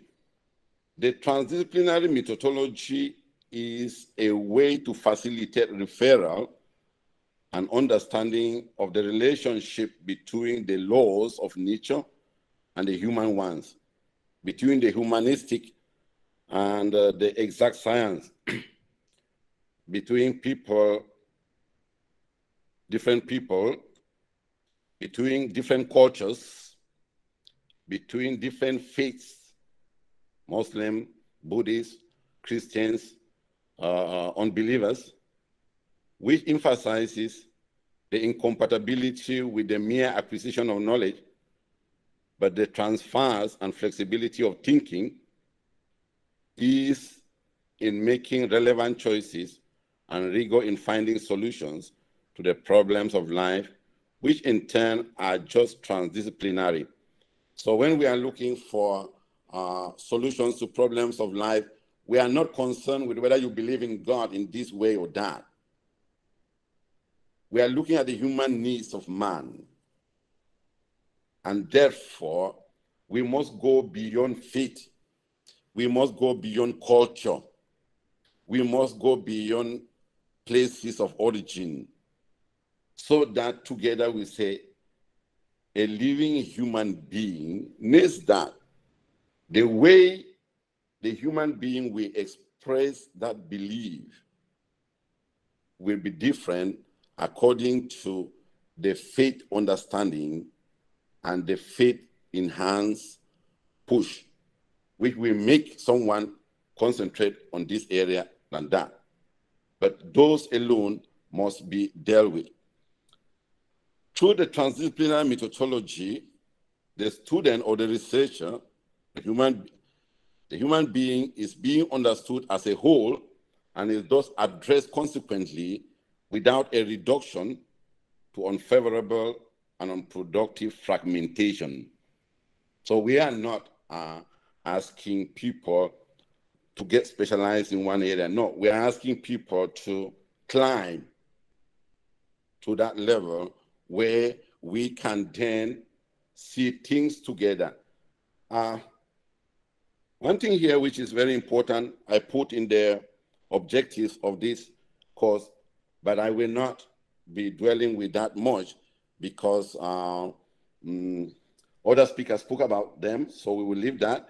Uh, the type of virtues that we need for transdisciplinary research, you know, the humility, the ability for collaboration, the need to understand researchers and teachers that they are not the masters of knowledge. Because knowledge is above us and we all have it. And we have it in different areas. So that i must be humble enough to learn from you a researcher in natural sciences and to learn from you someone a guru in spiritual uh, area and together we will produce something that is good for humanity and not fragmented knowledge.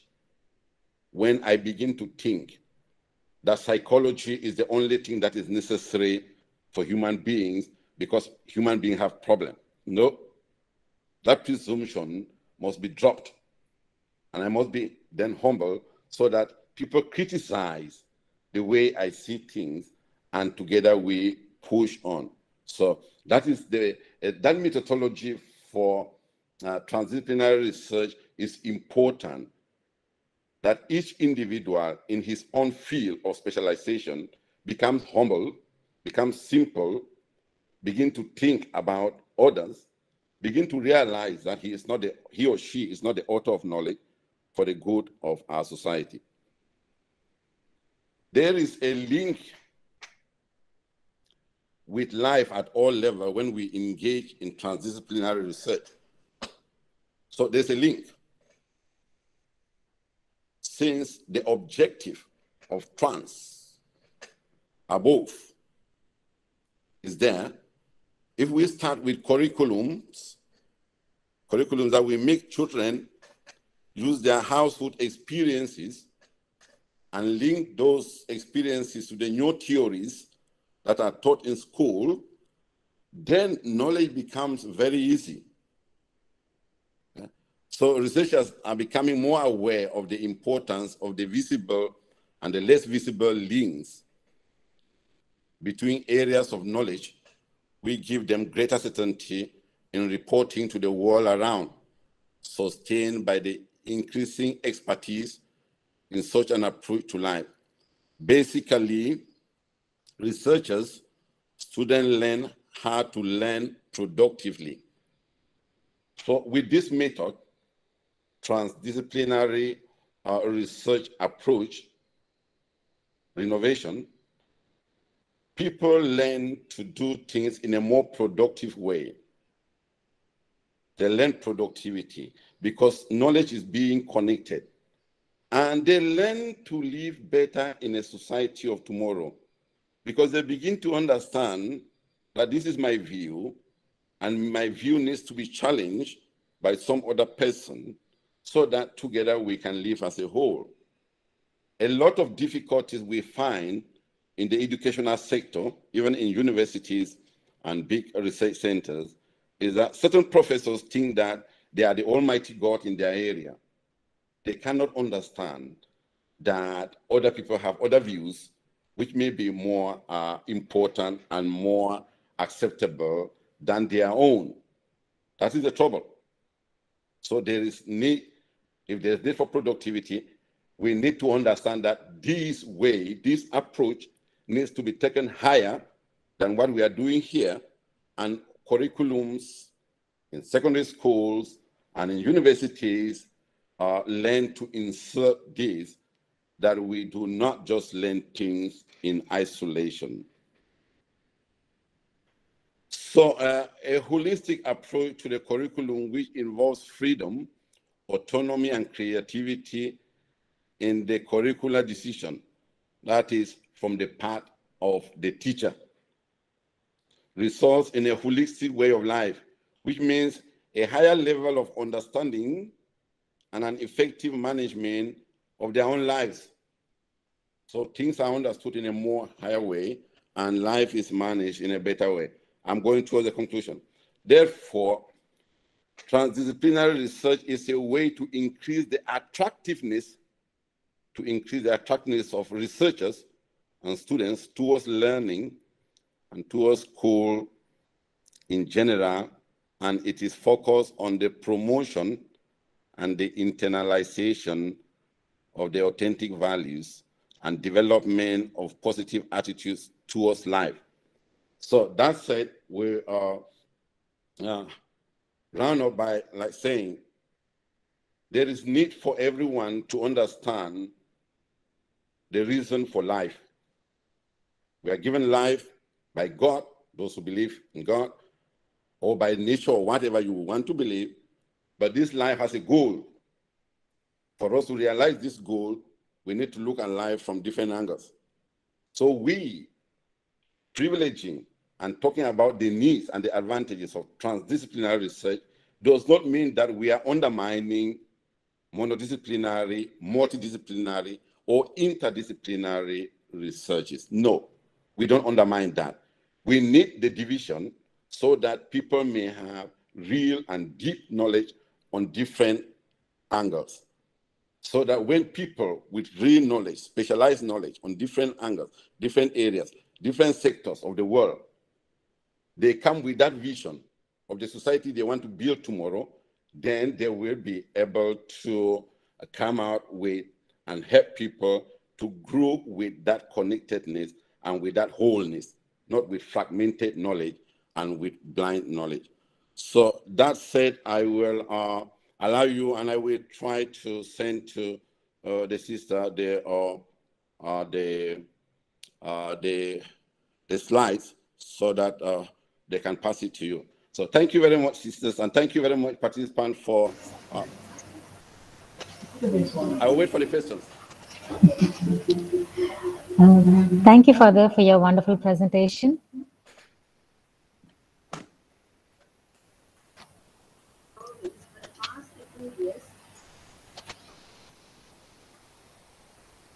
Um, Father, there is a question. Yeah. Uh, uh, from your experience, which do you think is superior competence based on reason or competence based on mind to engage in transdisciplinary research? Yeah, uh, from what I, I understand, there is the need for experience because as rational beings, that's one of the things we know, as rational beings, we gain knowledge easily depending on our experience. So any new knowledge that we want to acquire, we want to relate that. If that knowledge is going to remain and help us, we want to, to relate that to our own experience that we have had in life. And therefore, uh, our personal experience, experiences are very much important if we have to go ahead to arrive at a transdisciplinary uh, way approach. Because here we are engaged in uh, assisting uh, teachers, researchers, and students to see the need for this, for this way of learning and of approaching life. So experience then becomes more important. I don't know if that uh, is helpful, sister. Yes, Father, thank you.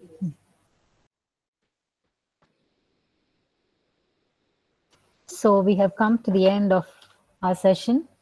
So yes, dear Father, with great sense of gratitude, I thank you for your excellent presentation on the topic, the conscious and the unconscious existence of the need for transdisciplinary research.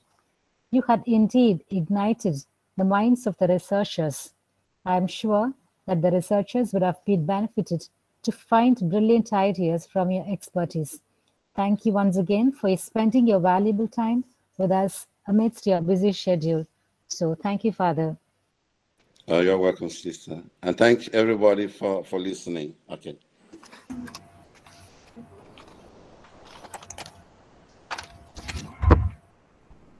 As we have come to the close of the three day international conference, I would like to thank and acknowledge the hands and minds behind the success of this event. On behalf of the management of Holy Cross College and the organizing committee of the International Conference on Transdisciplinary Research and Innovation for Entrepreneurship and Sustainability, I'm here to thankfully remember and acknowledge the persons who traveled with us in this journey. I will give thanks to you, Lord. With all my heart, I will tell of all your wonderful deeds. Psalms chapter 9, verse 1. First of all, I give thanks to the Almighty Father for his guiding presence and blessings throughout this conference. I accord my sincere thanks to all the speakers Professor Greg Foliente, University of Melbourne, Australia, Dr. Christopher Abraham from the SP Jain School of Global Management, Dubai, Professor Sudesh Kumar from the University of Malaysia, Professor N. Rajendran from the University, Dr. Vijay Shankar, Chalmers University of Technology, Sweden, Mr. Simon Burkett from London, Dr. Asma Boundary from Hungary, Professor Sendil from Tamil Nadu, Dr. Kabali Subramanian, VIT University, Oman, Dr. Lajwante Kishnani, Amity University, Dubai, Dr. Selvakumar Pichaya from the Norway University of Applied Sciences, Dr. Selvakumar sorry, Dr. Jocelyn Chikwada from the Zimbabwe Open University, Dr. Reginald Hammer from Africa, Dr. David Wilson from the University of Melbourne, Dr. Marco from Serbia, Dr. Parvez Alam from the Crescent Institute of Science and Technology, Chennai,